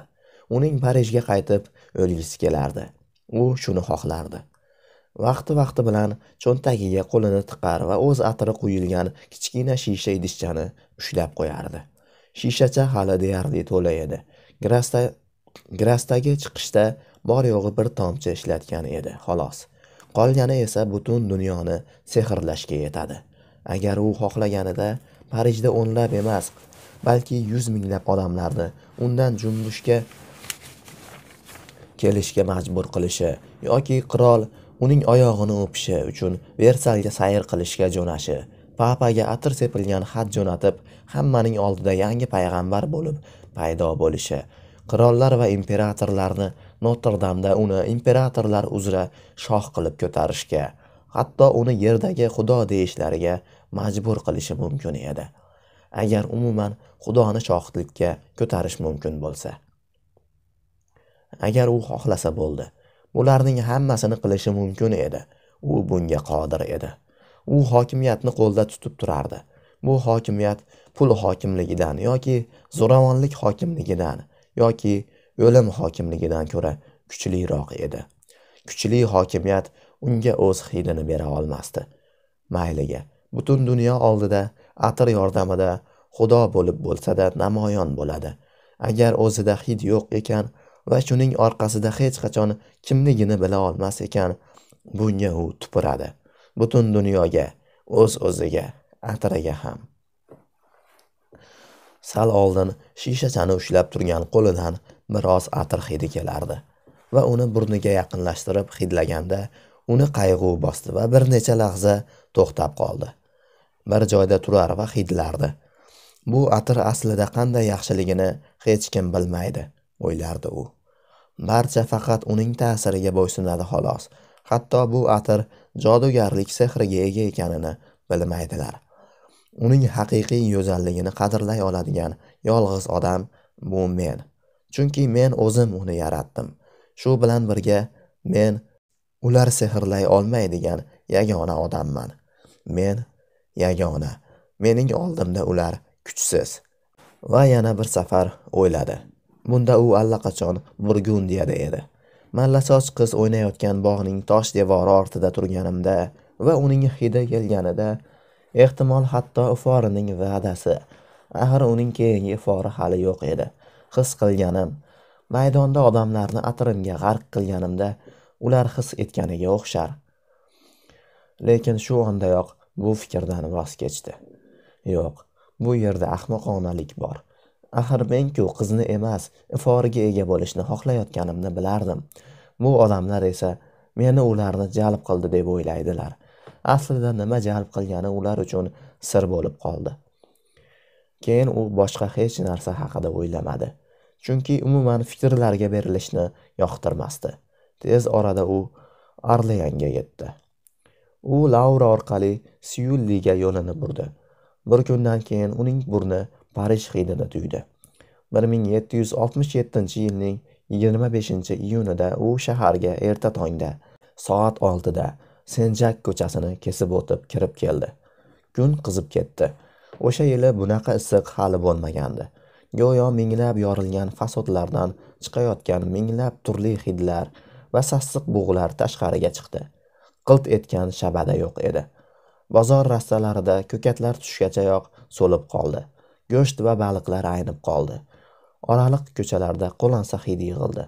Hatto daryo boshqa oqmayotgandek tek turar va qo'lansa hid taratayotgandek edi. Bu ayni greynuyning tug'ilgan kuniga to'g'ri kelgandi. U yangi ko'prik orqali o'ng qirg'oqqa o'tdi. Undan bozorga va begunohlar qabristoniga o'tdi. Ofer ko'chasi bo'ylab joylashgan xudoning uylari qubbalariga yetganda u yerga o'tirdi. Qabriston hududi uning oldida xuddi vayron qilingan urush maydonidek yastangan edi. Tashlandiq bijg'igan qabr toshlar qoqilgan boshchanoqlar va suyaklar ekilgan daraxtsiz butasiz va maysasiz o'lim axlatxonasi edi. Atrofda biror tirik jon yo'q edi. Murdalarning qo'lansa hidi shunday og'ir ediki hatto go'rkovlar ham chidamasdi. Ular faqat quyosh botgandan keyingina yarim tungacha mash'alalar yorug'ida ertangi kun o'liklariga qabr kovlash uchun qaytardilar. Yarim tundan so'nggina go'rkovlar allaqachon ketgandi. Bu yerga har turli qalang'i-qasang'ilar oqib kela boshladi. O'g'rilar qotillar jinoyatchilar fohishalar qochoqlar yoshiga yetmagan jinoyatchilar ovqat tayyorlash va qo'lansa hidni kamaytirish uchun kichik gulxan yoqdilar. Grenu qubbalar tagidan chiqqanida va u odamlar olomoniga qo'shilganida ular avvaliga unga e'tibor qilmadilar. U qarshiliksiz xuddi o'shalarning biridek gulxanlariga bora oldi. Keyinroq bu ularda ruh bilan yoki farishta bilan aloqada bo'lgandek fikrni qat'iylashtirdi. Bo'lmasa ular begonaning yaqinlashuviga juda ehtiyotkor munosabatda bo'lishardi. Lekin havorang kurtkadagi bu kichkina odam birdaniga xuddi yerdan chiqqandek qopqog'i ochiq shishachani qo'lida ushlab ular orasida paydo bo'lib qoldi. Ularning hammasi eslashi mumkin bo'lgan birinchi narsa shu edi. Keyin u hamma yog'iga boshdan oyog'igacha shishachaning ichidagini borini sepdi va birdaniga yolqinlanayotgan olovdek go'zallik yog'dusini socha boshladi. Bir lahzaga ular chuqur hurmat va hayratdan sakrab tushdilar. Lekin shu zahotiyoq his etdilarki go'yo unga to'da bo'lib tashlangandek sakradilar. Ularning hurmati ishtiyoqqa aylandi hayrati hayajonga. Bu farishta odam ularni o'ziga tortardi. Undan quturgan to'lqinli oqim kelardi. Biron bir odam dosh bera olmasdi. Buning ustiga biror kishi tiyilishni istamasdi. Negaki bu oqimni taratayotgan ularni qiziqtirayotgan narsa o'ziga qarab tortardi. U kuch edi. Sof ma'noda kuch edi. Ular yigirma o'ttiz chog'li odam grenuyni halqa bo'lib o'rab oldilar. U doirani borgan sari kuchliroq va kuchliroq toraytirib bordilar. Tez orada doira ularning hammasini sig'dira olmay qoldi. Ular bir birini turtib itarib siqib chiqara boshladilar. Har biri iloji boricha markazga yaqin bo'lishni istardi. Keyin esa ularning ixtiyorlari qo'ldan ketdi va doira tarqaldi.